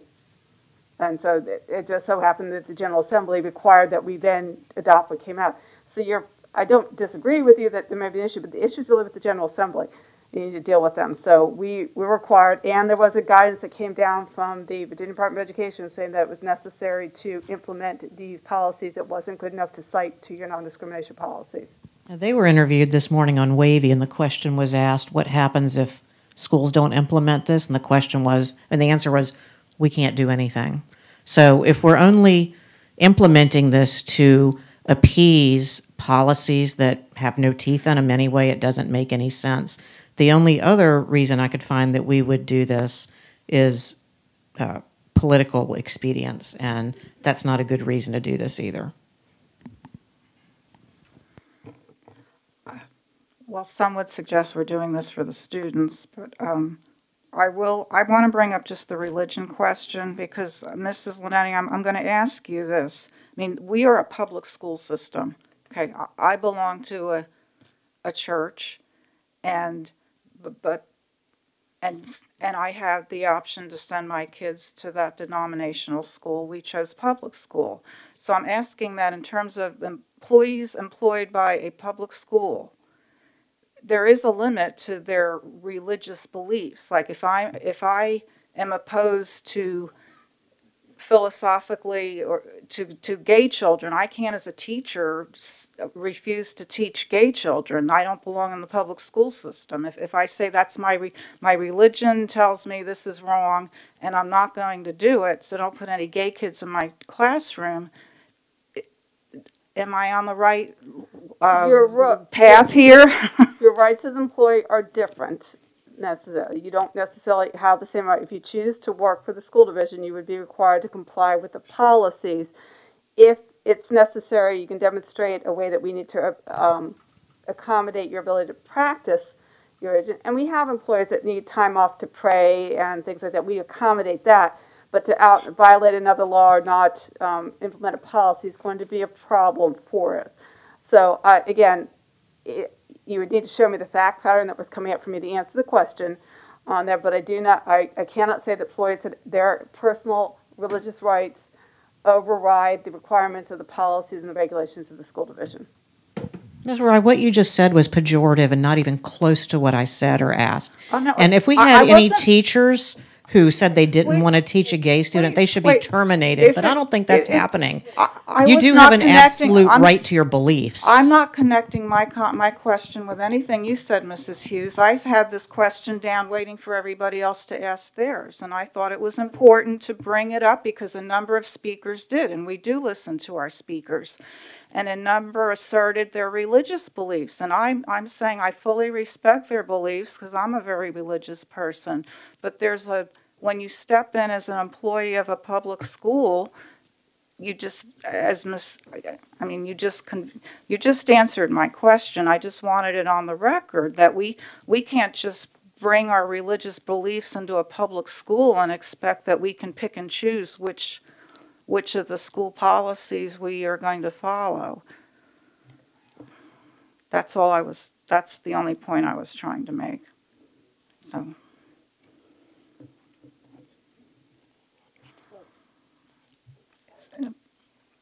Uh, okay, is, any other comments?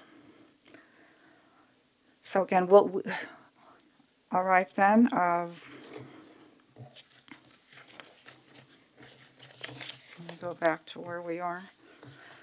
So this is policy five by seven. We have the motion on the floor in a second.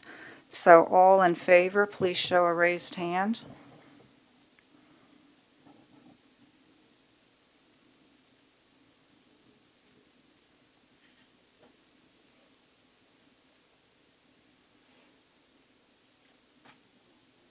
We have seven ayes. All opposed, please show a raised hand.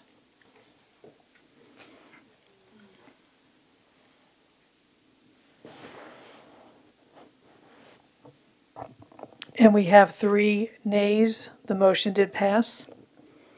Madam Chair, uh, just a point of order, could we just state that Ms. uh, Weems had to, the Yeah, reason she. for the record, Miss Weems was not able to vote. She, she had to leave the meeting. So Could you also state for the record, since the public's not here, who voted against it? Yes, Miss Manning, I will read all the votes. So those school board members in favor were Miss Riggs, Miss Felton, Miss Owens, Miss Anderson, Miss Melnyk, Miss Rye, and Miss Holtz.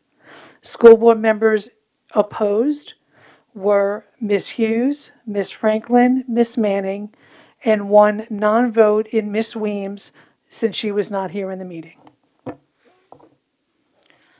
So if we just could, uh, again, Dr. Spence, uh, it will be communicated when the regulations are finalized and posted? Yes, ma'am. Okay, thank you.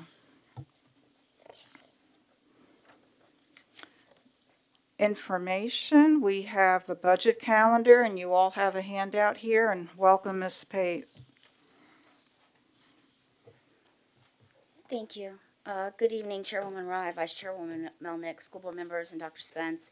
Uh, This evening, I'm presenting the budget calendar for the fiscal year 2022-23 school operating budget and the fiscal year 2022-23 through fiscal year 2027-28 capital improvement program.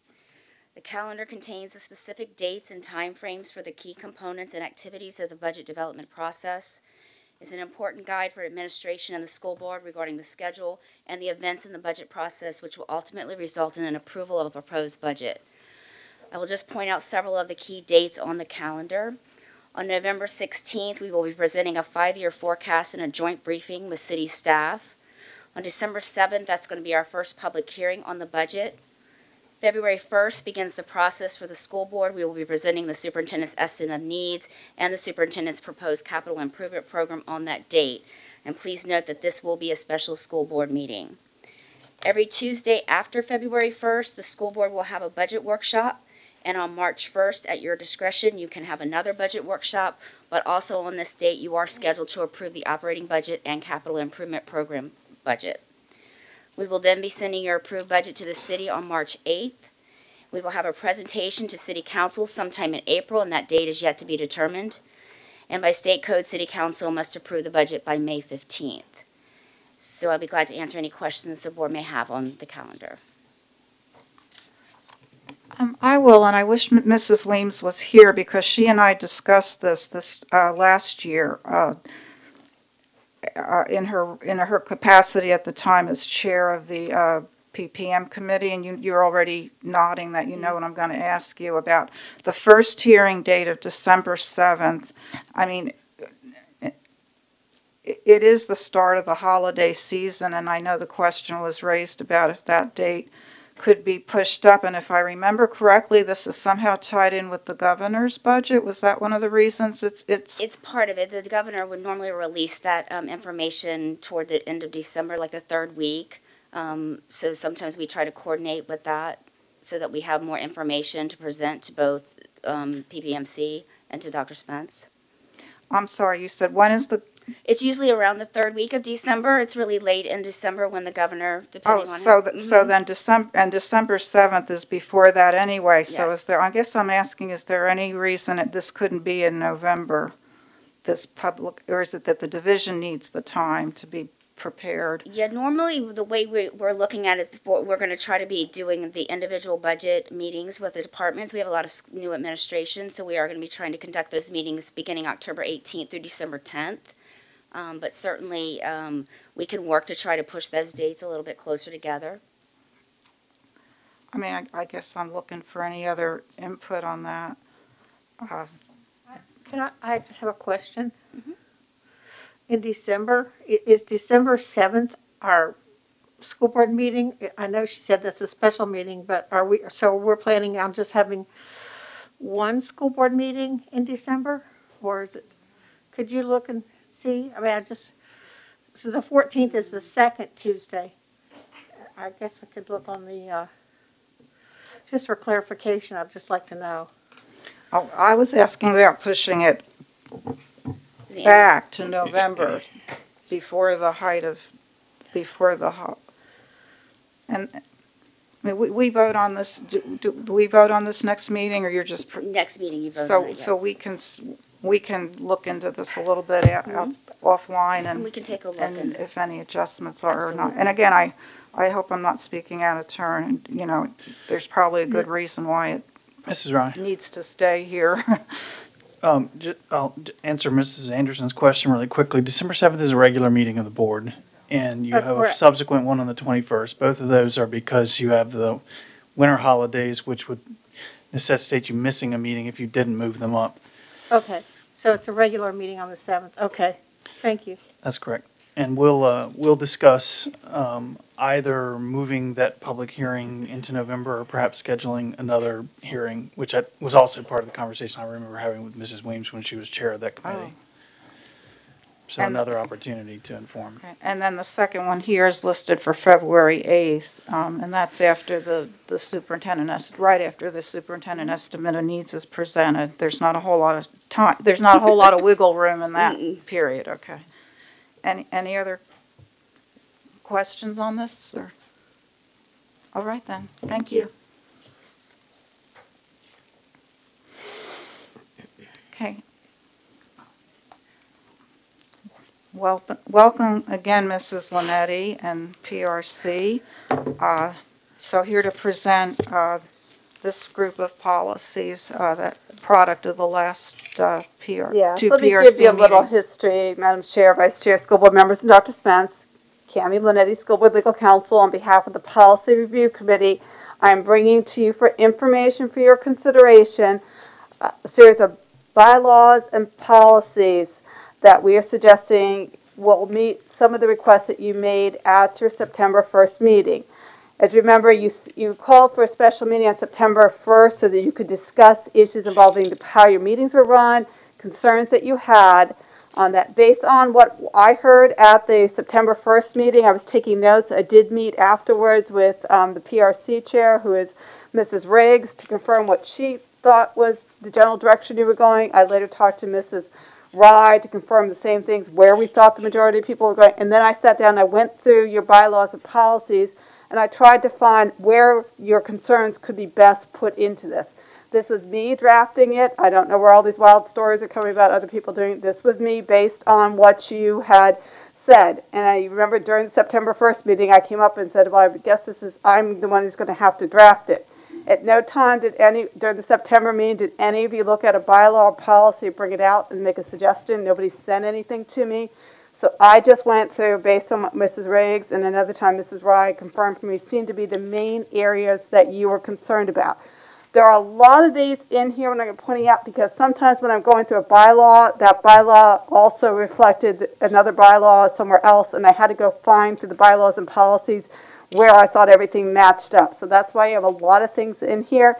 I'm just going to go through them. Again, these are for your consideration. We did the best we could to try to get what we thought you wanted based on what you were telling me. What I was hearing was you were concerned about order in your meetings, the ability to rearrange your meetings, to control the decorum in the room, to control the safety in the building and the grounds of the building on there, and to make sure that your your your meetings were able to proceed in an orderly manner. So that was where we were looking for this. So this is a lot of information. Again, it's information. You are free to change it. The PRC has looked at it.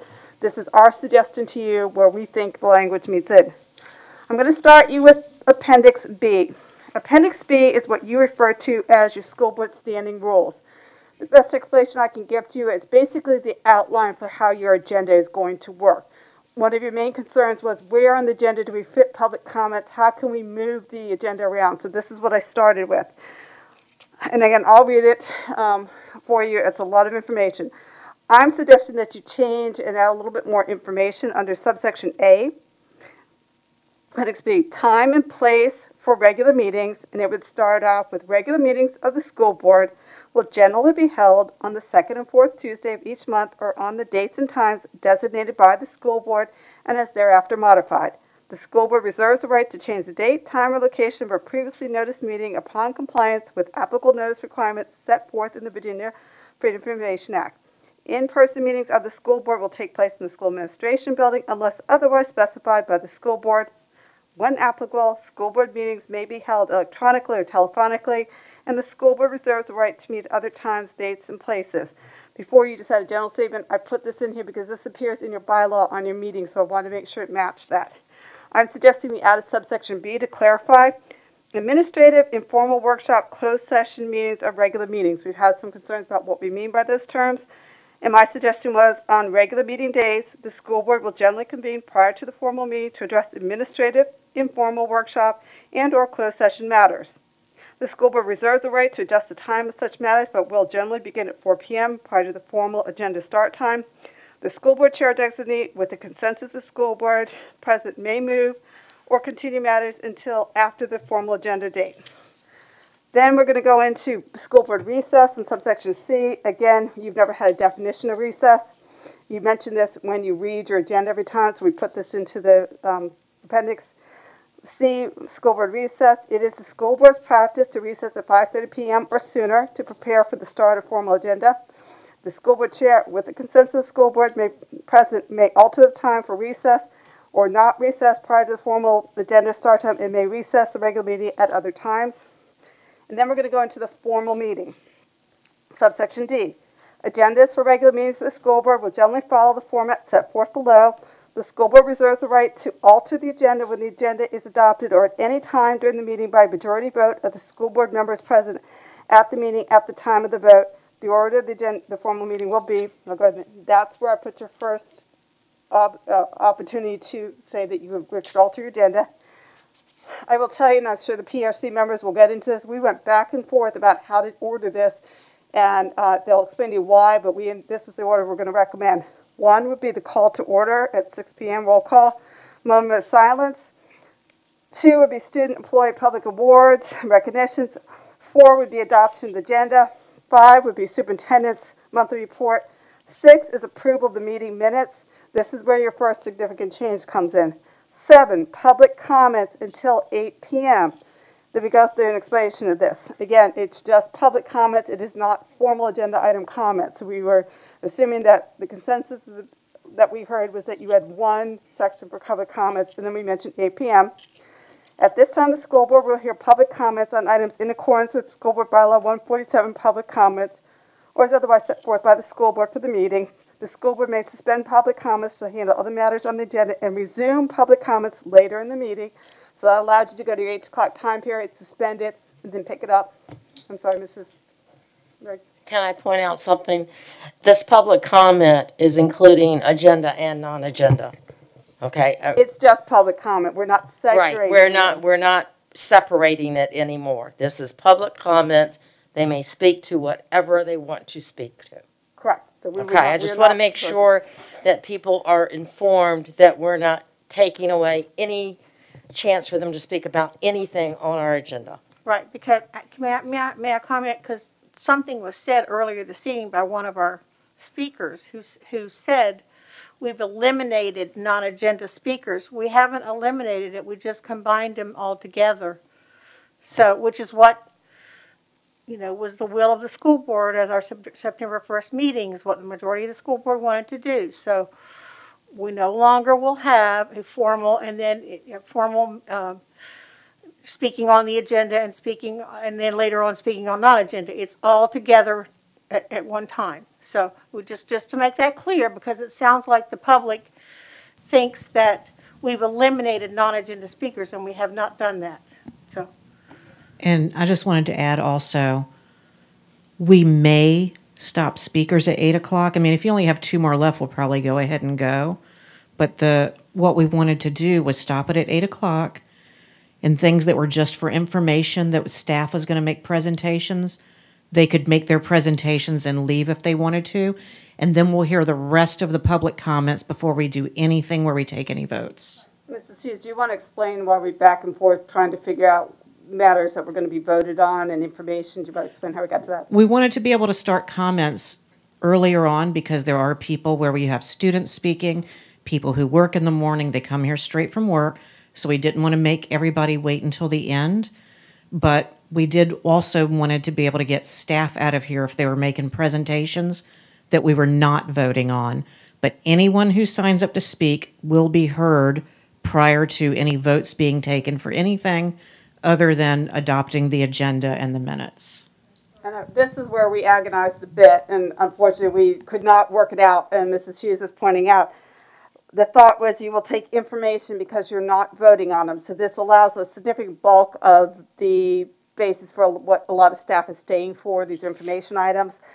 Then number nine would be return to public comments. The reason we put it there was so that consent items you do vote on and action items you vote on. So the things before you vote on, you're going to get your public comments in before then. I'm sorry. Just real quick, the, um, we talked about students having, oh, That's, sorry. that's in another one. We said Miss Owens, and so I just, oh my bad.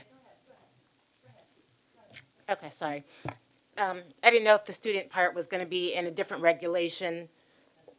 Yeah, that'll come into public comments. Gotcha, thank you. Again, so we tried it a couple ways. We couldn't make it work uh, because we were afraid that we would end up putting speakers really late at night again. So the decision was information doesn't involve voting. We will take information items. Then you return to your public speakers. So we will not get all staff out, but you will get the information portion.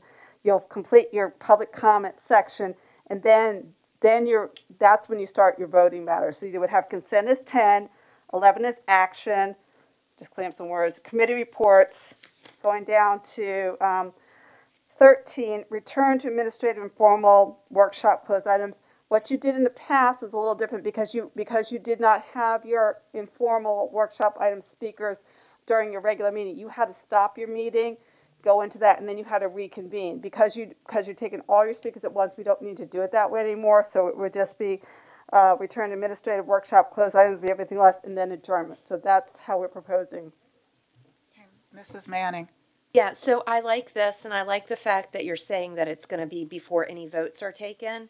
Um, could I suggest, because it wouldn't be clear if I didn't sit here and hear you say that, could I suggest that at the end of item number seven, public comments, that you add the words, um, but prior to any votes taking place?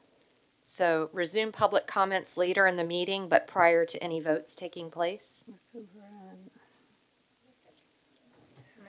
I mean, you said that was your intention, so I thought we could just Yeah, spell I'm it sorry. Uh, yeah, I think that's written that fine. way. Okay. Wh- What do, you- what do the rest of the committee, I mean, you guys, I'm okay with that. I think with that's, Adding that that language. spells it out.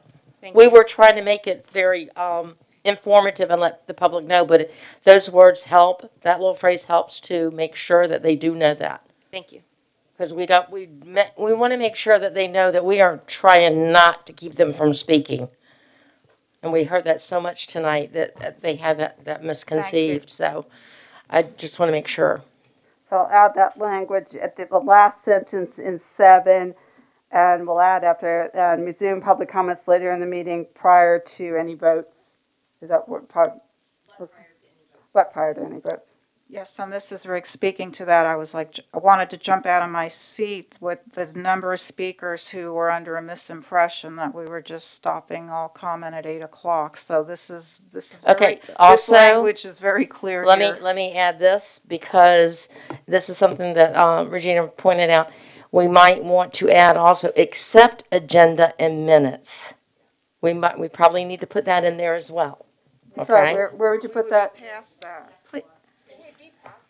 I know, but let's, let's be very specific. Okay. We want everyone to Uh, know. Well, would, No. would you be better saying action and consent items? Yeah, action or consent, we can do that. Same difference. Okay. Uh, Well, I- well, I have one more thing, just because of the fact that we did have a speaker who was confused about the non-agenda part. So I'm, I'm thinking that maybe the title in number seven, that says public comments, uh, we could just label that maybe public comments concerning school board issues, period. Let me expand on the title. You're gonna see in a couple of the ones I, I, I used a phrase over and over again. It had to be matters relevant to pre-K, um, public education, Virginia Beach, and the business of the school board and the school Okay, division. that- I'm trying to be be good. Consistent. So, we'll, when we look at that there, if you're okay with that language, I'll pop that back in here. I, Okay. I wanna be consistent with what you're accepting comments Right, on. Right, but I just, I just think people need to know that we want to hear about school board issues only, you know, that type of thing.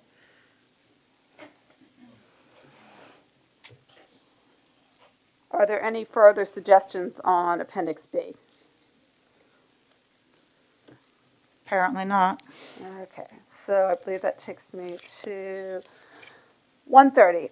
Okay, they're roughly in order here. So bylaw 130, this had to do with amendments, suspension or repeal of bylaws, because if you wanted to alter how you were doing your order and procedures, we needed a method for you to be able to suspend this. As we mentioned, that we were talking about the Roberts Rules of Orders issues before, Roberts Rules of Order does actually suggest that you should always have an option to suspend use of your bylaws if, so that you have that option available to you. So, um, uh, my suggestions on this one would be amendment, suspension, or repeal of bylaws.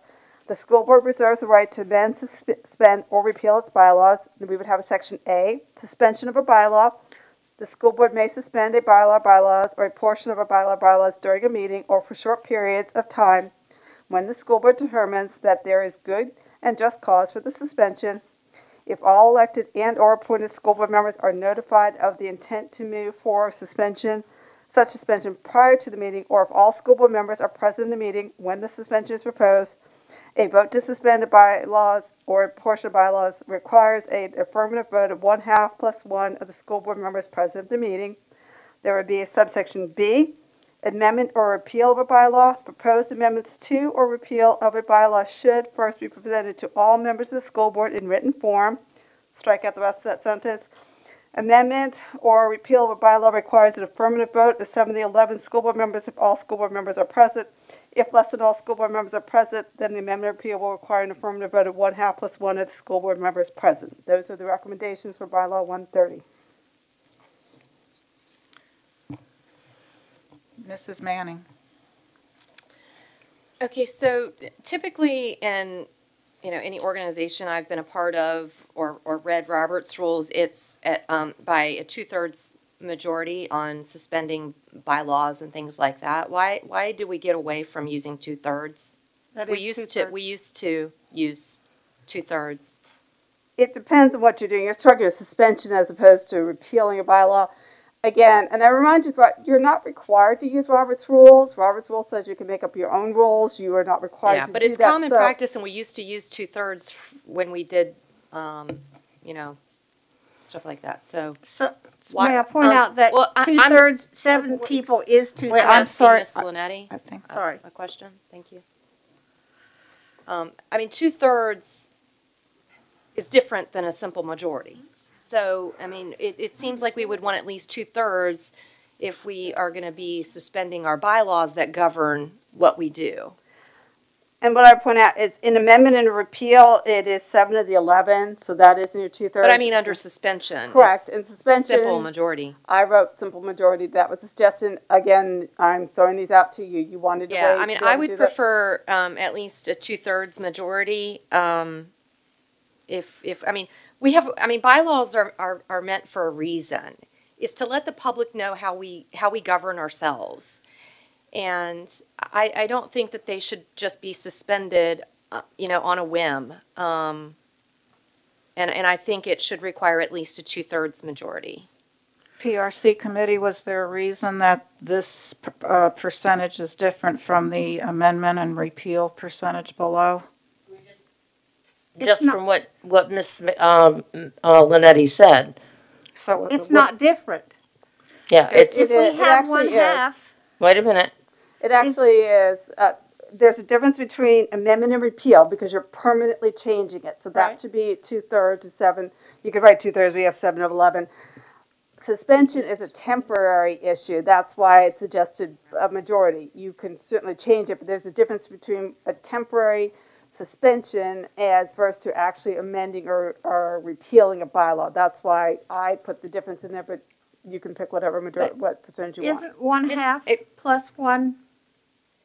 It's not two-thirds. So two-thirds would be eight, because, um, you know, technically two-thirds is seven point two, and so it has to be at least two-thirds. You round So it would up. have to be eight people, um, No. for, Miss Anderson, I'm asking Miss Lannetti, and you, It doesn't. it's, it's a little annoying that you keep jumping into my Okay, conversation. Please proceed. Um, But that's why So- we don't, we don't, it's not written as two-thirds here. It's defined as seven of 11, so. it's- okay, so it's not even two-thirds, it's less than two-thirds, and then the suspension of bylaws even less than that, so I would at least ask for at least seven, um, for the suspension of the bylaw as well, which two-thirds would be eight.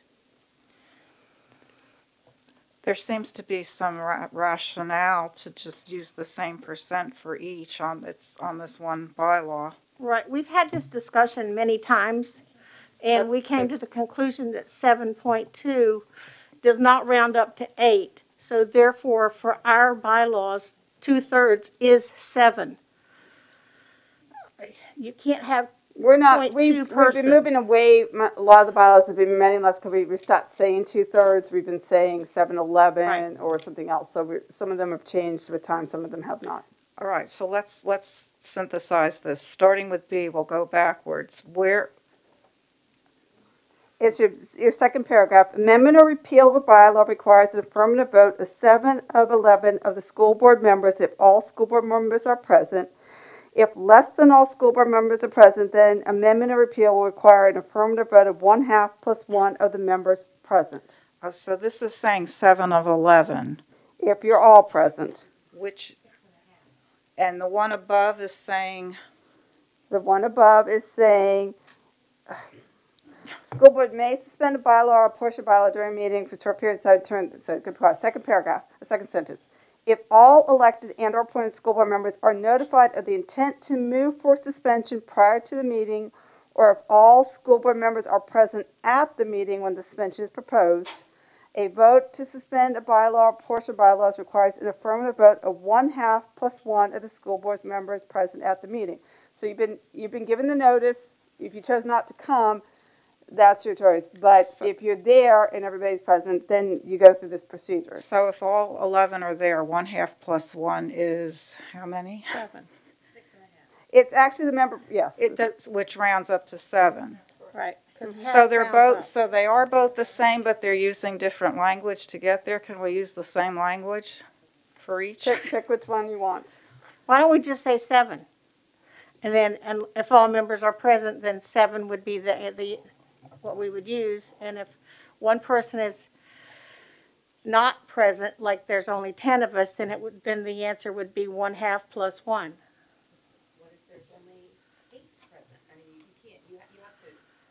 You have to account for, you, you can't just say what if, it, I mean, then you have to say what if there's only six, what if there's only seven? Then the What if there's answer is only one eight? half plus one. Well, you wouldn't rounding have- up, rounding wouldn't down, round because you're up. rounding down on the other one. If you ones, so- have eight people present, so half is four, plus one is five. If you've got six present, three there, plus one is four. Correct. Excuse me. Yeah.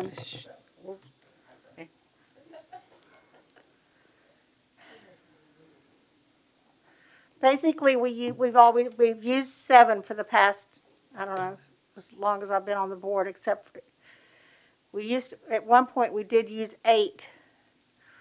Um, in 2012, 2013. I am really trying to do that, and it, we're just completely out of order. Everybody's yelling out. I'm just asking everybody to raise your hand so I can keep up with this so that we don't have board members yelling out, are we using the queue? I'm trying desperately to use the queue. Thank you.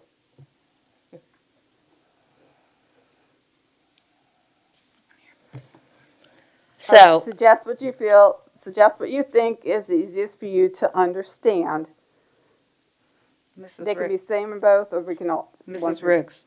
okay, as the, as the chair of the policy review committee, I am asking for us to make it the language across this, this entire, um, bylaw equivalent. Everything's the same, not to change it from going from one to the other. Let's make it say the same thing for both of those, for A and B. Which one do you want? Okay, now that's what we have to decide. I, I- my thoughts are it should, it should be, I, what you said in the first paragraph. I think if people are informed that this is going to be presented ahead of the vote, all of the people that are there, it's half plus one. And if they're all there, then it's the majority, I guess the majority, No, the way you have it written. If all president, if all elected and appointed members are notified of the intent to move for suspension prior to the meeting, or if all school members are present at the meeting when the suspension is posed, a sus, a vote to suspend or portion requires an affirmative vote, ha, a vote of half plus one of the people present. Yes. It's not a majority, it's, it's a- basically a majority, but it's. May I make a suggestion? This doesn't impact any of the other bylaws. Can this go back to the committee to figure this out? So that we can move on to these other by. You can look at it. My concern would be, uh, I will notice, one of my concerns is that if you don't have this in here and then you have another one that's altering it, I've got competing bylaws. I don't, that overly kills it, but I don't want competing bylaws to say different things. Mrs. Manning and then Mrs. Anderson. Yeah, so I would like for it to be at least seven. If it's more than that, then that's great. But my, I have another concern about this. It says, um,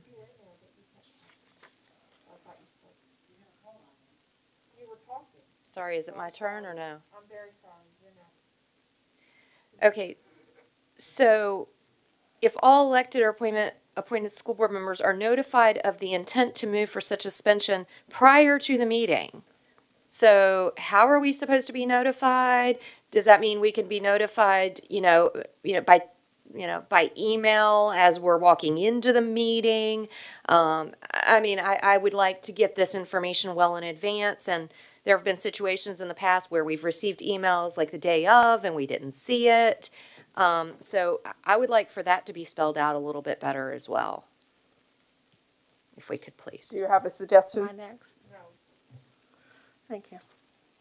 Well, my suggestion is that we not suspend them at all unless we have um, a, a majority, a two-thirds majority, uh, which would be eight, by, if you, if you look at the typical rules of order. Um, that would be my suggestion, is that we can't suspend them or amend them unless we have eight anyway.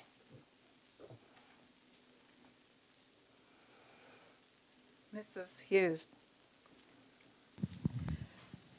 Well, I personally think you should have a unanimous vote to suspend or repeal a bylaw. I could live with two thirds, which actually is eight, if we have a minimum notice requirement. We have had things we've had to vote on that were emailed to us as we were driving here that no one had an opportunity to read. And so that's just not acceptable. There needs to be a minimum notice requirement. Even if it's only 24 hours. There has to be a minimum notice requirement for anything less than a unanimous vote, in my opinion. Mrs. Anderson. So on the majority of our other um, policies that we have, it states seven. Um, A simple majority is six. Seven gives us one more. So I can live with seven. Um, I think we should okay, spell I'm- it out and I'm say gonna- if seven. That's everybody's here. If everybody's here, correct.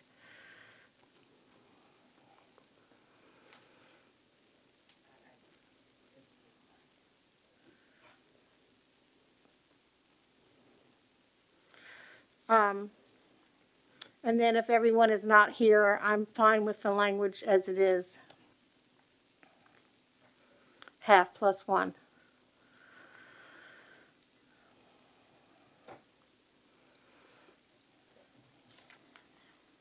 What does the rest of the committee say about that, so we know if we can move on? Mrs. Hughes or Mrs. Riggs? That's what I was saying. I was okay with that too. I can go back and redraft this and send it out for people to look at, and you can send your comments back to me so we can. I'll need So we're not voting, oh, we're not voting on this tonight? Yeah, we're not voting on this tonight. It's information tonight. All right, I will go back and attempt to get the language based on what you've told me here and get it corrected in both places for you. You want them both to mirror both the amendment and the suspension to have the same voting procedure. Right. Yes. I would also like to address having a minimum notice requirement, How much time are you suggesting, Mrs. Hughes? 24 hours.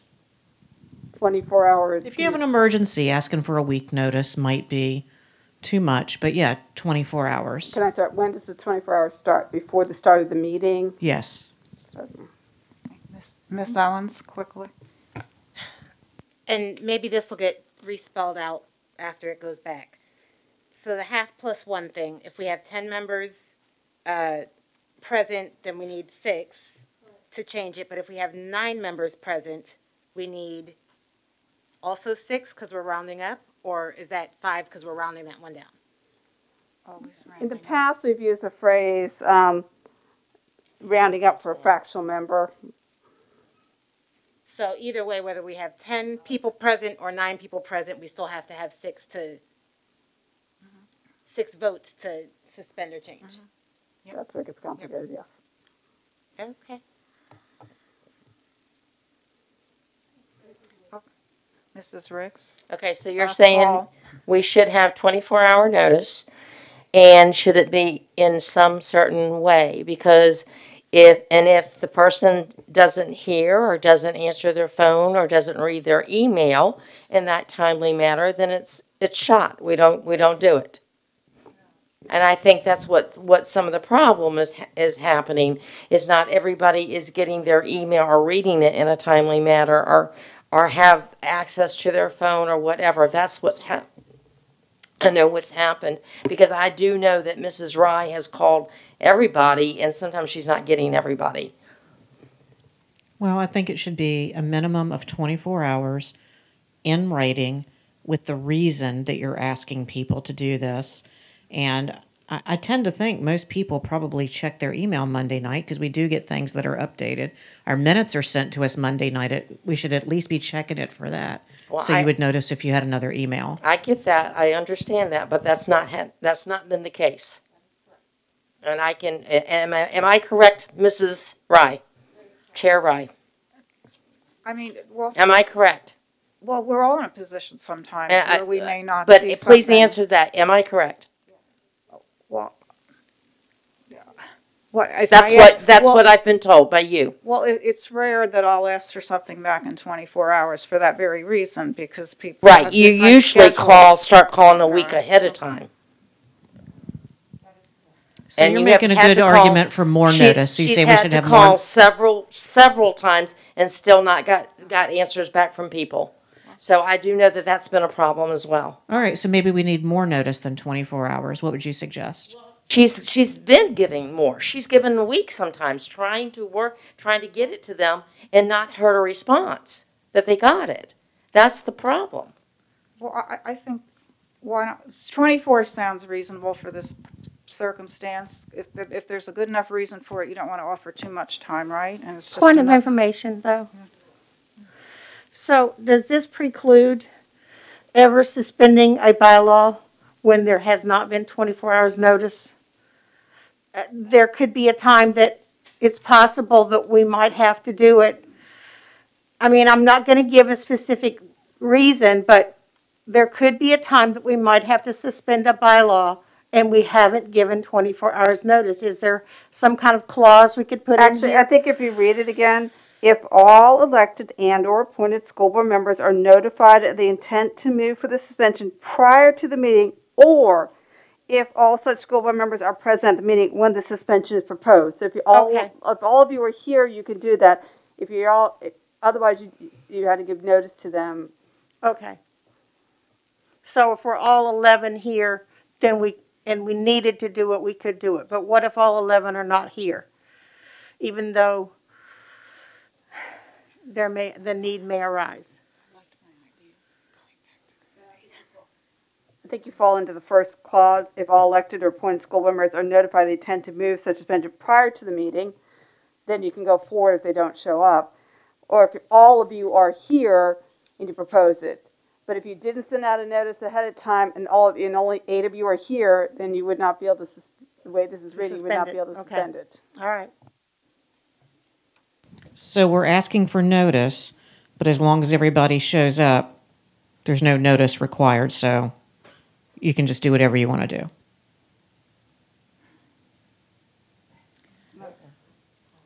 I kind of I like think if you're all here, all eleven of you are here, are the right to, to control your bylaws, then you could say, I would like to move to suspend it, and then you go through your procedure to vote on, so I don't know what you're doing otherwise, but if all of you are not here and didn't have the notice that it was gonna be suspended, then you can't because you didn't have the opportunity to let somebody know that this was going to happen.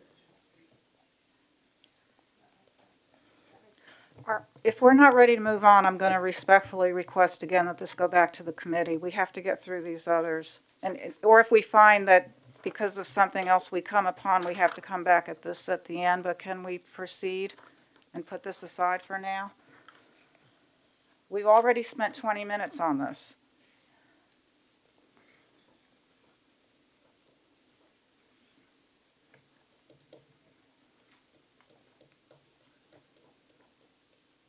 There's still no consensus even among the committee members, and I, I'm not criticizing that. I think it just needs more attention, and, and this isn't the time or place right now, given that it's almost eleven o'clock and we have a number of others to get to.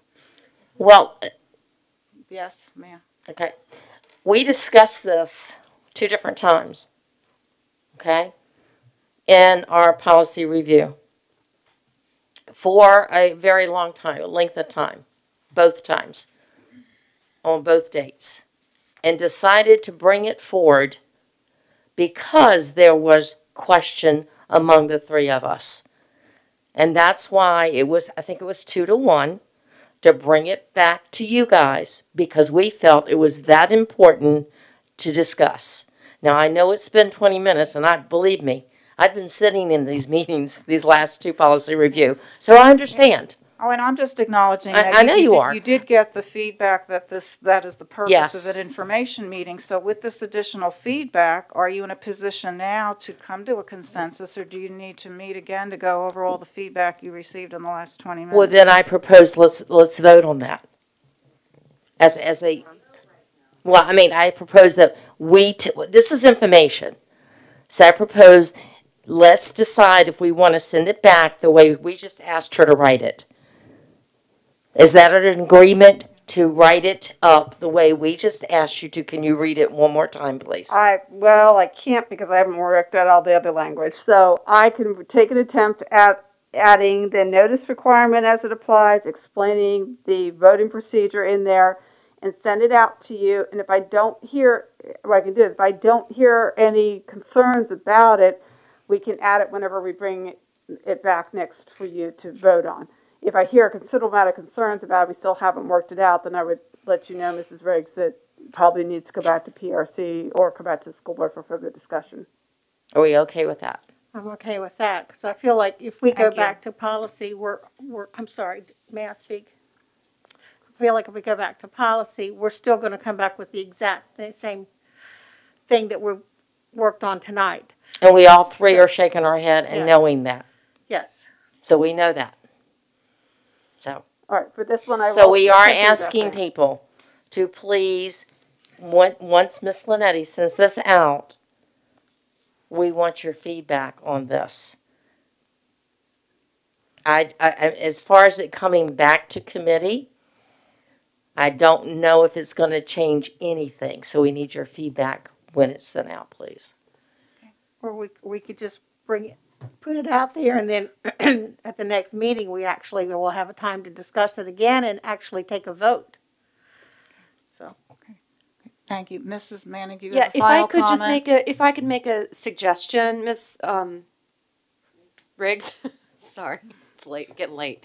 Miss Riggs, would you mind just on, on any policies that we, you think that we need additional feedback here, and especially since Miss Weems isn't here, may, would you mind sending out an email maybe tomorrow saying, could you please provide feedback to either you or Miss Lannetti on X policies? Why don't we do a general email to the PRC group, and so it comes to all the PRC members and me Mr. Sutton, so that way we all. Yeah, can however you want it. us to provide feedback, if you wouldn't mind just sending a prompting email to the whole board saying we need feedback on X, Y, and Z policies. And make sure, and, and we will put in there to make sure you include all of us, the three committee members and Miss Lannetti. Great. Okay? We wouldn't be violating, uh, FOIA by that, but There's an no electronic electronic meeting. No, that's meeting, and electronic. There's no electronic meeting concern in Virginia for that. Um, again, I don't know that we're gonna decide anything, it's just that you all can look at the same. Well, yeah, we're just providing the feedback. Okay. Okay, would we like to move on to one thirty-two? One thirty-two is approval content, sufficiency, formatting, for presentation policy adoption. The significant change, there are some scrivener changes that show up. The significant changes happen in subsection C. And it would now read, policy proposals and suggested amendments to existing policies shall be submitted to school board members and to the superintendent or designee in writing prior to a school board meeting at which such proposed policies or amendments shall be reviewed or discussed. A vote for adoption shall take place at a subsequent meeting of the school board unless the school board by majority vote moves to approve the policy at that meeting. A majority vote of the school board members present at the meeting will be needed for the adoption of the amendment and revision of the policy. D, suspension would be amended to read, policies may be suspended in whole or in part by the school board, strike out the language here, upon a majority vote of the school board members present at the meeting when previous note, notice of the proposed suspension has been provided in writing or upon a unanimous vote of the school board members present at the meeting when no such written notice has, has been given. And there are no further changes recommended there. Mrs. Manning. Okay, so again, um, we have a process of adopting um, policy so that the public can provide input. Um, I, I really don't like the wording that it's just a simple majority that we're gonna present it for information and then vote on it in the same meeting. Um, because that means then the public would not know. So while I'm not completely opposed to this, I think it needs to be much more than just a simple majority. And um, policies may be suspended. I mean, I'm trying to understand why we would want to suspend a a policy. Um, is that like if we're just if like if it's a redundant policy or like an old policy? I don't see suspension as a long-term matter, because then you would either be amending or repealing, that you need to temporarily suspend something for a certain period of time, it might be necessary. Why would we suspend a policy? I'm just trying to think of. So this was a previous provision, and, and so the question is, yeah, why was it, has it ever been used? it's just, because you're really just playing with the wording here, but the, the provision was already always here, Correct. and yet I don't recall it ever being invoked. I want to say it came up at a meeting or two before we were looking at one of the policies, whether we could suspend the policy on there. Again, policies are something you approve, so if it, if a policy impacted what you were working on somewhere else, you were, uh, I can't off the top of my head think of an example, but I could certainly see where you had a, one policy might conflict with something else you were working on. Maybe there was a time limit you needed to work around or provision you had, and you might want that oppor- opportunity to suspend it. Again, I don't view suspension as a permanent matter, it's a temporary Okay. matter. Okay. But I would like to request that it be at least a two-thirds majority um, if we are going to decide to vote on a policy change at the same meeting that it's being presented for information, just because this is a big issue with the public being able to um, give input. That's it. Mrs. Anderson? So, um, I think we should stick with seven, as we talked about before, so that there's no question. So that some of, some of our, our votes would have to have eight, some of our votes would have to have seven. I, I think we just spell it out, say, uh, uh, if all school board members are present, uh, you need seven votes. Um, if not, we resort back to half plus one. I, I think that if we're consistent with that on everything, it, it it makes it a little easier to interpret what we're supposed to be doing. Yeah, I, I, sorry. Mrs. Riggs? Yeah, I think if we're gonna, if we're trying to be consistent with everything, I think we, you know, so we're not fluctu, that's what we were talking about with this last one. We don't need to be going back and forth and back and forth. And the other one, we were talking about policies and bylaws and, and, and those kind of changes too. So I think it should be consistent as well. That's my thoughts. Hello? Okay. Um, Madam, okay, so who was first here? Mrs. Manning and then Um, so- Mrs. Hughes. So I think that we, we don't have just a general, we're going to have this amount of votes for everything for a reason. I mean, there are certain things like, you know, approving the agenda, you know, a simple majority is fine. Um, but if we're going to be changing our bylaws and changing something as important as the public being able to give input on something that we're changing at that meeting on a policy, um, I don't think that we need to be consistent with the with the number of votes. That's why we've always had something different. I, it needs to be harder, um, and so I, I disagree. I really think I I feel very strongly that this should be at least a two thirds majority.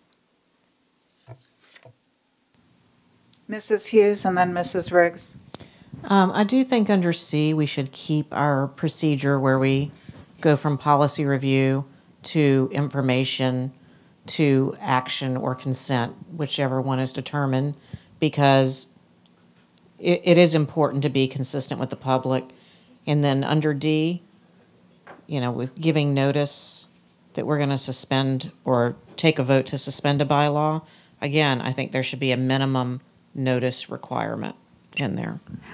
I would point out, one of the reasons I was, was going for the next succeeding meeting, because sometimes we work on a policy and we're not ready the next meeting. So if we did this one, if I'm not ready for your next meeting, it, according to this, it would need to be on your next succeeding meeting. It may have to come back at a while later on because we're not ready to do that. That's why I didn't like the language of the next succeeding meeting, um, because we may not be able to do it that way. Generally, the process is if it's approved on information, it goes to consent or action, but sometimes it just doesn't happen because we're not ready. So Mrs. Riggs. So again, can we, you put this as one of our one thirty and one thirty-two? As we send it out and ask Similar to tomorrow what when I we're did with the prior one, take a. Same thing as we did the one prior to that and ask for feedback. Yes, okay. I can do that. We're asking for feedback, Okay. okay? Because we're gonna go back and forth with this, just like we did with one, one thirty. So we want your feedback. Thank you. Moving on to bylaw one thirty-six, this is open meetings and closed meetings. first change comes in paragraph A, open meetings. Meetings of the school board shall be open to the public except those meetings when the school board adjourns to a closed meeting as allowed by the Virginia Freedom Information Act. Then strike out the rest. The one would be when health, safety, or emergency conditions exist that are not conducive to accommodating in-person observation of school board meetings, the superintendent designee is authorized, at at word two, determine other means by which the public may observe the meeting. Somewhat consistent with the FOIA changes. If Zoom's available, if it's VBTV, whatever is available under the circumstances, I didn't think that was necessary. The school board determined that he, that superintendent would figure out we, what we had available. The next change is in closed meeting. This is not a, this is just to make sure it's clear what Freedom Information says. I'd be adding in the middle of the paragraph, school board members may poll each other regarding the intent of the school board to act, but no action that requires a vote of the school board may take place in closed session unless authorized by law. Before you ask me what that means, suggest sometimes in litigation matters, we have to get votes in closed session. That's always been there. That's not a change in law. We're just clarifying that. Jumping down to two on minutes uh, on there, closed session shall not, shall be, we have tape recorded, I'm kind of moving this to recorded, up to this, with the exception of student discipline hearings, employee discipline, or license revocation hearing, other matters of law, those, as you know, we do record those. Next significant change, um, just to be con- cons- consistent with what the new FOIA laws are, under C, electronic meetings, section C, section two, C two, the purpose of the meeting is to address the continuity of operations of school board and school division or the discharge of school board's lawful purposes, duties, and responsibilities as reasons for the electronic communications. As you remember, as part of the COVID changes, the of Information Act was amended to allow you to do that. Then we would go on to, still under electronic meetings, under section six. Arrangements must be made for the public to observe the meeting when the school board determines, or the chair or designee determine, when there is insufficient time for the school board to act, that's in parentheses, that in-person observation is unreasonable, unsafe under the circumstances, the superintendent or designee will arrange for electronic or telephonic access for the public if reasonably possible, or the meeting will be recorded and made available to review when such means are not available. I don't think there's another significant change. Really quick, let me into back. Oh, I'm sorry. Yes, we do. So going back to remote location participation, remember remote location participation is when a school board member individually cannot come, not when the entire board is, school, uh, is there. We went down to subsection two, talked about pers- personal matters, prevents physical attendance. As you remember, the Free Information Act has limitations on the amount of time you can participate remotely if you're it's just for personal reasons. We wanted to clarify, since you're actually appointed to your committee starting July, it made more sense to count that time, instead of the calendar year, you would count it on the physical year. So subsection C would say during a physical year, in parentheses, July 1 through June 30th, and to align with the committee assignments. And you go down a little bit further, Mrs. Hughes has asked that we made some changes here to make sure it's clear so that if you change a meeting, it does not adversely, not unnecessarily adversely affect a committee member who might be forced to use remote participation where she only has two opportunities. She asked us to come up with some language. You'll see this appear in two sections. And with suggested language to be committee members should be consulted prior to rescheduling a meeting so that committee members have the opportunity to participate and do not have to use limited remote participation opportunities. This is why you will see bylaw 128 and uh, appendix C also has similar language in it. Those are the recommendations for this particular bylaw. Comments or questions? Okay. Next one should be 137, annual meeting. I know you can ask me, why did I put annual meeting in here? Because when we looked at the first one you looked at, Appendix B, we referred to Appendix B, it's actually called the standing rule. So I went back to look for your bylaws, where else do the standing rules show up in your bylaws? This is one of the areas they show up in. Bylaw 137 has to do with annual meetings, except for certain things that you have to do by law. It has to be the first regular meeting in January after sorry, the year on there. So I wanted to clarify. You had um, several things you had to do. One of them was the third order of business may be the appointment of school board members to boards, committees, and commissions, and the fourth order of business would be approve the standing rules. Well, since you actually put your committees in effect on, you decided July 1st, it didn't make sense that you automatically do it. What you actually do in January, if you've had an election or you're halfway through the year, you look to see if you need to make changes on your committee. So it didn't make sense to me that you need to approve your, your committees there. As you know, you go through that process in May and June to determine your committees. So my suggestion was take that out. That is not required by law that you appoint your committees there. Also referring to the standing rules, again, the standing rules are Appendix B. I'm not sure why you looked at this every year, but essentially they're a bylaw, so I'm not sure why you have to approve that every year. It's a bylaw. You amend it when you need to amend it, so I didn't think that was just one less thing you had to have on your annual meeting. So my recommendation is to remove that, and you will see the standing rules show up in Appendix B in a couple other places. Those are my only suggested amendments to bylaw 137. Any comments or questions? Okay. One thirty-eight is regular meetings, order of business, recess meetings and work sessions, public hearings and retreats and abridged meetings. Question came out for us earlier this summer is what does it mean to have a recess, a retreat and a bridge meeting? Those are terms you've used for as long as I've been around. I thought we would go ahead and clarify that. So in this particular section on, under A, um, because you're talking about regular meetings, it would now the title would read date, time, and place. And I would say regular meetings of the school board will generally be held on the second and fourth Tuesday of each month or on the dates and times designated by the school board. Strike out, and as thereafter modified, period, new sentence. The school board reserves the right to change the date, time, or location of a previously noticed meeting upon compliance with applicable notice requirements set forth in the Virginia of Information Act. In-person meetings of the school board will take place in the school administration building unless otherwise specified by the school board. When applicable, school board meetings may be held electronically or telephonically, striking out the rest, adding the word dates. Order of business this is another reason why I did this, this recommendation, section B. The normal order of business at regular meetings shall be established by the standing rules, but may be altered by the school board by an affirmative vote of a majority of the school board members present at the meeting. So that goes to your ability to alter your thing, your agenda. Um, section D, I was just adding the words retreat and abridged in there. I would suggest E, because we've not had a real definition for what a retreat and abridged meetings are. The school board may schedule retreats to discuss, review, or work on matters relevant to the school board and the school division. The school board will set the agenda for retreats and may vote on matters at retreats if the agenda for the retreat calls for a vote or if a majority of the school board members present at a retreat affirmatively vote to add a matter to the retreat to vote on. The school board reserves the right to schedule or add an abridged meeting to a retreat for the purpose of handling matters that need to be handled prior to the next regularly scheduled school board meeting.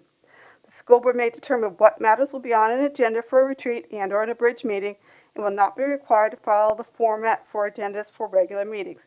Retreats and or abridged meetings will be considered special meetings of the school board. Then we would just re, or renumber the next section to be F. So those are my suggestions for this particular bylaw. Questions or comments? Mrs. Riggs? Did, Oh, sorry, Mrs. Hughes, Mrs. Riggs.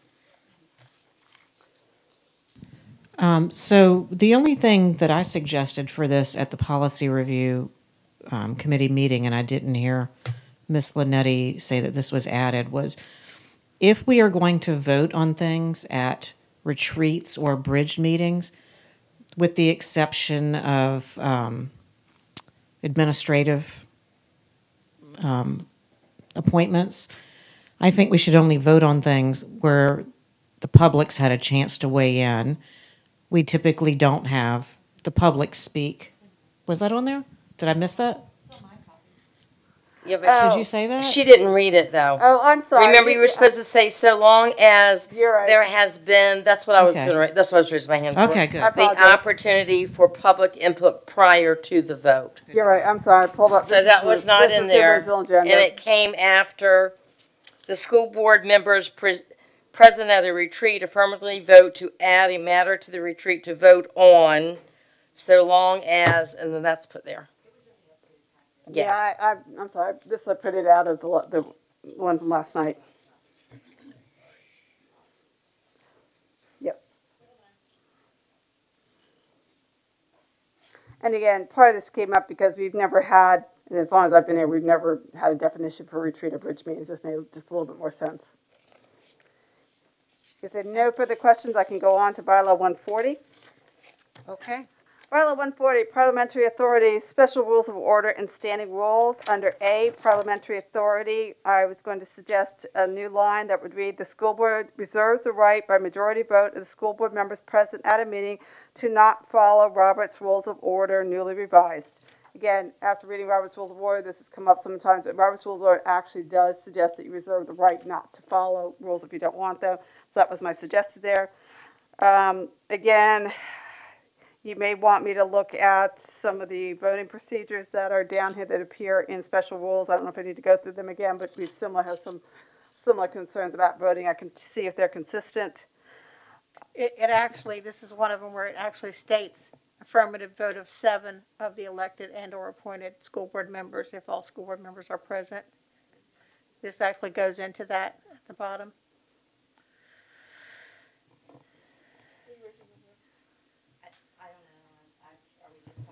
No. Mrs. Manning, go ahead. Um, the other thing I'd point out is, is it's adopted standing rules. As I mentioned before, standing rules are Appendix B. I took them out of your annual meeting. I and here adopting standing rules we talked about you would do at the beginning of the year. My suggestion is once adopted by the school board by a two-thirds vote, the the standing rules remain in effect until changed. The standing rules in effect will be maintained in writing by the school board clerk and will be made appendix B to the, uh, appendix to the school board bylaws and shall be available made available by the superintendent on the website. The standing rules may be suspended by an affirmative vote of some of the elected and or appointed school board members if all school board members are present. If less than all the school board members are present, suspension will require an affirmative vote of one half plus one. This one we left in for some reason the, the language I'm rounding up for the fractional member.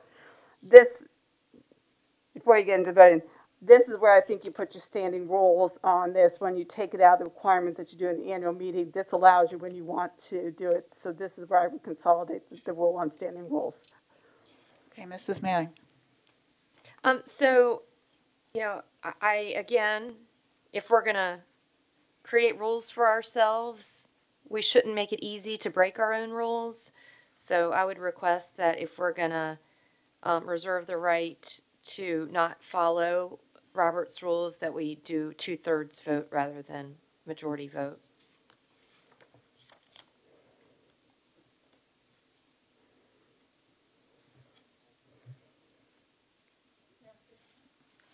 Mrs. Anderson. So is this one of those ones where we need feedback again from the majority of the board before we proceed? Because Yes, I think because the we're way gonna, it's we're gonna go written back is- and forth again. This is one that we really do need the feedback from everyone. And I mean, we brought this forth because we felt like it should be discussed, but because it was discussed at length with one thirty and one thirty-two, I think that, um, this again is referring back to the same thing. Mrs. Manning's having, you know, her, her request and her thought, and I know that Mrs. Um, Hughes had said something about it in our, in our meeting. So yes, this is something we'd like to have May I your finish? feedback. So let's put, this is one, another one, one forty. May I finish? So, so my point is, six is a majority, but seven is more than that, and I think, you know, we've talked about this over and over and over. It's for, since I've been on the board, and so we came up with seven.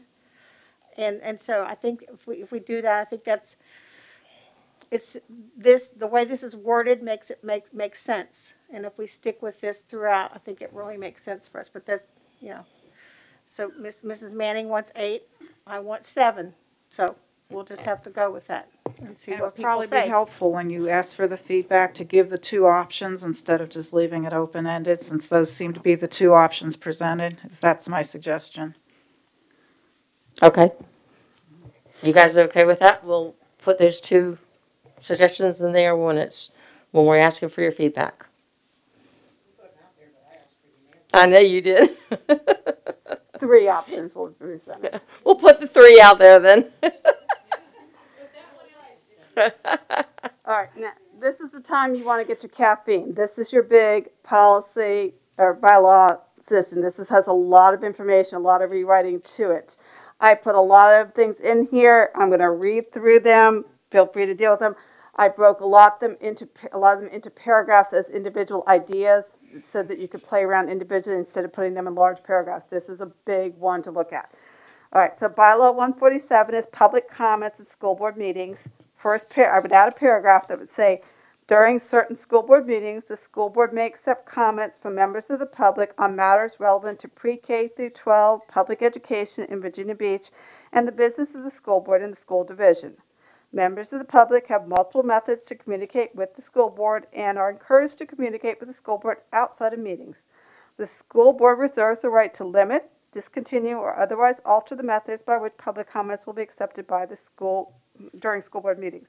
Section A, when public comments are accepted at school board meetings. The school board may, during a school board meeting, when the agenda for that meeting includes public comment section, strike out everything through there, pick up at, the school board reserves the right to not accept public comments at any meeting. Public comments are not accepted at school board committee meetings. Public comments are generally not accepted at special, emergency, retreat, or bridge meetings of the school board. New paragraph B, new title. Arrangements for public speakers.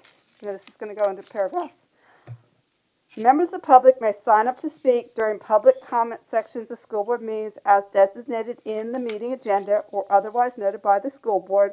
When not otherwise designated by the meeting agenda or notice, members of the public must sign up to speak during public comment sections by noon on the day of the meeting. Two, the school board authorizes the school board clerk and the superintendent or their designees to determine how speakers may sign up, the order speakers, the accommodations that can be provided to speakers seeking accommodations to address the school board, the methods for in-person speakers to address the school board, the methods for speakers to address the school board electronically, electronically, and other reasonable or necessary decisions to allow speakers to address the school board during public comment sections, large amount of strikeout, and sentence, the superintendent or designees are authorized to maintain order and decorum for all members of the public who are not called to the podium to address the school board. Note that, that sentence, that is where the PRC could not come to a resolution. Moving on to C, limitations on public comments. Now you're going to see a whole lot of subparagraphs. I broke them for paragraphs so you could work with them more easily. Limitations on public comments.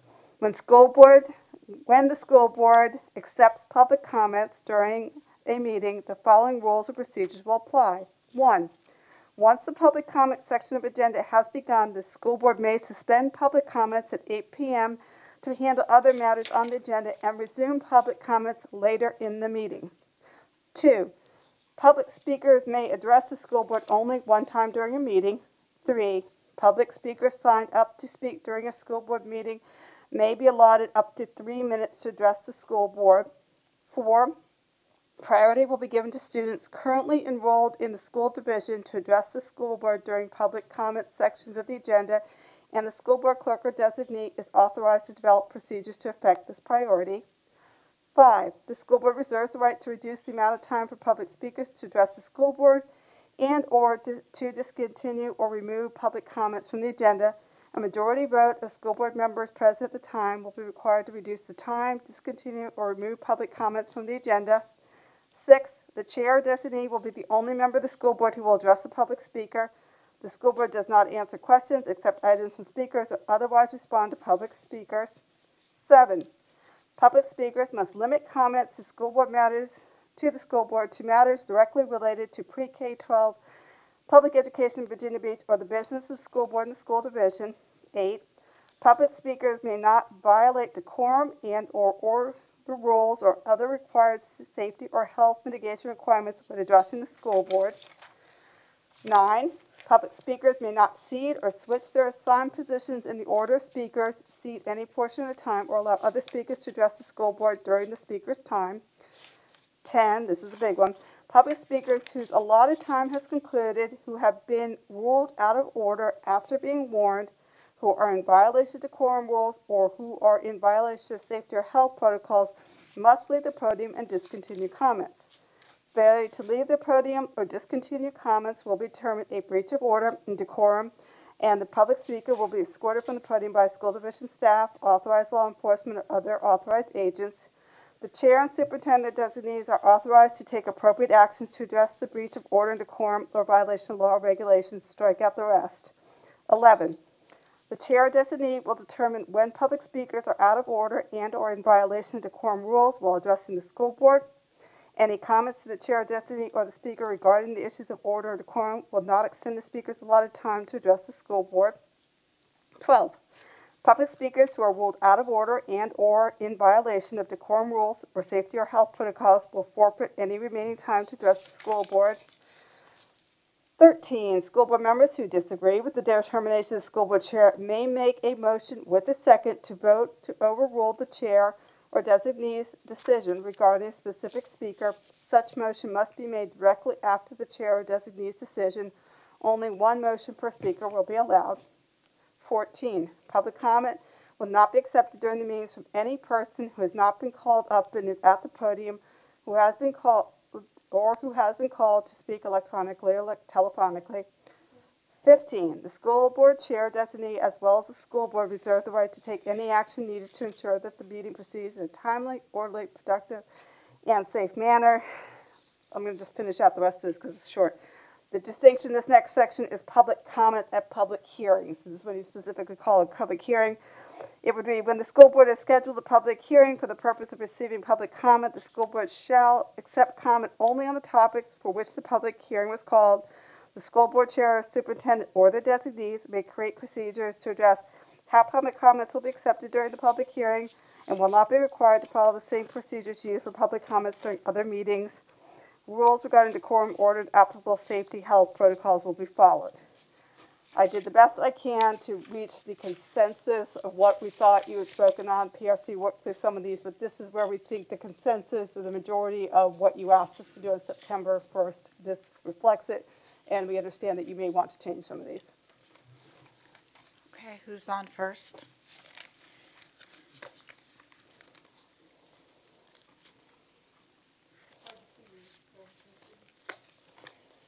Oh, All right, Mrs. Manning? Okay, I have quite a few um, that I just highlighted here. I'll go try to go through them quickly. Um, so item number two, school board authorizes the school board clerk and the superintendent or their designee to determine how many house speakers may sign up. Um, and then at the bottom, it says the superintendent or designee are authorized to maintain order and decorum um, who are in the chambers, um, is what I, Well, how I, how I read that. It doesn't say who are are in the the chambers podium. who are not called to the podium. So I- just, this is a, this is a school board meeting. This is not a staff meeting. So while I would agree that the superintendent and staff could have authority over the hallways and other parts of the building, I disagree that the superintendent should have any authority over what takes place in our meeting. That should be the chair. Um, so I would like for that to say the school board authorizes the school board clerk and the chair to determine how speakers may sign up. And then at the bottom, the chair is authorized to maintain order and decorum for all members of the public, is how I would like to see that one changed in number two. And if you wanted to add, just to be specific, who are in the chambers, to address the school board of people who are in the chambers.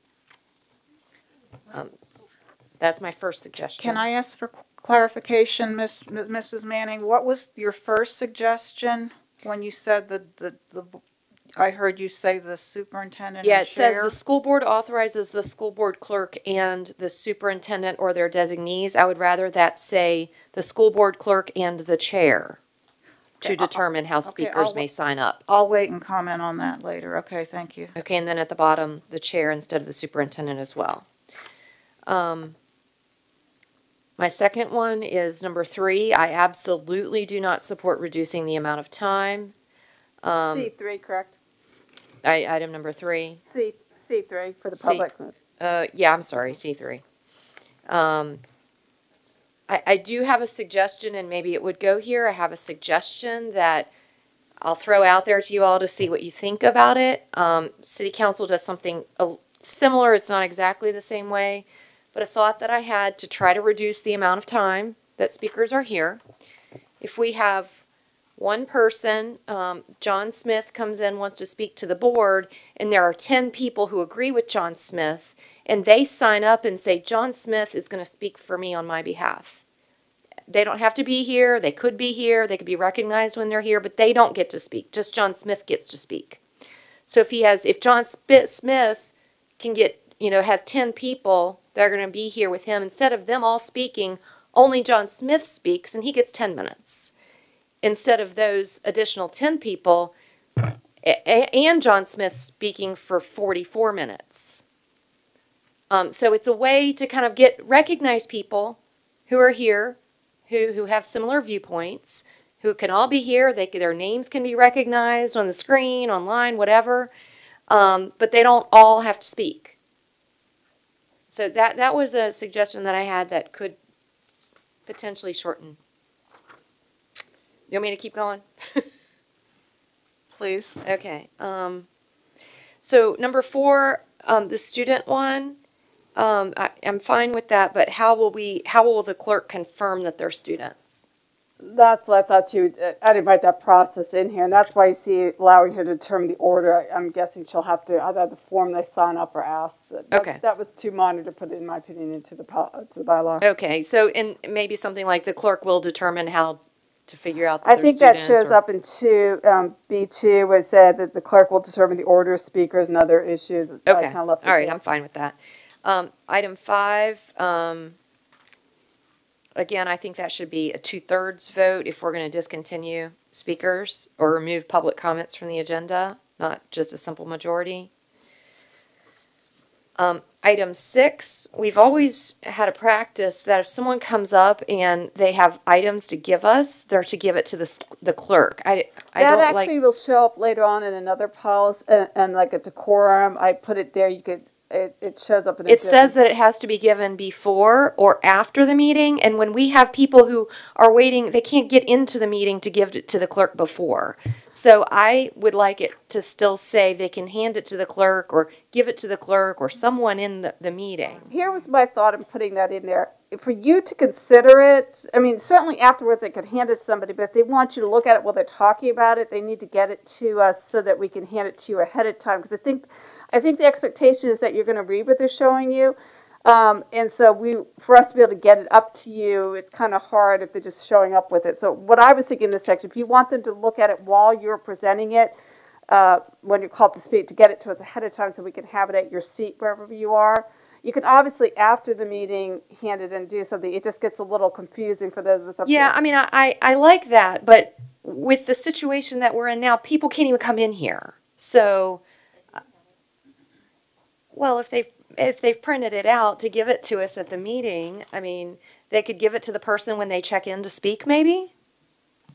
we can look a little bit more. My, my only concern is I think people are disappointed that what they're handing to you while they're starting to speak, it's hard for us while they're speaking to you that I'd like that if they want you to read it, can is there a way can we get it to you so that when they come up to speak, you have it in front of you? Yeah. That's what I'm trying to aim for. I mean, I like that as well, but I don't want to, you know, just cut them off from saying I they can can't tell you, give the us clerk something. is really busy when speakers are going on, particularly now that I- I doing know. Zoom. So we have to figure out how to do this for her.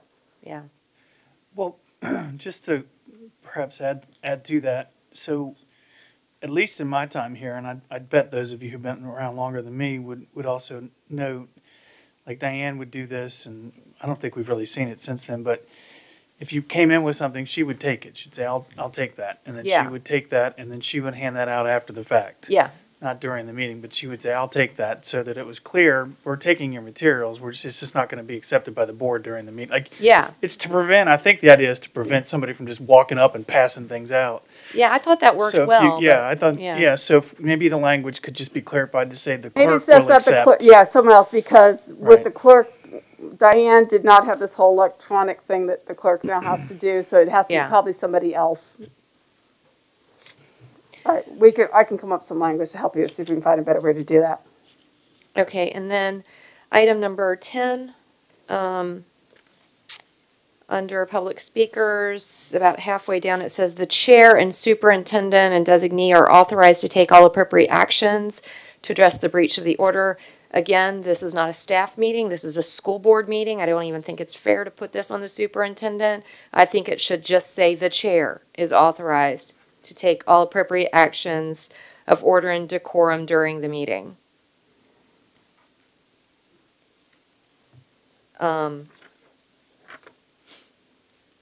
and then uh, on item 14, um, it says public comments will not be accepted during the meetings, and I understand that, but we do have exceptions during public hearings, correct? That's not what I meant by this section. Um, what I'm trying to say here is in a limited public forum, you define how you will accept public comments. So it's people standing up and yelling out and other things. That's not their opportunity for public comments. They have to be signed up to speak. Oh. That's what I'm trying to get to here. Oh, okay, gotcha. Okay. Um, and then I think the last one on this, um, item C, public comments at public hearings. Oh, D is crossed out on mine and it says Yeah, C. that's, sorry, that's a. Okay. Um, so it says the school board chair or the superintendent may create procedures to address how public comments will be accepted. Again, I don't, it, this is a school board meeting, not a staff meeting. I think it should just be the school board chair may create procedures to address how public comments will be accepted during the public hearing. Um, and will not be required to follow the same procedures during other meetings. Okay, we have Mrs. Riggs and then myself. And I'll be following up on some of Mrs. Manning's remarks with some of my own. So I don't know if you wanted to follow up on the chair or designee superintendent, if that was one you were gonna follow up on.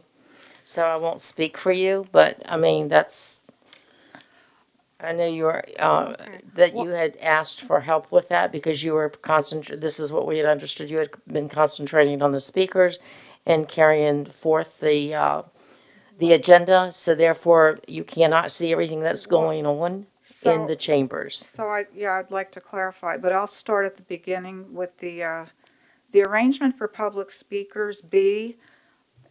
I think Mrs. Manning, the, the reason here, I didn't have input into this, but that the, the clerk and the superintendent, th- these are like the logistics. It's not really decision-making that we're doing here in bylaw, but, but determining how speakers may sign up, that, that involves, you know, are they gonna, are they calling into the clerk or Mr. Din with registering online? It's like those, those types of things. Um, the order of the speakers, again, they're the ones keeping track as they're coming in. They're not making, they're not making unilateral judgments that, yeah, we're gonna take, uh, students first. That's a school board decision, but given the process, they're just coming up with the processes here that typically have been uh, the staff and, and the clerk's role, uh, the accommodations, uh, and we don't get involved with that, and the methods for in-person speakers to address the board, again, helping, helping out with the Zoom and, and I mean, staff, please correct me if I'm wrong, but these have traditionally been the, the staff functions, right? The intent was, this in this section, was the logistic pieces of it. Thank you, that was the word I was looking for. Yeah, and I don't know if there's clarifying language that would help, but that's right. I mean, we handle all the logistics of how people sign up and how they get, um, you know, the Zoom links and all of those things. I'm not sure the chair could handle that independently. Okay, I, I'm fine with that. I did not understand that this And- was a And maybe we could thing. incorporate, I mean, I think putting in logistics. See logistics if I would can find make it, another word like logistics. clarify. Mhm. Yeah, if we, you could just clarify that, that would be wonderful. I'm fine with that part. And, and speaking, because I, I raised this question myself, so I'm not trying to shirk it. I don't think any chair wants to shirk their responsibility here. Um, if there is a way to still lend support to the chair, because I just want to be fair in, in sharing that with, when there, when there's a room, a room full of, of, uh, observers and, and the chair is focused on the speaker, he or she can't keep their attention on the full room. And so I don't know if there's some middle ground here t- t- to say the superintendent and the chair or some other way to offer the chair support, or way to convey to me, because I don't hear everything that everybody else hears necessarily, or I don't see everything that somebody else may see. So I just wanted you to know it's a bit of a dilemma, and I'm struggling with what, the- what the right answer is. Wait, uh, we have a cue here, Tell me what item that is?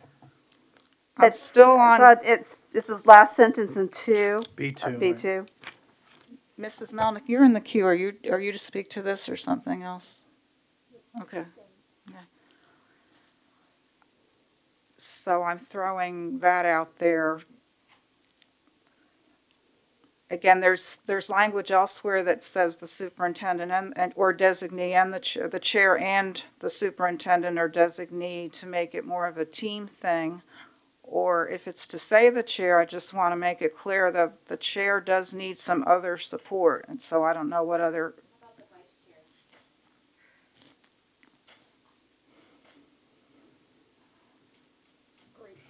Can, can I just speak briefly to this? Just briefly to this? Mm-hmm. Um,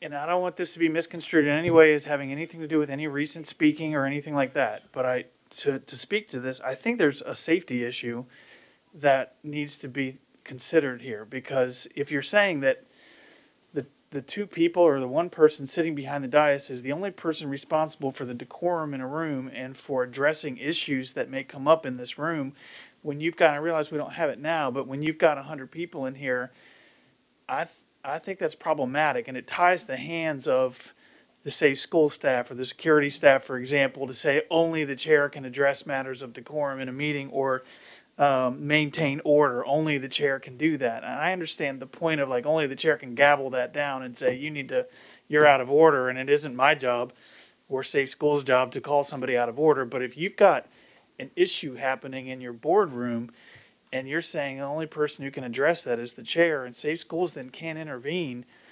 I think that's a problematic issue just from a purely safety perspective for staff and for you as board members. So I'd ask you to think about, I don't know what the language is, but I'd ask you to consider that um, as you, as you debate this particular piece.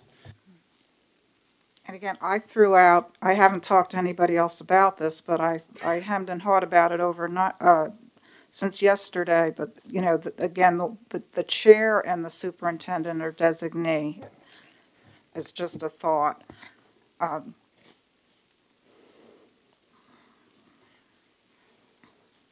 Uh, Mrs., if we're still speaking on this, Mrs. Melnyk and Miss. Yeah, um, Okay. I would just like to, um, I haven't said anything through all of these policies and I- I just want to make this point. As, we are a governing body and as, a board, we hired the superintendent. That does not give him supreme power. We, we, we do oversee, um, the division, um, through governing, through policy, but we he has a contract and there are things that that Dr. Spence is responsible for and and we tend to kind of forget that um, and our supporting staff um, we have processes in place that we we seem to forget quite often which is chain of command um, even within our, within our division so you hear something let Dr. Spence know. We want to bypass that. We want to put out videos. We want to tell things to people that our people are not even getting the opportunity to to investigate and defend. And so I ask that we remember that again, um, that we hired a superintendent and he is contractually responsible for this division and we are a governing board. We do are we we are not responsible for every single thing that happens every single day in this division, nor are we qualified to to do what he has been hired to do. Um, and if you go back and you look at other school divisions, um, they make that perfectly clear. And and there are things that they oversee, and there are things that they very easily turn over to their superintendent because it's what that the superintendent was hired to do. So, not in all cases, but we, we have to we have to let him do his job. And that's all I'm going to say about these policies. Uh, Mrs. Hughes and then Miss Owens. Um, so two things real quick. One is just to back up, we were talking about speakers who want to come in and, and give us something ahead of time. If they call and say they want to, just have them write their name on it. We have a speaker list. I mean, I, I always check through the speaker list. I make notes on the speaker list. I can see if that's the same name, number 10. I know, you know, pick it up then when that person's speaking. That would solve that. Um, as far as, you know, this issue with superintendent or chair doing something, you're right. We do hire the superintendent to do certain things. I should not be going into a school building and directing teachers. You know, beyond things that a normal person would do, like maybe you didn't see this spill or, you know, like a safety thing. But typically, we wouldn't go into a school and direct teachers or principals on their jobs. But by the same token, when we're in a meeting, the meeting here is a board meeting, not a staff meeting. And I do think leaving the chair in charge of decorum and safety, that doesn't preempt safe schools because if safe schools is directed to do something in here, it just should originate with the chair. You know, if she looks at the superintendent next to her, if he's sitting there and says, Hey, can you go get them? Or she just directs them, but it's just coming from her because she's running the meeting and that's where it should originate. When you're um, sitting in this spot and you look at all that's in front of her, I'm the one who's situationally aware- aware all the time, and we have to turn to each other. It's a very different thing when you're sitting at that seat and you're trying to conduct a meeting and you're trying to stay up with everything. There, a lot of things she doesn't see because it's very difficult to see when you're in that seat. See, and you just said you're situationally aware, um, aware then, and somebody already suggested that the vice chair would be her designee, so maybe this is only- something that the two of you should work her. on I can together. only help her, but we do have safe schools for a reason too. Um, and that's o- only recently become an issue. So, um, it's Miss Owens and Miss Riggs. and I'll put Okay, um, just briefly, I, I would be in support of, uh, safe schools assisting as needed with, uh, addressing decorum issues. There may need to be some discussion about what kind of decorum issues would rise to a level that we would want some intervention. Um, but once that conversation happens, and obviously that conversation would have to include Dr. Spence because he is the super, we don't direct any of the other employees. Um, but I don't see why that couldn't be a sitting down conversation. Here's some of the things that we would be concerned of. What are some of the things that safe schools would be concerned about? Come to some general consensus about what kind of things they would generally intervene on. Um, I understand the idea of the chair needing to direct everything in the meeting, uh, but it, it just sounds unnecessarily cumbersome to me for somebody to see something on the dais, then you turn to Dr. Spence and say, Dr. Spence, can you tell Safe Schools to redirect somebody if somebody else is speaking and other things are going on? That if they, Safe Schools person sees somebody jumping up out of their seat or doing something that just needs a, a redirect, hey, can you, can you have a seat, your time, whatever, that we wouldn't want to do that. And so I, I would be in support of that with the understanding that maybe there needs to be an initial conversation or maybe an annual conversation about how we're working together with that decorum piece. Okay. Mrs. Riggs, then Mrs. Anderson. Um, I'm just gonna have to say again, I, as we've been in these meetings that we've had a lot of people in, uh, and lots has been going on. It was, it's very obvious in watching our chair trying to pay attention to what's going on and move the meeting along, watching the, the people that are, the person that's up at the podium speaking and putting her attention on that. There's too many other things that have been happening and have been said that I feel safe for everyone in here, including me, that the safe schools or the superintendent who directs the safe schools department are watching for things that need to be taken care of. She cannot see. It's very obvious that she doesn't know everything that's going on. And it's very obvious that she's paying attention to that person, and for someone to say, for the chair or uh, the vice chair to say, "Oh, you need to, you need to."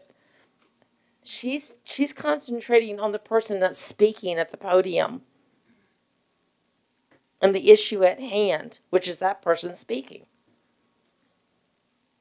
So I feel like you know I'm just I'm going to reiterate what Dr. Spence said. For the safety not only the decorum but the safety of everyone in here and to move move this along in a fashion that we can hear everybody, we can see what's going on, we're, we're being able to understand. She is, I, I think that, um, the words that are left here is to support whoever the chair is in, in moving this decorum, moving this meeting on. Um, looks like M- May, Mrs. Anderson. So we chose these words, the chair, superintendent, and/or designee. Th- Those words were chosen specifically, as it's been pointed out, to help facilitate the meeting. But as has already been pointed out, there are many times that the, that the chair and the vice chair doesn't see certain things. So I, for the whole purpose of, I mean, our, our safe schools people are standing by, they're watching what's going on, and if there's a hundred people or more in this room, they're, they're more apt to see what's going on out in the crowd more than we are if we're trying to concentrate on speakers. So I think the language as it appears in here right now is the way it should move forward. Um, and I, I, I, I'm in favor of just moving this along as it's written. I think it's general enough so that when we say designee, that's who we mean. We mean somebody who the, either the chair has designated as, like Safe Schools as a designated person to help, people to help, or if the superintendent designates some of the Safe Schools people to be here. I, I think that's why it's written like this, generally speaking. This, that's why it's written this way.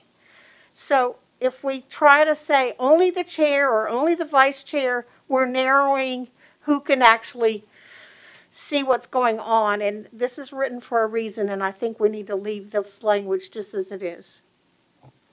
Okay, Mrs. Manning, and I was still seeking feedback to my proposal to include both, but, so whoever wants to comment on that with their comments, thank you. Um, so I would just like, it's, it's midnight. We have staff that needs to work tomorrow, um, school board members that need to work tomorrow. I would like to make a motion that we defer items thirteen B eight through seventeen on information and put it on information on the next agenda, um, so that we aren't, um, you know, going round in circles at midnight on these topics. And I'm sure the public is probably asleep. Um, if we could, if there's a second. In, Is in, there a well, Is- in, in fairness, Mrs. Franklin has not, has not said a word yet, and she's in the queue. And so, I think that's not fair. Well, I, I'll, I'll be willing to, you know, amend my motion to say, and, and when we finish the conversation on this topic, but, um, I mean, it's midnight, and I, I don't think these are pressing issues that, but I need, it. we need a second before. So if we agree to let Mrs. Franklin go ahead first, then we'll get back to Mrs. Manning. I think Mrs. Manning's asking if there's a second to her motion. I need a second to the motion, and then we discuss that, and, but my motion was I, that we would. okay, I thought we were agreeing to have Mrs. Franklin speak, but we'll, I'm happy to entertain a second to Mrs. Manning's motion. If I'm correct, Mrs. Manning, the motion you have is that when you finish the discussions on this bylaw, that you stop considering bylaws and policies for the rest of this meeting and defer them to another meeting? Is that Yes. the motion on the floor? Yes. If there's a second, we'll open it up for just quick discussion. Second. She did, Miss Hughes seconded. Okay. so Who did the discuss- second? Miss Hughes? So the discussion on the floor is Mrs. Manning's motion to, after finishing discussion on the current bylaw, that you would defer everything to another meeting. Is that correct? Discussion. All right, we'll just go ahead and vote. All in favor, show a raised hand.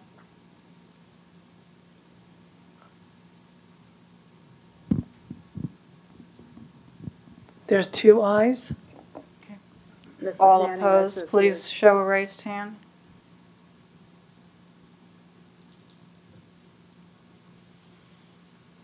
And there are eight nays. Okay, so Mrs. Franklin and Mrs. Riggs. Thank you.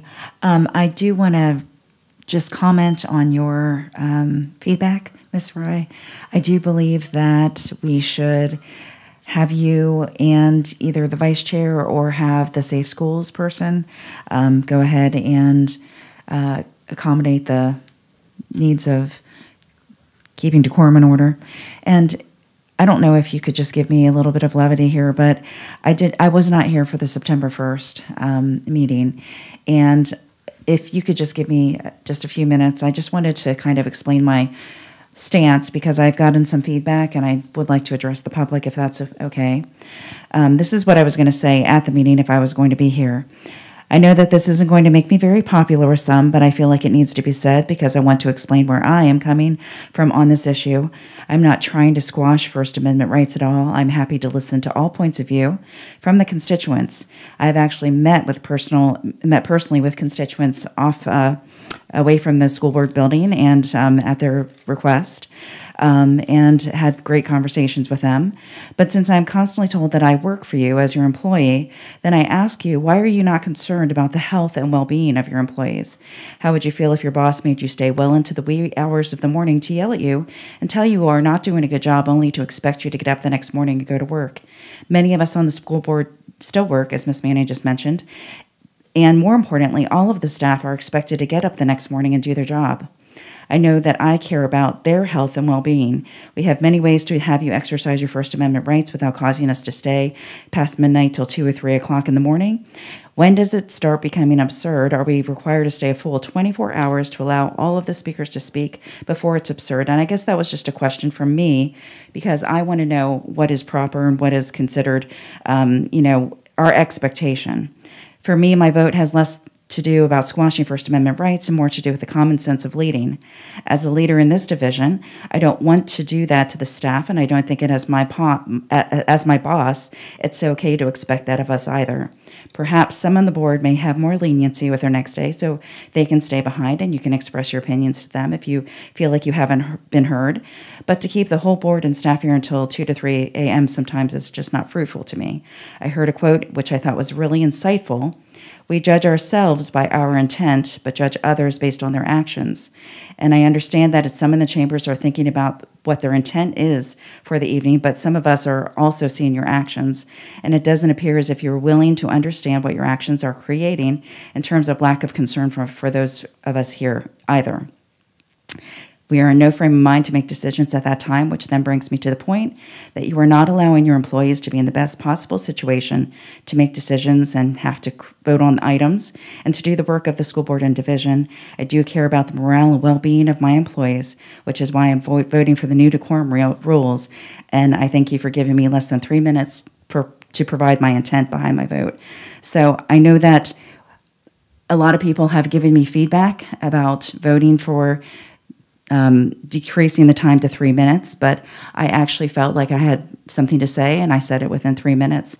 And it does allow more speakers to be heard throughout the night, and I think that that is an important point. And I know that that is probably an unpopular view, but I do feel like we, again, we are here till midnight and we still have, it looks like, eight more topics. And my point is, I, uh, one, I would like to just say that I am glad that we are allowing the staff to go home at eight o'clock. That for those that are not um, providing feedback on on. Um, no, no, I'm saying for those people that are are not going to be providing presentations on action items. So, but yes, I mean. I'm talking about Regina. I'm talking about you know uh, other people that have to be here um, at seven o'clock in the morning. Um, and I just personally feel like, as a leader uh, um, and as someone who has some opportunity to uh, give them a little bit of, um, I'm, I'm tired, I'm sorry, but uh, an opportunity to, to be considerate of their time and um, what their expectation is. I just want to make sure that we also think it's important to discuss this again because we should have some kind of expectation at the meeting um, to be able to you know do the business of the board hear the speakers um, as much as we can and then be able to move on and allow the, everyone else to and the staff to be able to get up in the morning. So thank you. And mrs riggs. Um, mrs Lannetti um, when we had our special meeting special call meeting on that Wednesday. What was the date? Wednesday, the? Ninth. The ninth? Okay. Mrs. Lannetti, um, and I know Mrs. Uh, Rye, I did, several people took notes of all the different things that the people that were here discussed and said. We spoke for That's the first, that's the first. the time, I'm first. Sorry. That's why I said it's the first. All um, of us, you know, expressed what we felt about the decorum, and we talked about all of these things. And we asked her because she's because of bylaws, policies, these kind of things. She wrote what we she had heard, what we had taken down. Uh, we also took into um, um, into account the emails that the people that weren't here, Mrs. Franklin, Mrs. Manning, Mrs. Um, Hughes, they all sent their emails about how they felt about not what they what they thought on um, decorum and just their ideas. And she tried to put in these policies and bylaws what we had asked her to do. We met two different times. The first time, the meeting was changed for policies. Policy review meeting was changed from the 16th to the week before on the 9th. So we could get these discussed and talked about. It was found out um, by a couple of our school board members that we did not follow completely the, the rules. So again, another special meeting was called, which was yesterday. Thank goodness it was yesterday and not today. Because I wouldn't have been able to do it. To discuss it again and to vote on it correctly. We spent many hours doing it. And I did say, I want, and so did Mrs. Um, Hughes and Mrs. Um, uh, Anderson, all wanted it to come to you to, to speak about it tonight. But most of this was shared by all of us and how we felt and what we wanted to do. And what we asked her to do. To, to take this and to not decide what we're going to do and put it off to another meeting, I do not. I'm not happy with being here this, this late tonight either. We still have a closed session. Yes, we do. I was I was in the hospital since six thirty this morning. Okay. Okay. Came straight from there to here. So I, as far as I'm concerned, we've spent a lot of time on this. Okay. All right. So I would just like to propose, if there's no objection from the superintendent, that we just add the chair to the, to the superintendent and designees. And designees would include safe schools, because there are some things I just think it represents that it is a team effort. And again, it's, I'm not looking for the chair to sh- shirk any responsibility, but uh, acknowledging that I think it's been well stated why staff is also needed. So, I could be wrong. Uh, Mrs. Anderson, then Mrs. Manning. I thought we were discussing, oh, never mind. No, I- Okay, Mrs. Manning, does, I mean, Yeah, that, I- I have that to go. kinda, I does that will- meet you halfway at least? Um, I, I will, um, what? Does the, does that meet you halfway? 'Cause Yeah, you I, ra- you know what? I'm tired, and you know I think it's absolutely ridiculous that we're still here and keeping staff here, because all of these, um, all these items, it's just about shutting the public down and limiting them. And if this is so important to you all, I, just think it's absolutely ridiculous that we are still here. It's midnight, after midnight. You're keeping staff here. They have to work early in the morning. They're tired. We're all tired. We're grumpy. So I'm going to provide my feedback to you in writing, and I'll I'll I'll put it on my website for the public to know what my feedback is on these policies, and hopefully you'll consider my viewpoint. But you, we have a closed meeting, and you already missed a closed meeting. Are you leaving? That's, that's ridiculous. Um, Again, can, a final comment on this policy, can we add the chair to this last Yes, line ma'am, here? I've The- got the it written chair, in here. Superintendent or designees, and or designees. That's the last in one in, in B two. So it would read, the chair, the superintendent or their designees are authorized to maintain order and decorum for all members of the public who are not called to the podium to address the school mm-hmm. board. I think that, that, that represents the collective view of, of the feedback we got. Sign of a compromise. That's wrong. The last sentence B in B. two, the very last sentence. No, you're on one forty-seven still. Oh, sorry. Can I just say one thing? I'm in the queue.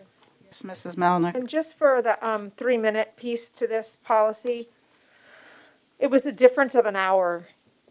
So we could have been an hour sooner. Um, It was a difference of one hour. We had, you know, 50, we have 53 speakers, so we would have gained an hour of, of our time back. And the intent really is to not limit the number of Not to speakers. limit the number of speakers, So- but to be able so to that seemed hear a fair everybody within a compromise. decent amount of Okay. time, and which Ms. Franklin executed beautifully. Okay. one- Okay, so you're saying at the end of B two, um, it said, it would say this, the chair, comma, superintendent or designee? Yes. Okay, thank you. All right, I think we're ready to move on. One forty-eight, decorum and order. I'll try to go quickly. The changes that you're seeing in A are not significant. I think they're just quantifying, so I'm not going to go through them. You can take a look at that. I'd like to move on to where I think it's more significant for you. B, limitations on addressing the school board. Persons addressing the school board during public comments section mean one shall limit their comments to matters relevant to pre-K. A twelve, public education, Virginia Basin Business School Board, consistent with what we said before. We would leave two in. Three would be comply with the time limits and other rules of public comments as set forth. I think it should say the bylaws and agenda or is otherwise determined by the school board. C, going into expressive activities during meetings. At certain school board meetings, the school board accepts public comments during designated section of the meeting agenda. The public comment sections of school board meetings are limited public forums for the sole purpose of accepting comments from members of the public relevant to pre-K 12 public education Virginia Beach and the business of the school board and the school division. The school board does not accept other forms of public comment during meetings or at those times immediately preceding or following meetings. Going in down to expressive activities, remember, this is where you need to look at the amended information that came out of the um, PRC yesterday.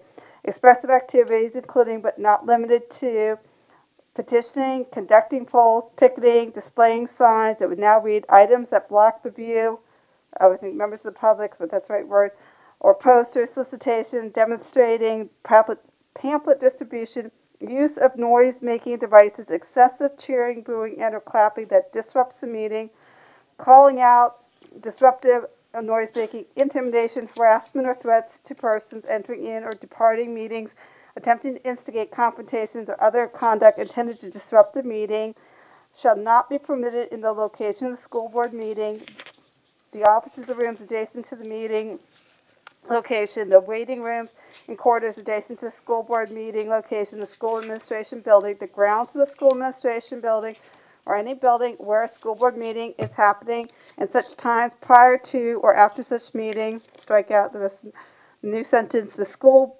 administration building, its grounds, and reserved parking spaces are not open for expressive activities unless a facility, it will read, facility applica- request or application has been approved. The superintendent or designees are authorized to designate areas of school administration building grounds and parking lots that may be considered for, again, will be facility application or request. The next section is D. In the second paragraph, we would be making amendments. This bylaw does not preclude persons addressing the school board from delivering the school board to delivering the school board or its clerk written materials, including reports, statements, exhibits, letters, or signed petitions prior to or after a meeting.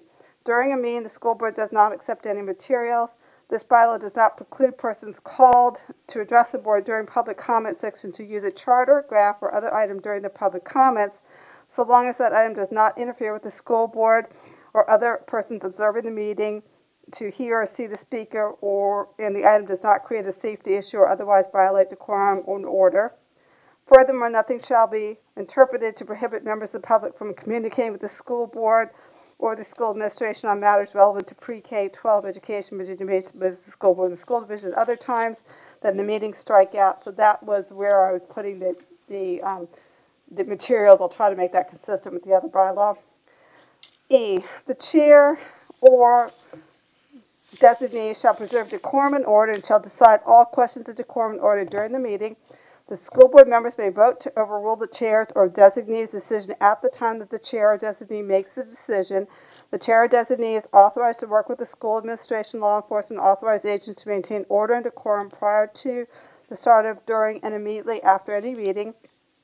F, the school administration, law enforcement, authorized agents will have responsibility for maintaining decorum and order outside of the meeting room and outside of a building where a meeting will be or is taking place.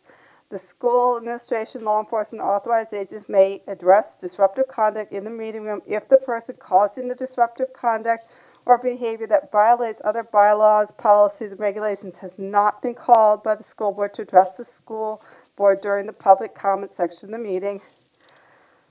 Jumping down to H, at the request of the chair or superintendent or their designees, the city police officer or other law enforcement shall act as a sergeant arms the meetings. I'm suggesting pulling out the rest of the language. Again, we were trying to distinguish in the meeting room, outside the meeting room, who would have responsibility. All right, questions, comments? May I go back to C? Expressive activities. So with the examples, uh, flags was removed? Yes, ma'am. The PRC replaced it yesterday with items that block the view. I think it's the other persons in the meeting. I mean, it, including but not limited to. So let me get to my point, because I, I responded to three emails yesterday where I told them there's not, there's not an outright ban on bringing flags into this room. And, and we're, we're talking about expressive activities, but the way it's worded, because I guess of what it doesn't say, it's very misleading. Can we somehow, I was trying to come up with some sentence that, you know, certain items are, I mean, we don't want to say every possible item is allowed into the room, but generally speaking, items, items allowed into the meet, meetings,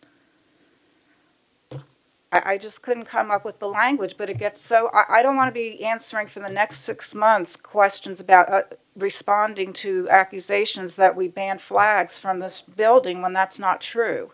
So I need a, I need some extra verbiage here to make that clear. That's the, what we're trying to get, there's two things that are going on. You always have the right to control time, place, or manner in a meeting. One of the important things, because you're open, because you're filming it, we want to be able to see that people can see. It's also safety issues. Well, that's the expressive activity part of it. People can bring in anything, a sign, and as long as they're not displaying it until they come up to the podium, they're allowed to bring in their sign. And our position with, and I don't, that's why I said no outright ban. Obviously, we're not gonna have people bringing in flags that are, you know, the size of the wall. But, um, so we're talking about, we are saying there are parameters to what you bring into the meeting. And when It you- might be, it, it- it doesn't help to say the use of items that block the view as opposed to blocking, is that, because you're talking about expressive activities, what are you doing? Things that you were doing or items that you're doing. Is that your concern, is that Well, it's I wanna- use of that I item? wanna- I want to understand where people keep getting this, this uh, impression that we're banning bringing things in. No, I'm sorry. I'm Just, sorry, no, sorry, sorry, I'm sorry. So, so again, we understand that some decisions might be made outside, but in- generally speaking,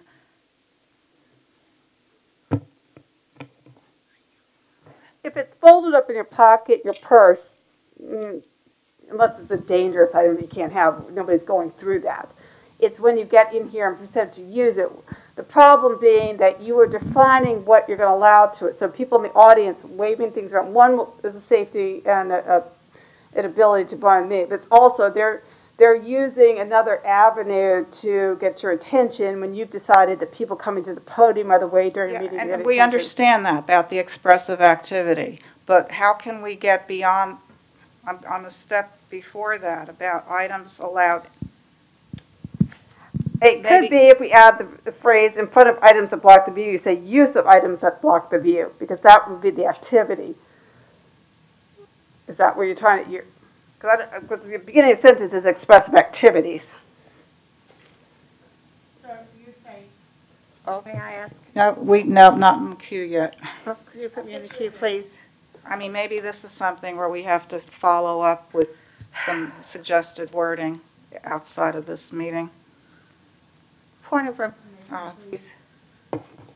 I just need clarification on what she just said. Okay. Do, do you mean to say, instead of saying items that might block the view of persons observing the meeting, instead of saying that, would, you would, you're, you're suggesting the use of items that might block the view of persons observing the meeting? Is that what you're saying If what you're prohibiting is expressive activities, and then this list follows, then it would be the use of these items, so we are, where it might, the way it just said items that block the view suggests that those items can't be in the meeting, but it's the use of those items as the expressive activity, is that where you're trying to go with this? What- Can we follow up? Can I mm. follow up with our PRC chair on this? Mrs. Riggs? Are, are you trying to make sure we have some kind of language in there that says that we are not banning flags? Well, not out, I'm- I, I would use the out, the name, the word outright for anything, because we do allow certain items to be brought in. But we don't- Right. we don't have any single outright ban on any item. Miss, Dr. Spence?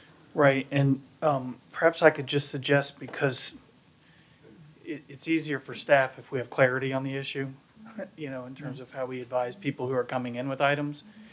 If it just said, to Cammie's point, expressive activities including but not limiting to petitioning, conducting polls, picketing, displaying signs, using items that block the view of persons observing the meeting, and I would even strike or posters, because we do allow posters to come in, you just can't use them to block the view of people observing the meeting.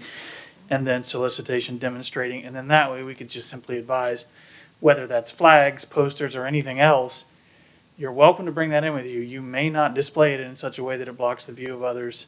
That's all I'm trying to do. Yeah, so I think just that, just eliminating posters and putting the use of, as Cami suggested, would be ample direction for staff for us to be able to communicate that clearly when people are coming in with different items. Which is the issue and which was an issue and which we addressed as we've discussed. So is, So, okay, we have, are the queue people to speak to this? Mrs. Hughes, Mrs. Franklin, Mrs. Hughes, let's just see. And then Mrs. Franklin. Um, I, I'm not, g- I'm not gonna be able to support anything that bans people from gathering outside. I just, I've said it before and I'll say it again. You have a First Amendment right to address and, you know, petition your elected officials. This is where they go for that. And I think they should be allowed to gather outside. Can, can we elaborate that this, that what this is and what it this, Mrs. isn't? Riggs? You want can I, can I respond to that? What she just said? Please. Okay, we are not banning rallies. We are not banning people from gathering outside. What we're asking and what we're saying is there are certain parts of this building perimeter that they can rally. And it's not on the grounds in front of the building or the parking area.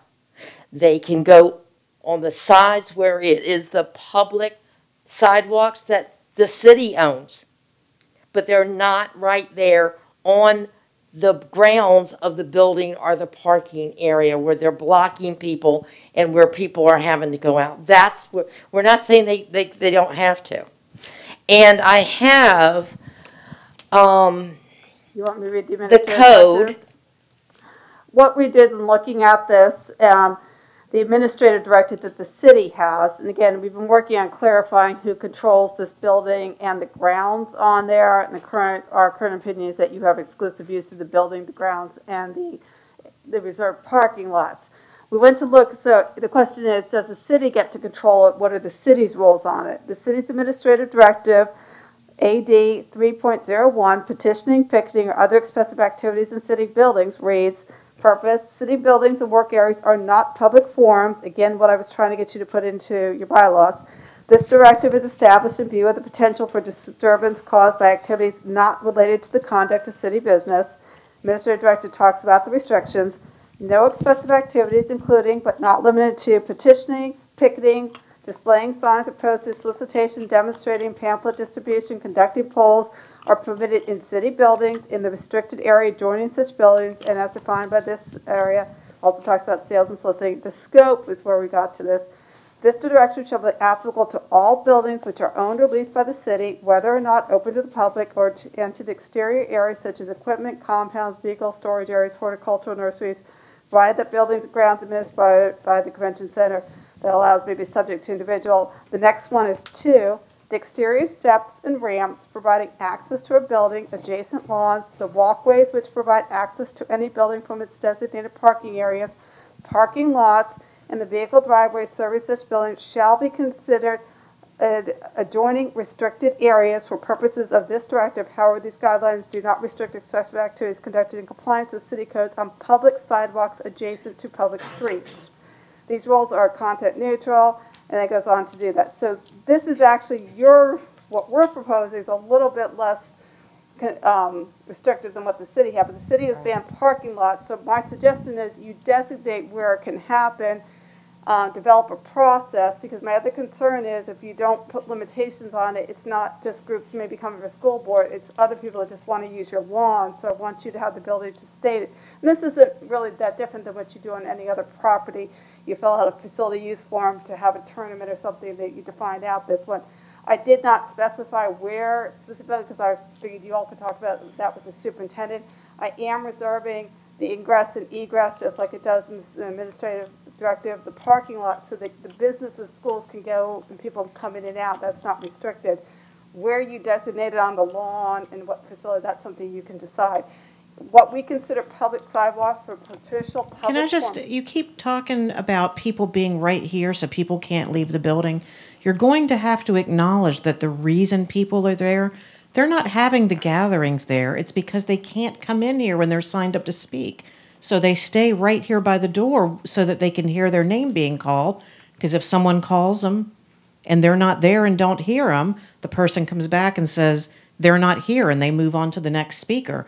They're only gathered on the steps and this front walk here when it's time for speakers. They move up there so they can hear their names being called.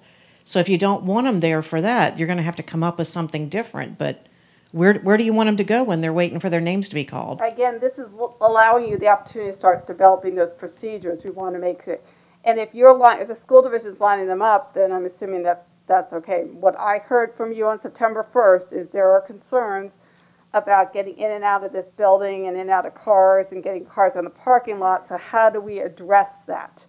And that, this is what I'm suggesting. And what I'm trying to point out with the administrative directive is this isn't really different. The city's actually more restrictive than you are.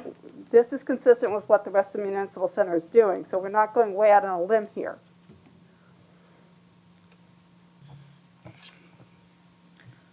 Okay, we, we have Mrs. Franklin, Mrs. Anderson.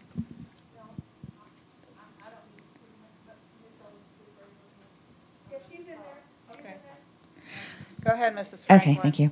Um, well, I just, I did want to address, because I thought that, um, I'm not sure where Mr. Robertson is, but um, he, he did actually bring up a good point that I believe that, uh, Dr. Robertson, did you not say that, that there is something that you're working on to have a little bit more continuity in terms of speakers and stuff like that? And then I just wanted to quickly address another comment that I feel like needs to be made, or two. Um, one is that the reason that they had mentioned about doing the permits was because we needed to know how much additional security was going to be needed for a particular meeting. So that was the reason for the permit. And then also um, I, I, the cloth emblem, and I just wanted to again recognize that that was not referring to the flag. Um, so when we were talking about the cloth emblem, that is not referring to the flag. Well, and, and- maybe we need to clarify that then, because from what I understood, it was not referring to that flag. And I think that there, ever since the very first meeting when some incident occurred, that we have been allowing flags into the meetings. So, um, but yeah, Dr. Robertson, if you just wanted to just quickly mention? Yeah, sure. We are uh, looking at uh, using a method similar to when you go to a restaurant. You go up to the hostess stand. Uh, you get give them your text, your phone number. We text you when it's time for you to come back up and and uh, speak, so that way you don't have to sit outside in the sun, or if it's raining, you can go to your car and we'll. So we're looking at that method right now. Can I just ask a clarifying question? Again, because I'm, I'm also seeking to understand here. Um, it, it seems to me there's a difference between waiting to speak and expressive activities, and that this policy specifically is addressing expressive activities. And so I think if there's clarity on that issue, that helps us as a staff say, you're engaging in activities not allowed by the board. If you're here to speak, please just form a line and wait versus if we've got out bullhorns or we're, we're engaged in other, you know, we're waving things and people can't walk by or whatever it is. Uh, again, and I'm not making implications, I'm trying, trying to understand. Then how do we, you know, then that's different than waiting to speak. So, um, I think the intent was if there was, uh, generally, what I understood the intent of the conversation was if there's going to be a rally, then as with any other rally that happens in the municipal center, that's a permitted process. That's And that, and, and the school board has the right to determine where those will occur versus them just occurring anywhere, like in our employee parking lot when our employees are coming out of the building. Regardless of how our employees are being treated, our employees don't necessarily want to walk out into the middle of a rally when they're going to their car, would be our position as staff. And so I think that's one of the reasons why in the municipal center, you've got a permit for a rally so that we know where that's going to be happening. We can tell our employees that in advance. We can, as was mentioned by Ms. Franklin, prepare whatever security may be needed, given the size and scope of the rally. Lots of things that you do when you're permitting rallies, you're talking about a restroom's going to be needed, so you're trying to work that out in advance with the rally organizers. So there's a lot of other things that that actually benefits everybody to know. So there's clarity on where it can be. We make sure it's not going to impact staff. There, there's, uh, I mean, again, reminder: this is a building where people work, uh, and, and uh, generally, just because of the coinciding of of the board's um, meetings being held here and beginning around four o'clock, generally our folks are egressing from the building right about the same time that people are showing up for rallies right now. And so, and, and I certainly would encourage the rallies, but I don't think it's inappropriate to permit those and, and ask them to be in a specific place. That happens all over the city. You, you, you don't do parades or rallies anywhere in the city without permits. And so I think it's wholly appropriate for the school board to consider it, but that's for expressive activities, not for lining up to speak. And I think we would just need to have our staff be clear on that. Okay.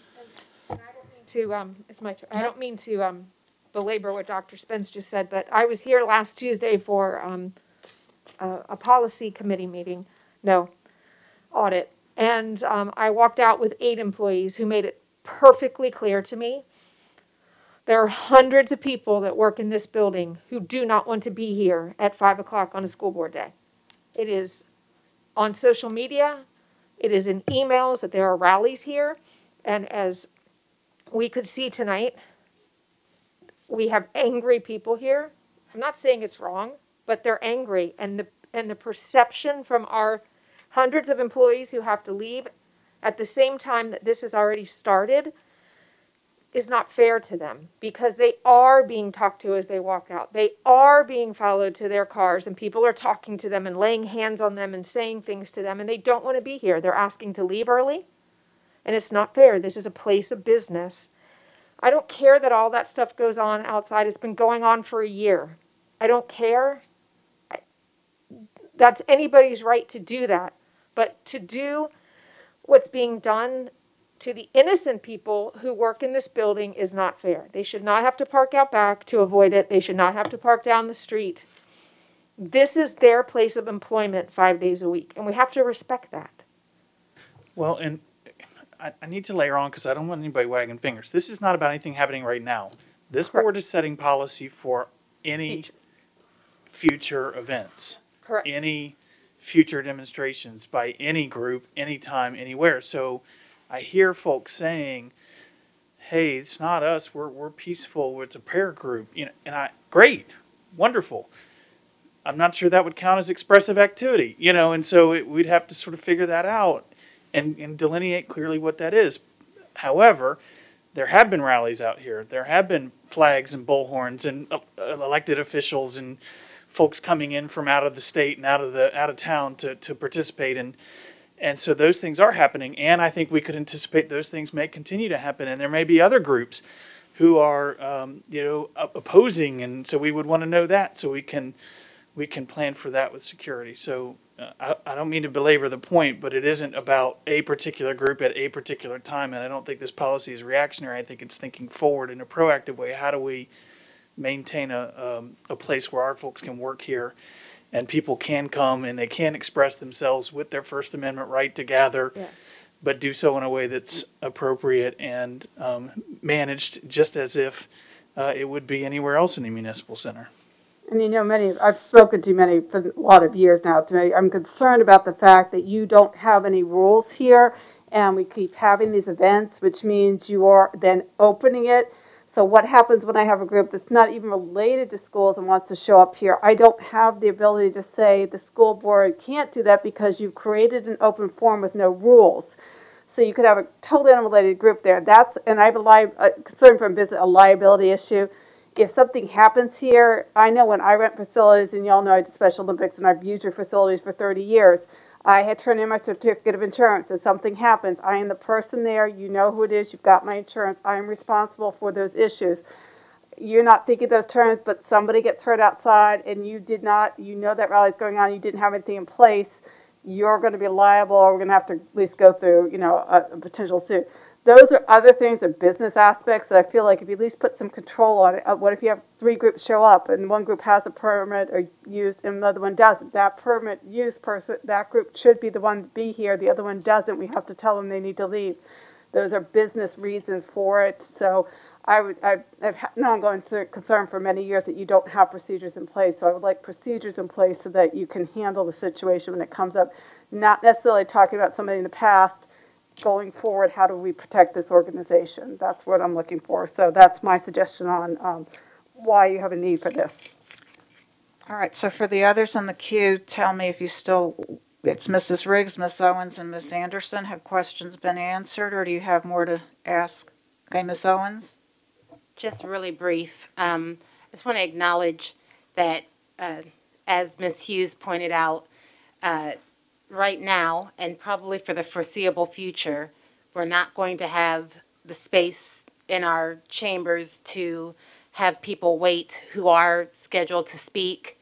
And I do think it's worth exploring further the possibility of maybe one overflow seating room for speakers only as the weather is going to be getting colder as I love the idea of uh, having the pager system like at a restaurant, but I just want to acknowledge that there there may be people who would like to come and speak who do not have a car to sit in, and if we know that they're coming to speak because they've signed up, to have them stand in the rain or in the cold or in some other kind of circumstance that we may not be able to house 50 or 60 speakers to sit in a room, but to have something to get us started with the people.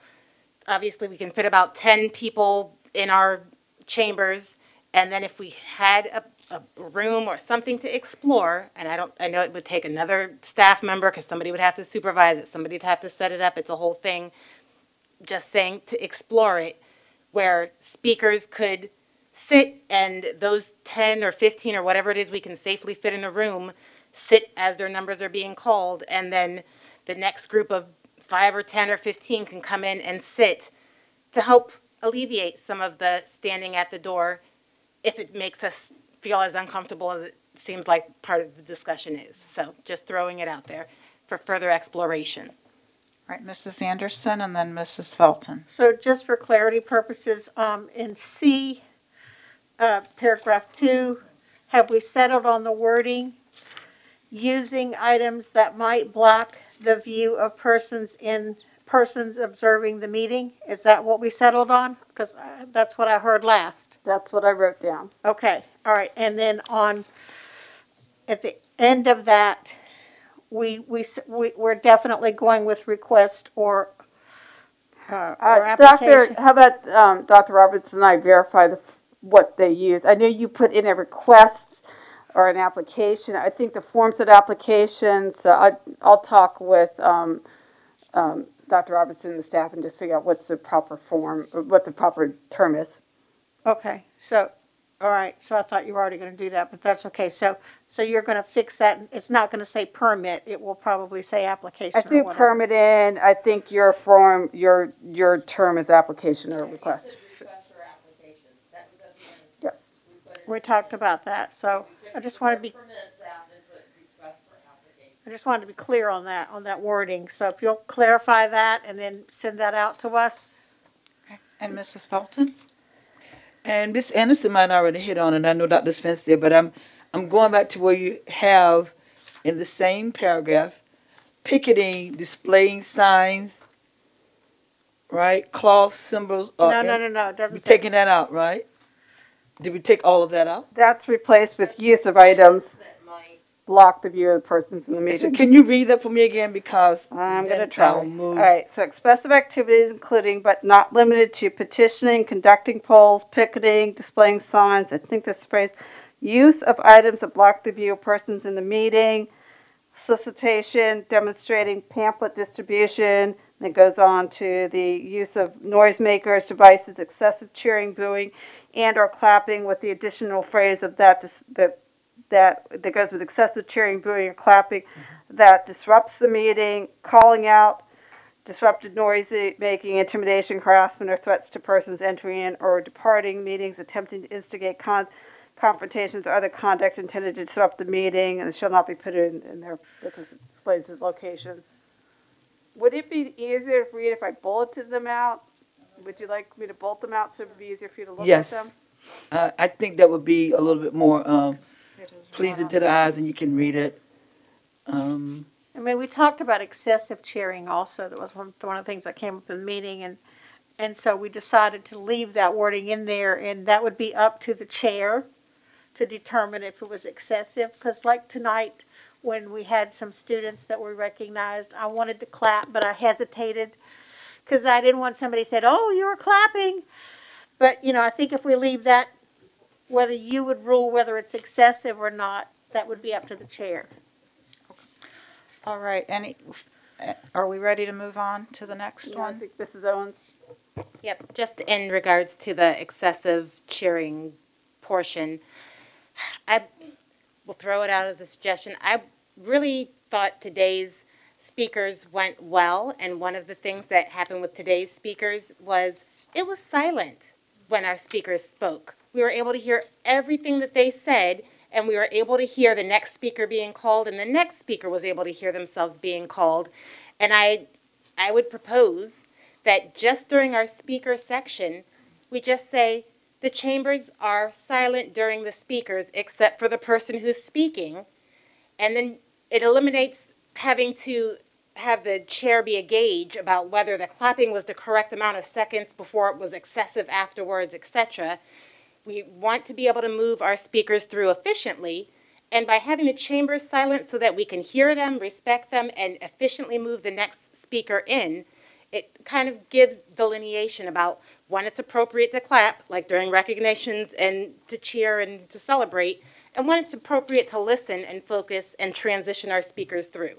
So that, that's just my thought to help eliminate some of the needs about excessive cheering or not excessive cheering. Okay, ready to move on, thank you. Yes, now, basically what I just explained to you about why we want to designate where you can in the property, the next series of policies are really actually related to that.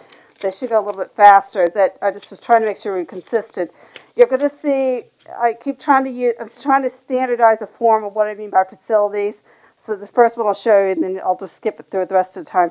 Buildings, facilities, grounds, vehicles, and equipment. So I'm using that, and I'm going to designate that term. You'll see it as facilities throughout there. This one is not a real complicated one. I'm sorry, this is 355B.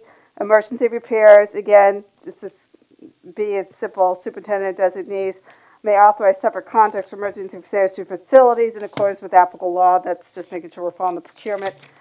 What's important on this one, clearing, clarifying that responsibility of the building, there's principals, but then we have administrative buildings, that falls into this, so it's gonna be the principal or building administrator or support services. What's important here is this definition in F, then defining facilities, explaining what, so when we use that term, that's gonna keep showing up in the next couple policies. If there's not any questions on that, I'm sorry, seven sixteen, I didn't get in there. Okay, let, let me jump real quick to show you where this shows up. You're going to see this again. And, sorry. Um, seven, I'm gonna jump you down to seven forty-nine, also organization eligible use facilities. So again, you're seeing that, if you jump to seven forty-nine, the facilities, just clarifying that who's running the building on there, talking about the groups on there. The only significant change in this one is that we're clarifying political groups. You actually have a pamphlet that Mr. Sutton sends out that talks about what political activities are there. I want to clarify on what we're doing here. Political groups are campaigning. Facilities may not be used for campaigning for candidates for elected office or for campaign-related activities, except when facilities are used as polling places and campaign activities are limited to designated areas for election officials. That's when you run out your polls. The purpose of this restriction is to ensure that school board owned or operated facilities remain politically neutral. Political groups, including but not limited to lobbying organizations, political action committees, local political groups, may use facilities for regular organization meetings when condi- under conditions that indicate that the school board and the school division are not endorsing the organization. So we're just limiting the campaign. So that's the facility one that goes with the last one. I'm going to jump through. 753, community use of facilities, application approval for the use of facilities. Most are here just clarifying again that the superintendent designee can designate who will do the, to handle those facilities with the community use on their last sentence. The superintendent designee is authorized to deny any application in writing for use of facilities for good cause. Again, we usually have conditions that, again, we have COVID right now, so we're not letting people inside our buildings to use that. The building's already rented by somebody else. That's what we mean by good cause, not choosing a content-based situation. Click again to seven fifty-four, rules and conditions of facilities, again defining facilities. The last sentence in the first paragraph, adding health and safety protocols applicable to facilities will apply to individuals, organizations using the group. So if we have COVID restrictions, they have to follow them. Here's an example. Individuals, organizations using facilities may not disrupt or interfere with educational activities of business school division. The superintendent designee is authorized to take appropriate actions and limiting some of the other things like alcohol and tobacco. That's all we're doing with that particular one. Okay, so those are similar. I won't go through those really quick. Um, 716 has to, is also similar for, for um, this is policy. Remember, policies in section 7 deal with the community. This is also an expressive activity issue that we needed to clarify for that. Again, goes back to the use of your facilities. The first paragraph, general, goes to the explanation of facilities, explaining that the facilities are not open for public forums for use of public expression during the regular school days or when educational activities are being conducted during the business hours or when members of the public have not obtained permission to use school division, school board buildings, facilities, grounds, and vehicles. Um, nothing really significant there. Then I'm clarifying down here in two, the policy does not extend to the public sidewalks outside of or adjacent to facilities. Public sidewalks is what I would call perimeter sidewalks. That's traditionally, they're usually against public streets, what we're talking about. Internal sidewalks and internal paths for ingress and egress parking areas are not open to public, not open for, not open for open forums of public expression. So that's consistent with what we talked about in the last bylaw. Hold on, because I thought we added a comma, and we said unless a facilities oh, use Oh, I'm sorry. application has been approved. This and approved. And that would be in the amended um, version that's on, I've been added today. Yes. Application. Again, the rest of this just pretty, pretty much consistent, so I wanted to show you that. And last paragraph would be on enforcement number E, at the, that if a person fails to comply with the building administrator designee shall, uh, shall request that the person leave and may take appropriate actions if the person does not leave the property, including contacting law enforcement. So that's just consistent with what we were talking about earlier. All right, seven seventeen, and there's lots of, Seven seventeen is actually a policy we use a lot. We have these situations arise at school where someone at a school is not acting appropriately, so how do we deal with that circumstance? I'm going to suggest that we, instead of just saying school, we would say visitors to school facilities.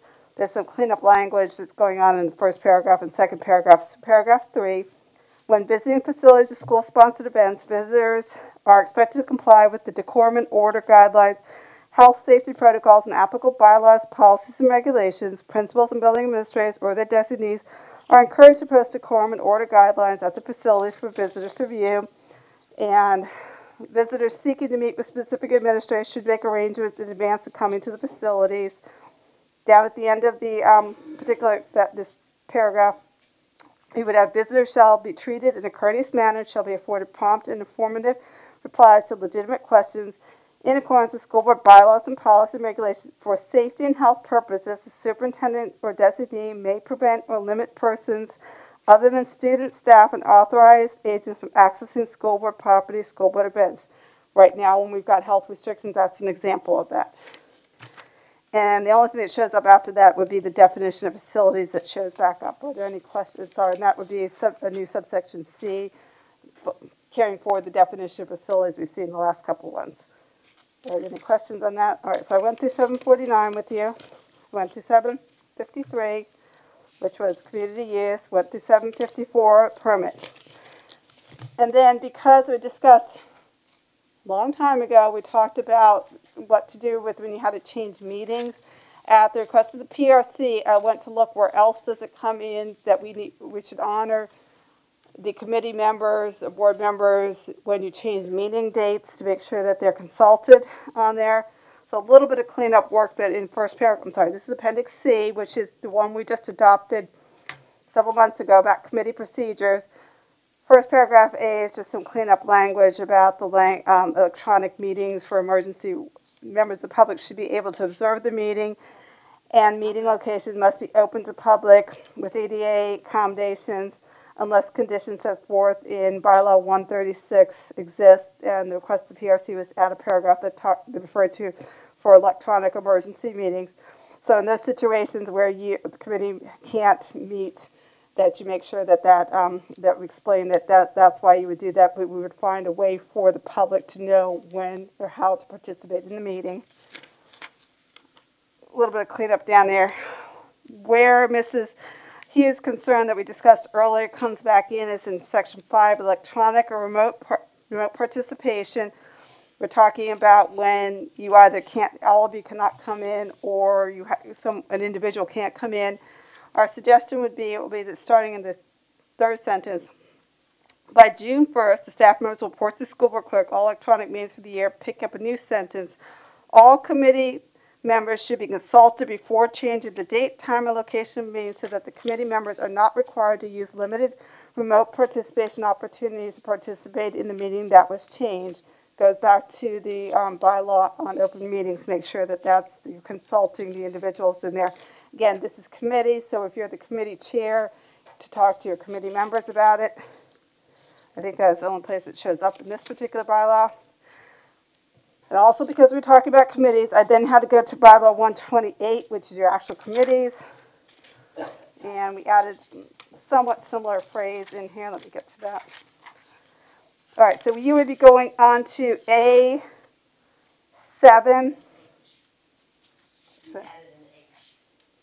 Oh, did I miss that again? Sorry. A7 and H.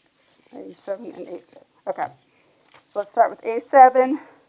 Roles and responsibility of the committee chair, it lists as seven one, subsection H we are proposing would read, maintain the agreed upon schedule for committee meetings, I think is regular schedule, or regular meetings, regular meetings, unless all committee members have agreed to change the date or time of a scheduled meeting. There was some discussion about how this should happen, but the suggestion was to add in there so that you're consulting committee members. If it's slightly differently than the other one, but the intent in this section was if you set a schedule that every first Tuesday of the month you're meeting, before you change that, you're going to consult the committee members. Point of information. Should, should try to maintain the agreed upon schedule for committee meetings and give consideration to the availability of committee members before changing the meeting date or time. We That took was out the word language. all, right? Correct? Mhm. That's what give we put there consideration. instead. Yeah, I'm sorry. What I'm reading was the last language. Look at the amended language in your package. That's where that came from. Okay, so read that one more time. Maintain, Maintain, um, maintain. the should agree- try to, should try to maintain the agreed upon schedule for committee meetings and give consideration to the availability of committee members before changing the meeting date or time. That's H.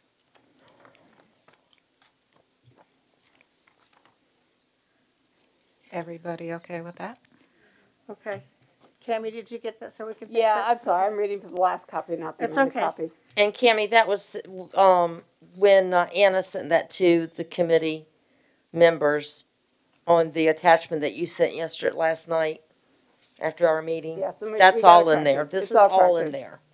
And the Okay? intent of these, because it came out of discussions that we saw in the first ones, we were trying to match Appendix C and Appendix 128 with the bylaw that you changed earlier. I believe that is it. And I'll just summarize, I'm, I will be taking those suggestions you have, we will draft them out, I will have Mrs. Riggs send out from the policy review committee to the rest of you, if you would respond back to the whole committee so that we can consider it. If it appears there's a general consensus on language, those can go forward, if not, we'll have to figure out about the ones where there are significant changes, and that's how we will go forward with this, is that correct, Mrs. Riggs? Yes. I have a comment to make. Mrs. Melnyk? Mrs. Lannetti, I just want to thank you and, and, and the Policy Review Committee. Nobody cares about my comments at one in the morning, but I just want to say, as an adult, I've been involved with Virginia Beach City Public Schools for 31 years. And when I taught, I didn't know who my school board members were or the 600 policies that, that governed this, this school system. And I have never seen transparency like this ever, including I have friends on other boards. Nobody's as transparent as we are. It, this is absolutely amazing. And the fact that we have a policy committee that's been in existence for five years, um, and they go to thi- this length, and it is vetted through this board the way it is, and that we're sitting here at one o'clock in the morning and still going on, surely proves to the public that this is important to us and we mean business. And I'd, and I'd like to say that the, um, that finally, and I should say finally, the citizens of Virginia Beach do know who their school board members are and they are engaged and they know that, that we welcome them and, um, that, and, and we like their participation. And I'll also say that, um, these policies, we are required to go through these. That didn't happen as often as it does now. And so kudos to this group. It's a lot of work and it's a, in, and this is the checks and balance that, that exists here. Um, so that we're all involved. And I thank you. It's a lot of work and I thank you. PRC's done a lot of work. Thank you. Okay, um, a, a question for Madam Clerk. Is there a way, because I do have to conclude the formal meeting, is there a way to determine if the two uh, non-agenda speakers are The two online? non-agenda speakers are listed online. All right, so I'll- oh, I will read, Awesome. I will read that, but, so, uh, committee and board reports, if you'd be kind enough to email those to us, is everybody agreeable to that? Okay, so then I'm here, I'm concluding the formal meeting, and uh, we'll allow a moment for transition.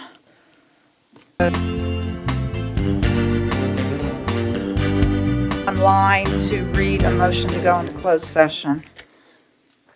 Move that the school board recess into a closed session pursuant to the exemptions of open meetings allowed by section two point two thirty-seven eleven, part A, paragraph seven and eight of the Code of Virginia, namely for consultation with legal counsel employed or retained by a public body regarding specific legal matters requiring the provision of legal advice by such counsel. Nothing in subdivision shall be construed to permit the closure of a meeting merely because an attorney representing the school board, the public body is in attendance. This is for, again, how to do with the purpose of subdivision, that this subdivision, probable litigation means litigation that has been specifically threatened or which the public body or legal counsel has a reasonable basis to believe will be commenced by or against a known party. Nothing in subdivision, again, permits closure of the meeting merely because an attorney representing the public body is, pre- is present or attending or consulting on the matter. This is namely to discuss the status of pending litigation related to the school board. So moved. A second, Mrs. Felton. All in favor, show a raised hand.